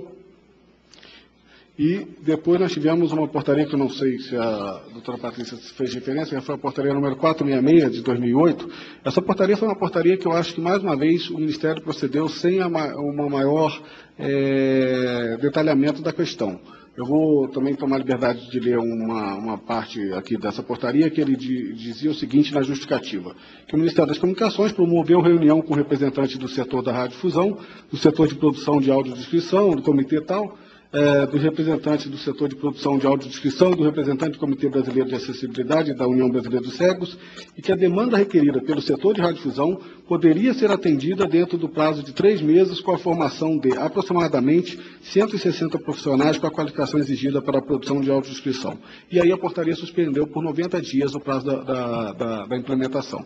Eh, me desculpe os antecessores da doutora Patrícia no Ministério, mas essa é uma portaria que está sendo redigida com o mínimo cuidado técnico. Se você tinha uma, uma mera afirmação de, um, de, de, de determinado segmento da sociedade que poderiam eh, formar em 90 dias uma quantidade X de audiodescritores, então, a partir daí, assim, era os 90 dias, poderiam em 90 dias formar, e aí já em 90 dias você teria que começar a implementar o serviço. Ora, a TV comercial no Brasil, no estágio que ela está, ela não admite experiências do tipo de vamos ver como é que funciona. Não. Você só pode implementar um serviço a partir da hora que aquilo ali é exaustivamente é, testado e desenvolvido. Ninguém chega e fala assim, pode ser o cara mais brilhante da TV brasileira e falar, eu tive uma ideia maravilhosa, amanhã nós vamos pôr no ar. Isso não funciona.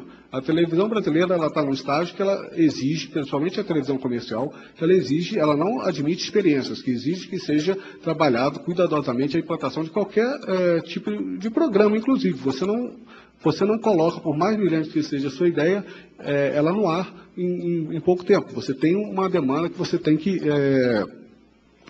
é, é, ser, ser uma, uma fase que você tem que ser superada. E aí, para em seguida, como, só para colocar como que o Ministério me parecia tão perdido nesse, nessa questão da audiodescrição, que veio ainda em 2008 a portaria número 661 fazer uma, uma consulta perguntando diversos, fazendo diversos questionamentos que deveriam ter sido feitos lá atrás, e não depois de resolver fazer portarias implementando a audiodescrição na, na totalidade da- da programação. Perguntas do tipo, eu vou ler só algumas. Haja vista a diversidade de programações na televisão brasileira, quais os tipos de conteúdo passíveis de serem autodescritos e quais são os mais adequados, caso existam? Para a boa aplicação do recurso, qual a mão de obra necessária e o capital eh, intelectual a ser utilizado? Qual o custo médio envolvido para a produção de um conteúdo autodescrito, levando-se em consideração todas as possibilidades técnicas e tecnologias disponíveis? A imposição de cotas na programação, inclusive em horários pré-definidos, é benéfica aos destinatários das políticas de acessibilidade? Ora, são perguntas básicas que deveriam ter sido feitas antes de se pre pretender implementar o serviço, não com o serviço já tendo é, praticamente como obrigação. Eu estou fazendo esse resumo, deputado, só para mostrar que a, o, a, questão foi muito mal conduzida pelo próprio órgão regulador. Depois, é, nós já tivemos uma consulta.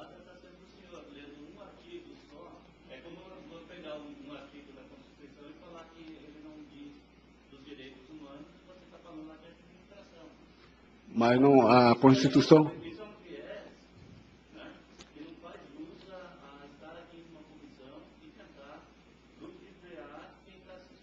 Não, mas o senhor me desculpe, mas uh, as, as, emissoras são. Não, as emissoras são, são, são concessionárias de serviço público, elas não podem, elas têm que pra, elas devem cumprir o que está regulamentado em lei. Pois é, mas a lei não fala como se cumpre, não é, não, não, não se tem assim o, o, os deficientes físicos, os deficientes visuais, os deficientes. É no artigo 57 que trata disso. Bem, o, eu, eu, eu, pediria, eu só pediria que é, eu, eu, não atrapalhei a exposição do senhor, se, pudesse, se, o senhor pudesse deixar eu continuar o meu, a minha linha de raciocínio, eu agradeceria. É, por último, nós tivemos a portaria número 188, que é essa que está atualmente em vigor, que, é, no nosso entender, ela também tem algumas falhas que é, dificultam o, o correto cumprimento dela. Eu gostaria de tocar em alguns pontos. O, no item 7.21, que é o que trata efetivamente de, é, da questão da, da, Ela usa os seguintes termos. Quando se tratar de geradora cedente de programação, entre aspas, cabeça de rede, isso está na, na, portaria. E aí, doutora Patrícia, é, me desculpe, eu sei que também a senhora não estava lá no Ministério, mas em nenhum, no, nenhuma norma legal disciplina o que, que é cabeça de rede. Emissora de televisão é uma coisa só, todas elas são geradoras. Só me faltam cinco minutos, então vou procurar ser bastante ágil.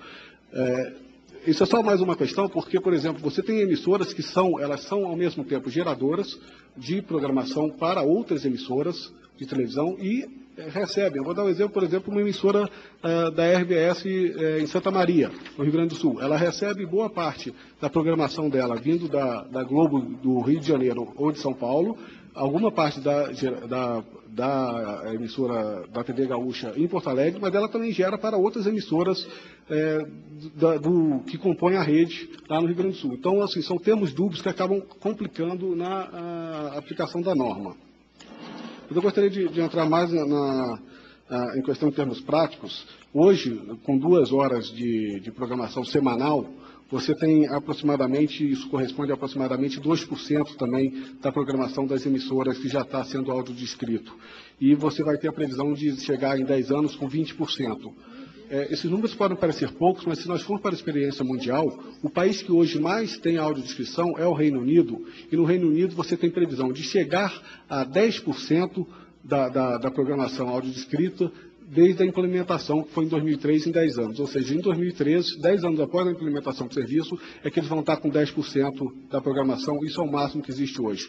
Nos Estados Unidos, você tem uma, uma capacidade bem menor, e os Estados Unidos ainda é um dos países que mais, que mais tem audiodescrição na programação. Mas lá a audiodescrição só está, só está prevista para as, para, as, para as emissoras que estão nos grandes centros não existe nas emissoras menores a mesma obrigatoriedade. Outros países eu não vou nem mencionar, porque uh, chega a ser uh, ínfimo perto do que está sendo proposto aqui no Brasil.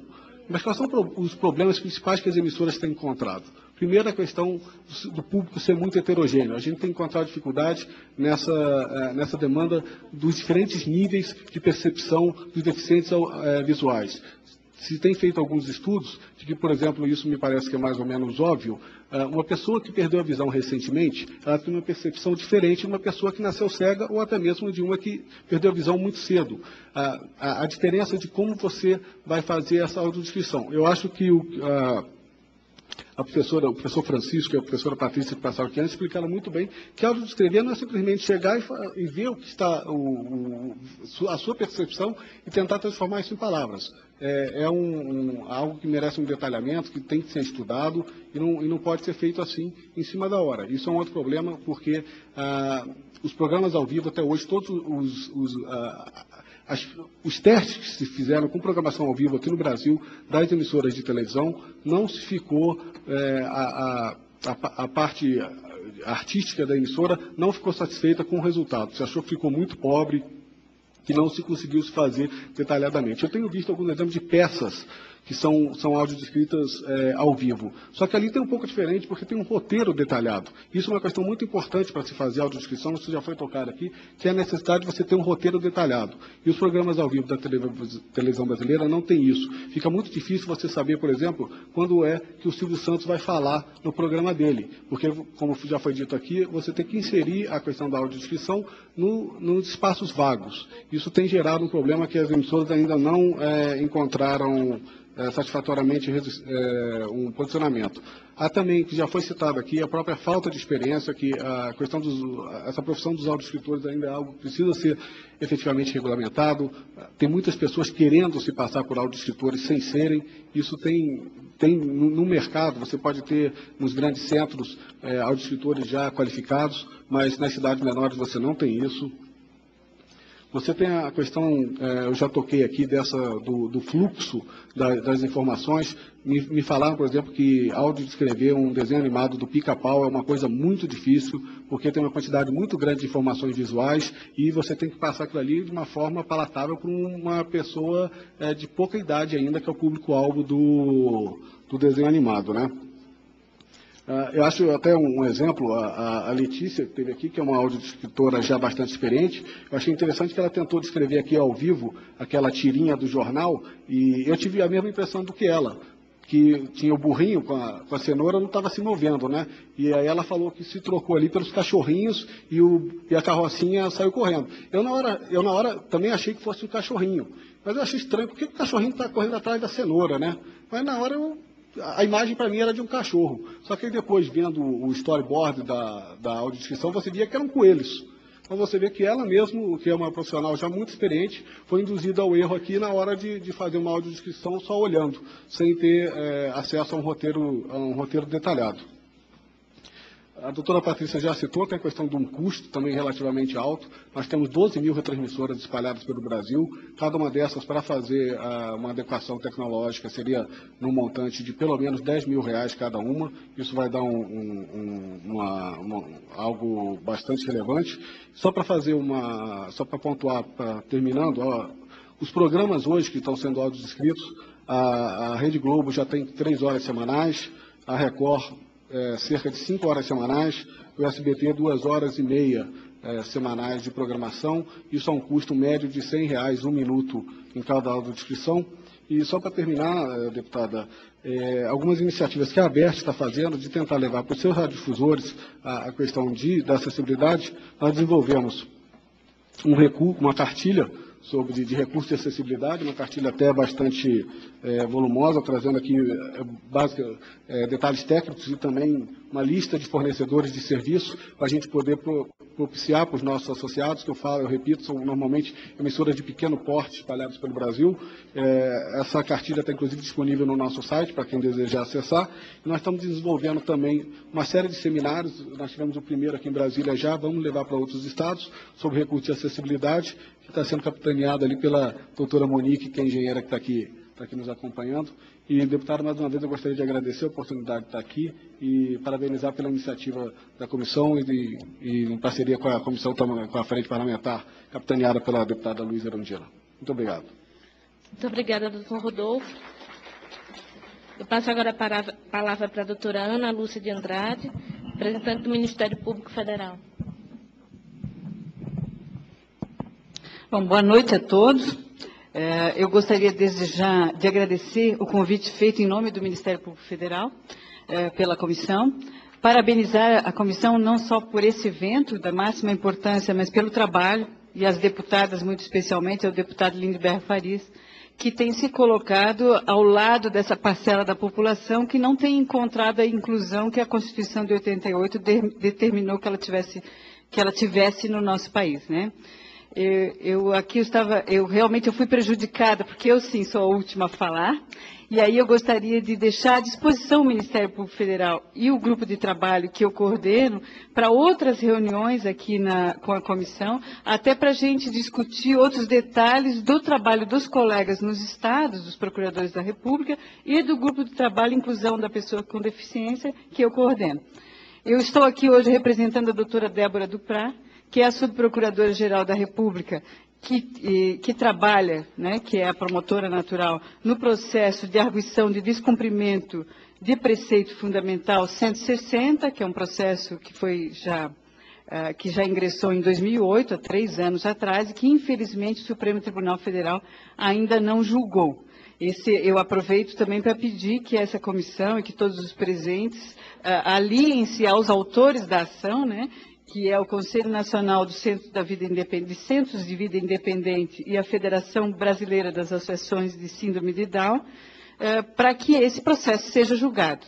Nós temos pedido insistentemente, através da doutora Débora, que isso aconteça, porque seria um, um, precedente muito importante do Supremo em relação aos direitos em geral das pessoas com deficiência, esses direitos que estão previstos na Constituição de 88, que são um compromisso do país, porque firmatário da Convenção Internacional dos Direitos da Pessoa com Deficiência, que já ingressou também na normativa nacional já há muitos anos, né, através de decreto legislativo, e que, portanto, também por tratar de direitos fundamentais, também é norma constitucional.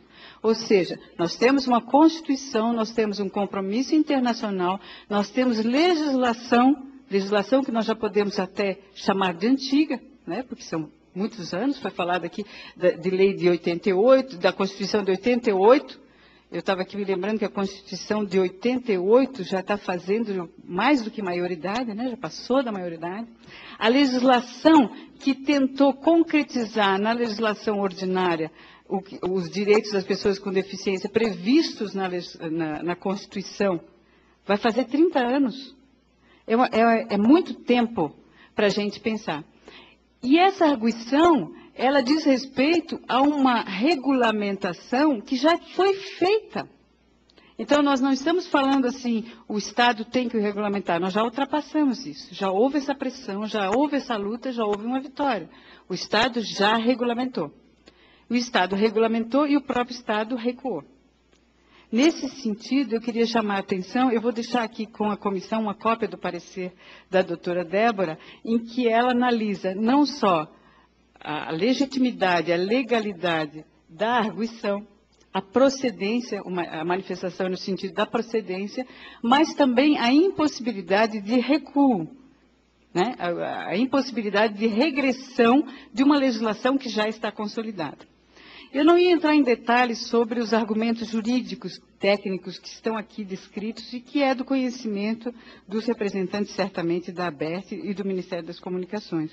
Até porque a BERT está pedindo agora, foi a última movimentação do processo, a BERT está pedindo para entrar como uh, ao lado da União Federal para defender essa regulamentação que, a partir de um certo momento, começou a postergar o início dessa, da audiodescrição na televisão brasileira. É, mas é, é, que eu não posso deixar de dizer, a, a propósito do argumento de que a Lei 10.098 de 2000 né, uma lei de 11 anos atrás, não previu nada em relação à pessoa com deficiência visual. Isso aí é, é, é realmente é, estreitar o alcance de uma lei que tem como desiderato, de ordem jurídica, concretizar o que a Constituição mandou. E nós sabemos, todos nós trabalhamos com direito, que o que a Constituição manda tem que ser, tem que ter eficácia e que essa eficácia tem que ser máxima. Então, nós não podemos pegar essa Constituição e, através de vírgulas, de formalidades, tentar estreitar o que a Constituição determinou. Isso não tem sentido. E aí eu, eu pensei aqui da alegação da doutora Débora, a resposta que ela deu a esse argumento. E eu vou me dar, eh, eu vou me dar o direito de ler essa resposta. Inicialmente é alegada a ilegalidade da regulamentação, que é a portaria 310, sob o pérfido argumento, a expressão é da doutora Débora, não é meu, o pérfido argumento de que a Lei 10.098-2000, no artigo 19, garante o direito de acesso à informação apenas às pessoas portadoras de deficiência auditiva. E aí a doutora Débora arrola uma série de artigos dentro da própria Lei 10.098 que dão essa abrangência necessária para incluir as pessoas com deficiência visual, e termina dizendo: convém ressaltar que é de direitos fundamentais que se cogita, e nessa seara a interpretação deve orientar-se pela maximização da efetividade. Então, eu acho que, do ponto de vista jurídico, eh, pelo menos para nós, do Ministério Público Federal, não há dúvidas que o direito existe, que o direito tem que ser concretizado. O que se percebe é que existem dificuldades, existem dificuldades técnicas, dificuldades financeiras. Eu acredito, eu sempre eh, pauto a minha atuação por não levar em consideração eh, pretensões e dificuldades financeiras de segmentos, eh, de setores produtivos da sociedade que têm lucros muito grandes. E nós estamos falando de um desses segmentos. E, no- e, por outro lado, nos, vamos dizer, agasalha a nossa, a nossa argumentação de que se é só caro não é impossível.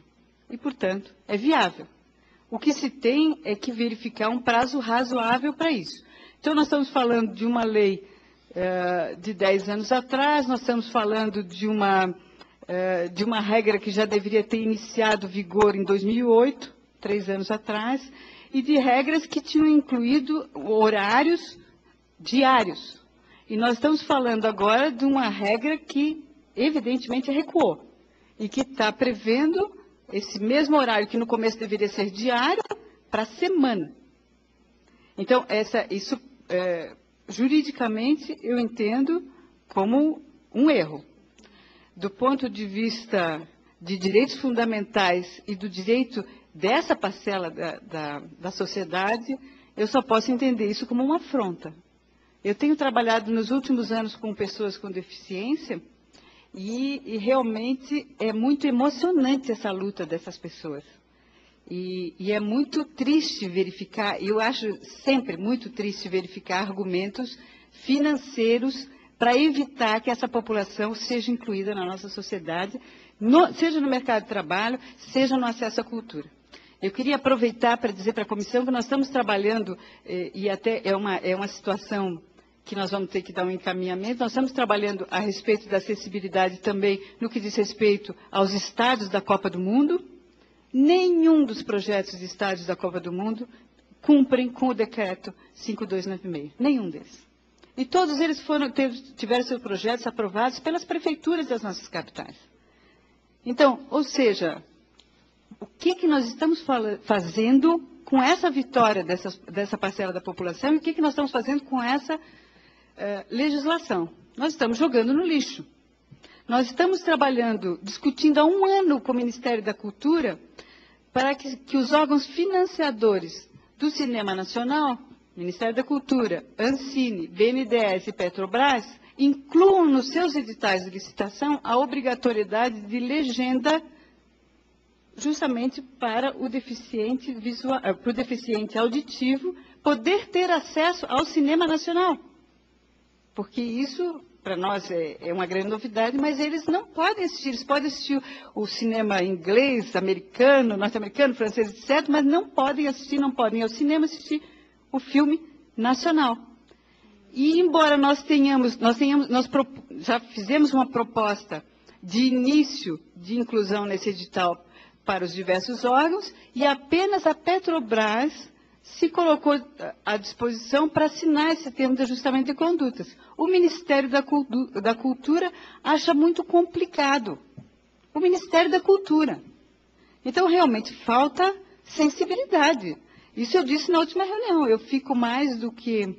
Inclusive, na última reunião, nós tivemos representantes da Secretaria Nacional da Pessoa com Deficiência, o doutor Moisés, que esteve aqui, presidente do CONAD, estava presente, estavam representantes de surdos oralizados e de surdos não oralizados, né? E foi extremamente afrontosa a posição do Ministério da Cultura e da Advocacia Geral da União nesse sentido.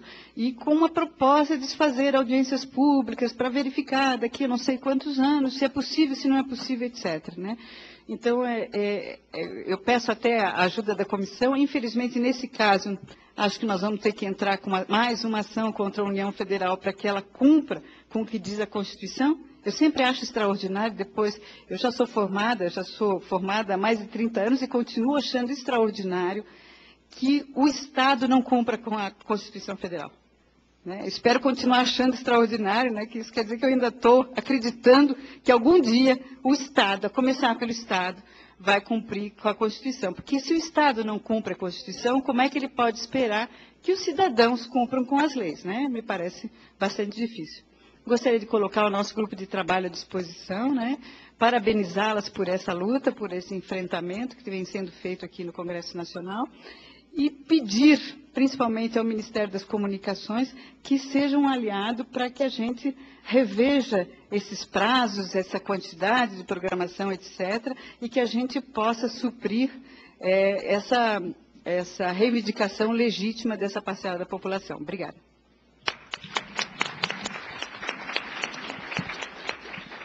O meu pai usa um, usa um adjetivo para dizer que uma coisa é muito boa. né? Ele usa uma palavra que eu acho, acho até engraçada. Diz que é formidável. Eu acho que as suas palavras foram formidáveis. Não, e de todos aqui que fizeram parte dessa mesa, mas esse seu raciocínio, doutora, é, nos dá forças, né, a sociedade civil organizada, principalmente as pessoas cegas, de, de fazer essa parceria, que é ela mais do que necessária, para que a gente realmente consiga tirar do papel, né, ou melhorar o que está no papel e transformar isso em realidade. Bom, nosso tempo está bem apertadinho, mas é, é o momento de, de abrir para quem quiser se colocar. Eu não sei se, se tem alguém que queira fazer alguma, alguma colocação, alguma pergunta. Tem ali a representação do gabinete da deputada Mara Gabrilli, através do seu assessor Luiz, que eu não lembro o sobrenome. Acho que dá para escutar. Agora era importante que ficasse gravado, é. Por causa da internet também. A internet, vem cá, Che.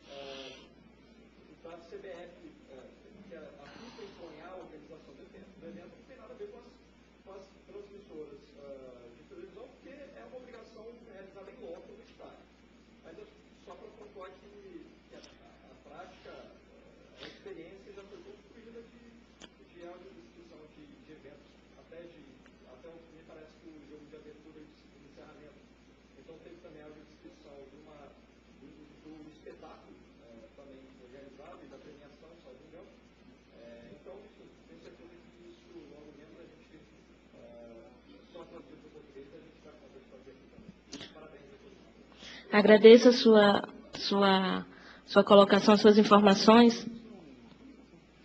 Pois não. Só lembrar que o, quem está no estádio tem já a narração do, do comentarista da televisão, né? Então, é, é, é, o, a nosso, o nosso problema, por exemplo, de eventos esportivos ao vivo na televisão, é que você já tem um narrador e um comentarista. No estádio, efetivamente, me, eu sou um frequentador de estádio, quanto torcedor do Fluminense, é muito útil, porque você não fica, às vezes, sem saber o que aconteceu, não tem replay, né?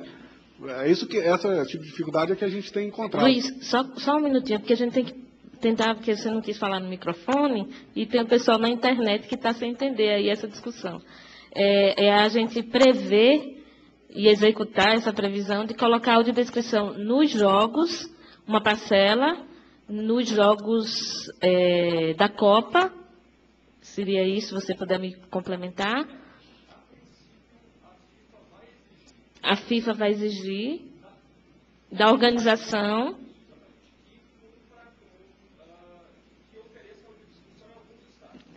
Uhum. A FIFA vai exigir que ofereça audiodescrição em alguns estádios. Não, lá deve ser algo mais amplo. E é no local, não é pela TV. Não. É, esse que esse Luiz está querendo dificultar nosso trabalho. Por favor, doutor, se o senhor pudesse dirigir aqui a, ao microfone.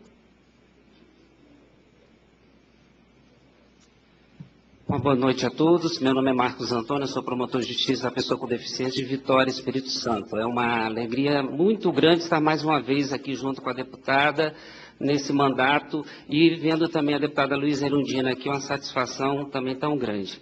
Eu queria questionar, já que foi colocado a respeito da Copa do Mundo, né, o nosso país, todo mundo sabe que vai sediar em 2014. Se nós formos seguir aquele roteiro, aquela programação, nós vamos ter um problema, não só em 2014, mas em 2016, porque nós não vamos ter audiodescrição dos jogos principais, pelo menos a gente vai ver que está bastante limitado. E está arriscado até das pessoas com deficiência visual não ter audiodescrição dos jogos nem do Brasil, porque a quantidade de horas que ali foi colocada, né, e foi importante também ter colocado pelo assessor, que a gente não pode confundir descrição com audiodescrição.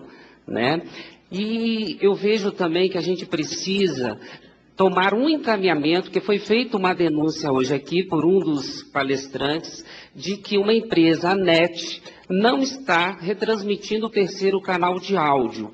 Então, eu queria que o Ministério das Comunicações pudesse tomar uma providência, até mesmo é, junto à Anatel, para que esse problema fosse solucionado, porque eu também tenho net digital na minha residência, a gente não recebe a autodescrição. Então, qual é o posicionamento a ser tomado em relação à denúncia feita? A competência, a competência da Anatel. Sim, então, já que a senhora está aqui, é do Ministério das Comunicações, poderia estar repassando isso para a Anatel, posso... ou se não, a própria deputada também, Com porque foi feita uma denúncia aqui durante ah, o seminário. É, em relação ao Ministério, não há nada que a gente possa fazer, tá? O que a gente pode fazer é o mesmo que a deputada pode fazer também, que é encaminhar a denúncia à Anatel. Certo. A, é a competência dele. Doutora Ana Lúcia pede a palavra, só um minutinho, doutora Rodolfo. Só a propósito da intervenção do colega, eu queria dizer que vários colegas do Brasil têm alertado a, o GT também de inclusão uh, da falta de fiscalização da Anatel. Então, amanhã nós prosseguimos com a reunião do GT e nós devemos dar um encaminhamento em relação a esse, eh, provavelmente uma recomendação da Procuradora Federal do Direito Cidadão para que a Anatel cumpra com o seu papel, né? Se, se, me permite só duas colocações, isso é realmente uma coisa que prejudica inclusive as emissoras. Fazer aqui a distinção, NET é uma empresa de telecomunicações, não é uma emissora de televisão, tá? É, ela efetivamente acaba prejudicando, porque as emissoras fazem a geração do, do, dos seus programas com alguns recursos que não são colocados, é, não são carregados pela NET. Isso, inclusive, quando agora da consulta pública sobre TV a cabo da Anatel, nós fizemos uma contribuição pedindo que fosse carregado não só o sinal normal da emissora, vamos chamar assim, de, da, da imagem do som, mas também a, a, os sinais de interatividade e de acessibilidade. Tá, nós pedimos isso, nós tentamos isso, inclusive, é, que fosse contemplado isso no PLC 116, foi aprovado essa semana, e também na, nós fizemos essa contribuição à consulta pública lá da Anatel. E uma outra coisa que eu gostaria de, de então, já pedir a, a ajuda do, dos senhores, é que a própria BNT coloca que para a fabricação dos televisores, dos aparelhos, a questão da, da acessibilidade não é obrigatória, é opcional. E nós temos sentido uma, um problema muito grande da população nessa questão que foi abordada aqui, do acesso aos recursos de acessibilidade, que cada aparelho é de uma forma, ou às vezes alguns nem têm. Isso também nós gostaríamos que fosse padronizado, pelo menos um botão padrão que houvesse, alguma coisa assim, né? Entendi. Porque, mais uma vez, as pessoas ficam achando às vezes que as emissoras não disponibilizam, mas é, quando disponibilizam, não tem, as pessoas não têm acesso. Pois não, se o senhor puder. A gente está sem microfone. Ah, tem uma ali, ó, microfone sem fio. Boa noite, nobre deputada. Meu nome é André Felipe, eu sou da Rede Record de Televisão. É, primeiramente, eu gostaria de lembrar que das cinco horas que nós transmitimos, é, de, incluindo nós transmitimos em sinal aberto, ou seja, a NET, quando recebe o sinal da gente, recebe nosso sinal com audiodescrição. Assim como recebe com audiodescrição, recebe também com interatividade, que a gente também considera que é um instrumento muito importante de inclusão também, que são informações que podem ser lidas, complementando a informação que está passando na emissora. É, a gente considera que a o carregamento obrigatório pela NET por outras empresas de TV a cabo, como DTH, que usam aquela antena externa, não estão cumprindo o papel de carregar integralmente nosso sinal, tanto a parte de interatividade e acessibilidade. Com isso, peço a ajuda da nobre deputada e também da, dos demais presentes, como o Ministério Público, para que nos obriguem, que nos ajudem a obrigar a Anatel a fazer um regulamento que obrigue o carregamento integral da acessibilidade e da interatividade, porque isso interessa a gente. Nós estamos investindo nisso. Nós estamos fazendo o nosso papel de inclusão é, da, de pessoas com necessidades. Mas, infelizmente, com o alto crescimento da TV a cabo e do DTH no Brasil, poucas pessoas estão tendo acesso a isso. E elas entendem que o radiodifusão não está fazendo o seu papel. Nós estamos fazendo o nosso dever de casa, mas nós pedimos ajuda da Câmara dos Deputados, dessa frente parlamentar e do Ministério Público para que a Anatel fiscalize, seja pressionada a fiscalizar mais veementemente esse aspecto, que surja regulamento que obrigue que a acessibilidade seja levada a sério pelas, emissor, pela, pelas empresas de TV a cabo e pelas, pelas empresas que transmitem por DTH. Era essa a colocação que eu gostaria de fazer. Muito obrigado. Muito obrigada. Tem mais uma abordagem ali do Felipe, também assessor da deputada Mara Gabrilli. Também já estiveram presentes aqui o assessoria, o próprio deputado Eduardo Barbosa, e sua assessoria saiu agora há pouco, e a assessoria do deputado Walter Tosta. É, boa tarde, meu nome é Felipe, como a deputada já disse, trabalho com a deputada Mara Gabrilli, e eu fui numa reunião na, na ABERT, na terça-feira, e lá me explicaram um pouco melhor essa questão da NET, uma, uma consultora deles, que juridicamente, aparentemente juridicamente, a NET não é a mesma coisa do que a Globo, quando a Globo manda onda de sinal, porque a Globo faz radiodifusão e a NET faz TV a cabo, embora para a gente seja tudo igual, não é a mesma coisa porque um é por onda, o outro é por cabo, e aí a regulação é diferente. Aí, o que me informaram lá é que haveria um, uma minuta de decreto pronta desde 2009, 2010 ou 2008, não sei, uh, que regulamentaria o serviço de televisão a cabo. Então, acho que nesse, nesse serviço de televisão, nessa minuta de decreto, a gente poderia é, lutar pela inclusão, da, já que a TV aberta disponibiliza isso para a NET, que eles criem adequação tecnológica suficiente, e não só a NET, que é cabo, a Sky, que me parece que é parabólica, a outra que é só parabólica, não sei como funciona isso direito, mas que todos eles, independente da forma com que recebessem o sinal, tratassem de colocar o audiodescrição e o closed caption, que são os dois recursos obrigatórios hoje em dia. Obrigada, Felipe. É. Bom. Só uma coisa, não tem como você confundir a NET com, com as emissoras abertas. Você paga uma, a outra você não paga. Eu gostaria de chamar a deputada Liz Erundina, por favor, para... É só uma intervenção muito rápida. Eu gostaria mesmo. que a senhora, se pudesse, além de fazer suas colocações... a gente perde mais tempo. É? Né? Não, eu queria dizer que esse evento aqui, ele aponta né, vários problemas de, de vários lados e que sugere que o próximo passo que devamos encaminhar a partir da casa, eu vou propor à deputada que façamos isso juntos, juntas, é convocar uma audiência pública na Comissão de Ciência, Tecnologia, Comunicação e Informática e, e, trazer aqui os órgãos para poder definir quais são as competências, onde começa a competência de um e termina do outro. Por exemplo, a questão normativa, a questão fiscalizadora, há uma, a meu ver, uma ainda adequada concorrência entre o Ministério das Comunicações e a Anatel. E nós mesmos que lidamos com esse sistema aqui na casa, ficamos sem entender quando a, o Ministério das Comunicações, né, estabelecendo um termo de compromisso com a Anatel, transfere para a Anatel funções fiscalizadoras da, da, do Ministério, uma absoluta confusão né, em relação a quem é responsável pelo quê. Né? Então, essas coisas vão ter que ser é, explicitadas, definidas e fiscalizadas. Não se fiscaliza. Na área de comunicação nesse país, não se faz fiscalização mesmo. A Anatel diz que não tem infraestrutura né, não tem estrutura né, é, de equipamentos, de pessoal, de... responde isso ao Congresso, pelo menos à Comissão de Ciência e Tecnologia, sucessivas vezes em sucessivas audiências públicas. Por sua vez, o Ministério das Comunicações diz, também não temos estrutura, não temos é, quadro de pessoal, aí transfere para a Anatel, que também não tem, não tem é, funções fiscalizadas. Logo, não se faz fiscalização. Eu queria ter perguntar do Rodolfo, que história é essa? Que plano é esse anual de fiscalização? É da Anatel? É do Ministério das Comunicações? Quem vai ser alvo dessa fiscalização? não estamos nos referindo apenas à acessibilidade do ponto de vista da autodescrição. Quer dizer, é todo o conteúdo, é todas as normas que estão inscritas, inclusive, nas leis da Constituição. O Senado Federal está devendo há seis anos ou cinco anos o cumprimento né, de uma lei que criou o Conselho de Comunicação Social.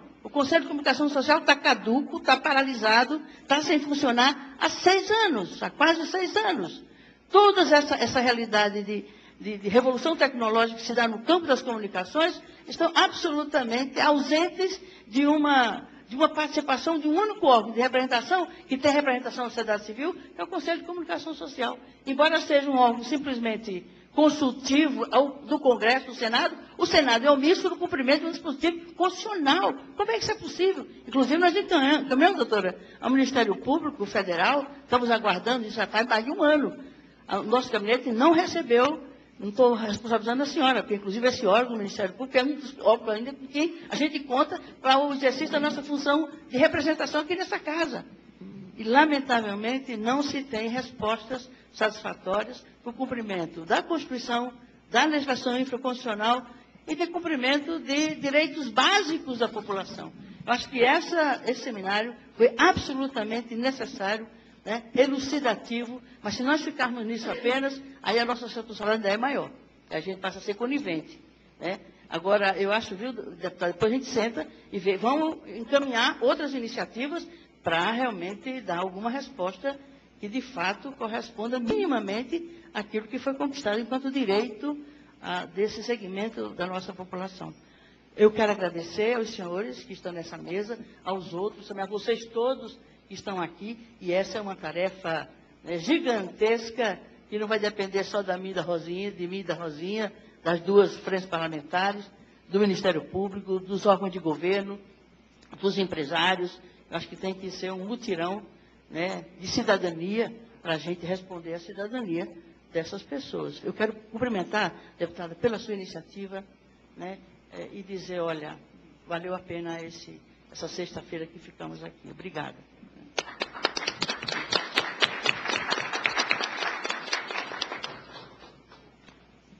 Bom, em, em virtude da adiantada hora, a última consideração vai ser a do doutor Chico Pereira, também componente da Frente Parlamentar de Direito à Comunicação. E aí a gente encerra para as considerações finais. É, eu quero saudar o encontro, eu sou a, eu, da FITERT, Federação Interestadual dos Trabalhadores de Rádio e TV, entendeu? E nós, inclusive, trouxemos muitas pessoas nossas, mas que infelizmente tiveram que ir embora, né?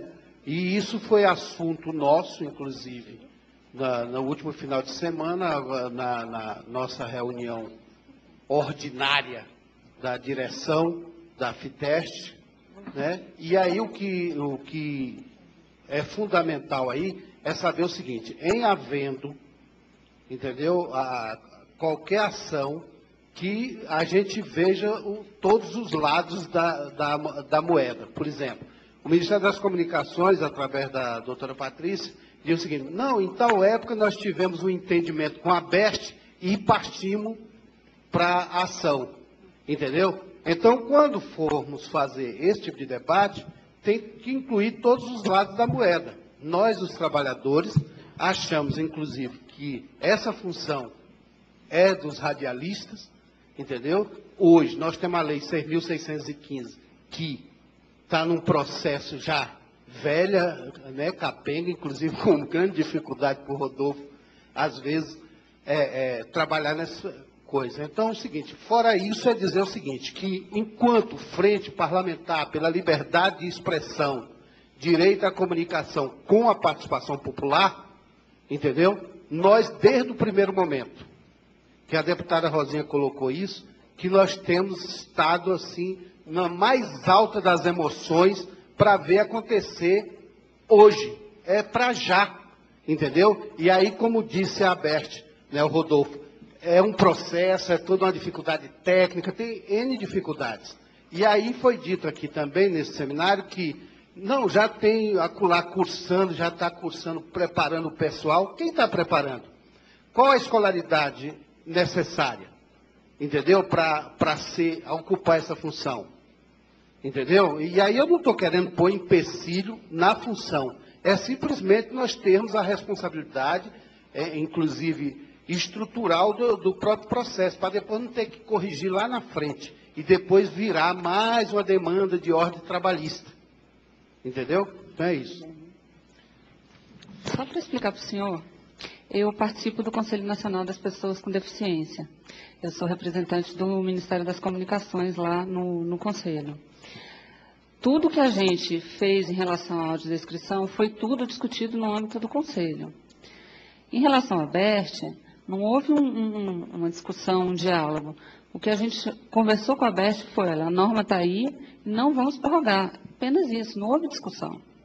A gente só chamou antes para dizer, a norma está aí, não vai haver prorrogação. Tá? Porque a, a, existia uma, uma pressão por prorrogação e a gente disse, olha, não vai ter. Então, longe de nós querer excluir a sociedade civil. Né? O objetivo não é esse. Mas tudo isso que está sendo discutido em relação à acessibilidade, na radiodifusão, a gente está discutindo no âmbito do CONAD, tá? Então, é com a sociedade civil. Bom, agora eu passo a palavra né, para o doutor Rodolfo, seguida para a doutora Ana, para que a gente faça as considerações finais. Em virtude do adiantar da hora, a gente precisa liberar o espaço. Doutor Rodolfo, senhor, por favor. Só, só umas últimas considerações. Ah, houve a questão do. Eu não tenho poder para defender nem o Ministério das Comunicações nem a Anatel, mas gostaria só de, de lembrar que a Anatel também tem o seu orçamento todo ano contingenciado. A Anatel deveria receber um, uma destinação de um fundo de fiscalização das telecomunicações, mas não consegue. E uh, antes que a doutora Patrícia vá embora, só eu, eu, a última gestão, o Ministério, uh, nós temos, eu acho que a, em termos de fiscalização, deputada Erundina, tem aumentado bastante, porque pelo menos o número de ligações que eu recebo falando que foi fiscalizado, nesta gestão do ministro Paulo Bernardo, aumentou muito. E o, o Ministério, das últimas vezes que eu estive lá, ele também você vai, me, vai corroborar comigo, Chico, o Ministério vive numa lástima de recursos, né? Uh, inclusive, assim, pessoas lá ficam mais de anos sem ar-condicionado porque não conseguem terminar uma reforma, com, sem, sem gesso no teto, é, com aqueles fios expostos, tubulações, é algo meio lastimável. O Ministério não consegue implementar um sistema de informatização por falta de recursos. É, é algo, assim, muito preocupante. E eu acho que isso tudo acaba atrapalhando na, na gestão do, do negócio que eles trabalham. Ah, é, quanto ao promotor, só lembrar que é, as emissoras se nós estamos falando de um público de 17 milhões de pessoas, as emissoras têm todo o interesse em agregar essas, eh, essas pessoas à população e, é, inclusive, quando, por exemplo, aquela questão da tabela dos mínimos, nós esperamos passar aquilo lá muito. Hoje você vê o close caption, por exemplo, as emissoras fazem quase, as, as que têm mais recursos, as maiores, fazem quase a totalidade da programação já com recurso do close caption. Então, se tem todo o interesse em fazer audiodescrição na maior parcela possível. Por exemplo, eu vou dar o um exemplo da Record. Hoje nós estamos em dois, é, duas horas semanais o mínimo, eles estão fazendo cinco. Uma coisa que foi implementada agora. Assim que tiver expertise, onde houverem mais audiodescritores é, competentes no mercado, onde for onde é a questão da experiência, fosse aprendendo como é que se faz a audiodescrição de outros tipos de, de, de gêneros de, de programas, a, a, o interesse das emissoras é ampliar o máximo possível. A gente não está fazendo isso, não. Vou, são duas horas, então vou passar um segundo, só vou terminar o programa no meio porque é para dar duas horas. Não, não é. O interessante é agregar essa, essa, essa parcela da população para a audiência nossa. Agora, nós estamos com um problema sério hoje, nós não sabemos quem vê por causa desse, dessas questões que já foram colocadas. Porque quais são os aparelhos hoje, ah, isso foi levantado aqui, a maioria das pessoas que têm problemas de deficiência visual são pessoas de, que têm rendimento baixo. Ah, essas pessoas têm aparelhos de televisão normalmente mais antigos. Esses aparelhos não têm qualquer tipo de recurso. Os aparelhos mais novos, que já saem com algum tipo de recurso, normalmente vão para pessoas de classe mais altas que conectam na TV a cabo ou na TV por satélite. E aí também fica um, um problema. Bom, muito obrigada, doutor Rodolfo. Eu passo a palavra agora para a doutora Ana. Eu vou muito rapidamente só agradecer novamente pelo convite, colocar novamente à disposição. Gostaria muito de continuar esse diálogo. Nós mesmos, dentro do Ministério Público, e até foi muito bom encontrar um colega do Ministério Público Estadual aqui, porque são, a gente sabe que são muito poucos também dentro do Ministério Público, que no meio dos nossos afãs criminais, etc., que têm a sensibilidade para se a esse tipo de discussão de direitos humanos em geral, né? E eu queria aproveitar, porque eu estou já, já faz umas três horas que eu estava assistindo as outras mesas, os outros painéis, e eu estava vendo a enorme dificuldade, tanto dos tradutores de Libras quanto do digitador, para conseguir acompanhar a gente falando bem ligeiro. Então, eu queria dar os parabéns para eles pelo trabalho que eles fizeram aqui hoje. Obrigada, boa noite. Doutora Patrícia, suas considerações finais. Bom, queria agradecer a oportunidade da gente estar aqui explicando um pouquinho o trabalho do Ministério. Vou ser bem breve e queria dizer, deputada, que a gente está à disposição para esclarecer o que for necessário. Esse planejamento anual de fiscalização, ele é feito todo ano mesmo. Isso já é uma coisa que o Ministério faz. Essa questão das competências, eu acho que as pessoas têm muitas dúvidas mesmo. Inclusive, houve uma audiência aqui na Câmara na semana passada para discutir isso, em que veio aqui o consultor jurídico do Ministério. Sabe qual a comissão? Não sei, Daniele. Ciência e Tecnologia? Ciência e Tecnologia, que veio o Rodrigo Zerboni, teve aqui. E dizer que a gente está à disposição para vocês precisarem. A gente está fazendo o que está na lei, né? A gente realmente conta com recursos escassos para fazer fiscalização, mas a gente tem, tem, procurado ser mais incisivo e tem conversado com, com as entidades e com as emissoras para que sejam parceiras e ajudem a gente a implementar o recurso. Tá, obrigada. Bom, eu agradeço a todos que estiveram aqui nos ajudando nessa, nesse debate, nessa discussão, tanto palestrando como é, debatendo, trazendo todas as informações necessárias. Agradeço a vocês, a Dicção Heróis da Resistência, em especial a deputada Luiz Arondina, que eu sei que já era e agora mais do que nunca, diante desse enriquecimento da tarde de hoje, que eu também aprendi muito, muito mesmo, é, que a gente vai somar forças, com certeza, e, e fazer a nossa, nosso dever de não só dar continuidade às discussões, mas ver de que forma a gente consegue avançar com isso. Fico muito feliz, né, porque a gente conseguiu realizar esse, esse, essa discussão, esse debate aqui, enriquecedor, é, muito, muito elucidativo, principalmente porque a gente trouxe várias, vários formatos, conhecemos sobre a, a, profissão, conhecemos sobre o que é realmente a audiodescrição, essa, essa última mesa aqui, trazendo o Ministério Público, Ministério da, da, das Comunicações, a ABERT, sentimos até a falta, nem, nem é, pensamos, né, Rita, minha assessora que nos ajudou na elaboração dessa programação, de trazer a Anatel, mas a gente está começando só, tem muita coisa por ser feita, e agora com o apoio da deputada Luiz Erundina, da CASDEF, lá levando essa discussão também lá no Senado, através do senador Lindeberg Farias, eu acho que a gente vai conseguir. Eu só, só fico é, triste e preocupada, na verdade, com uma coisa.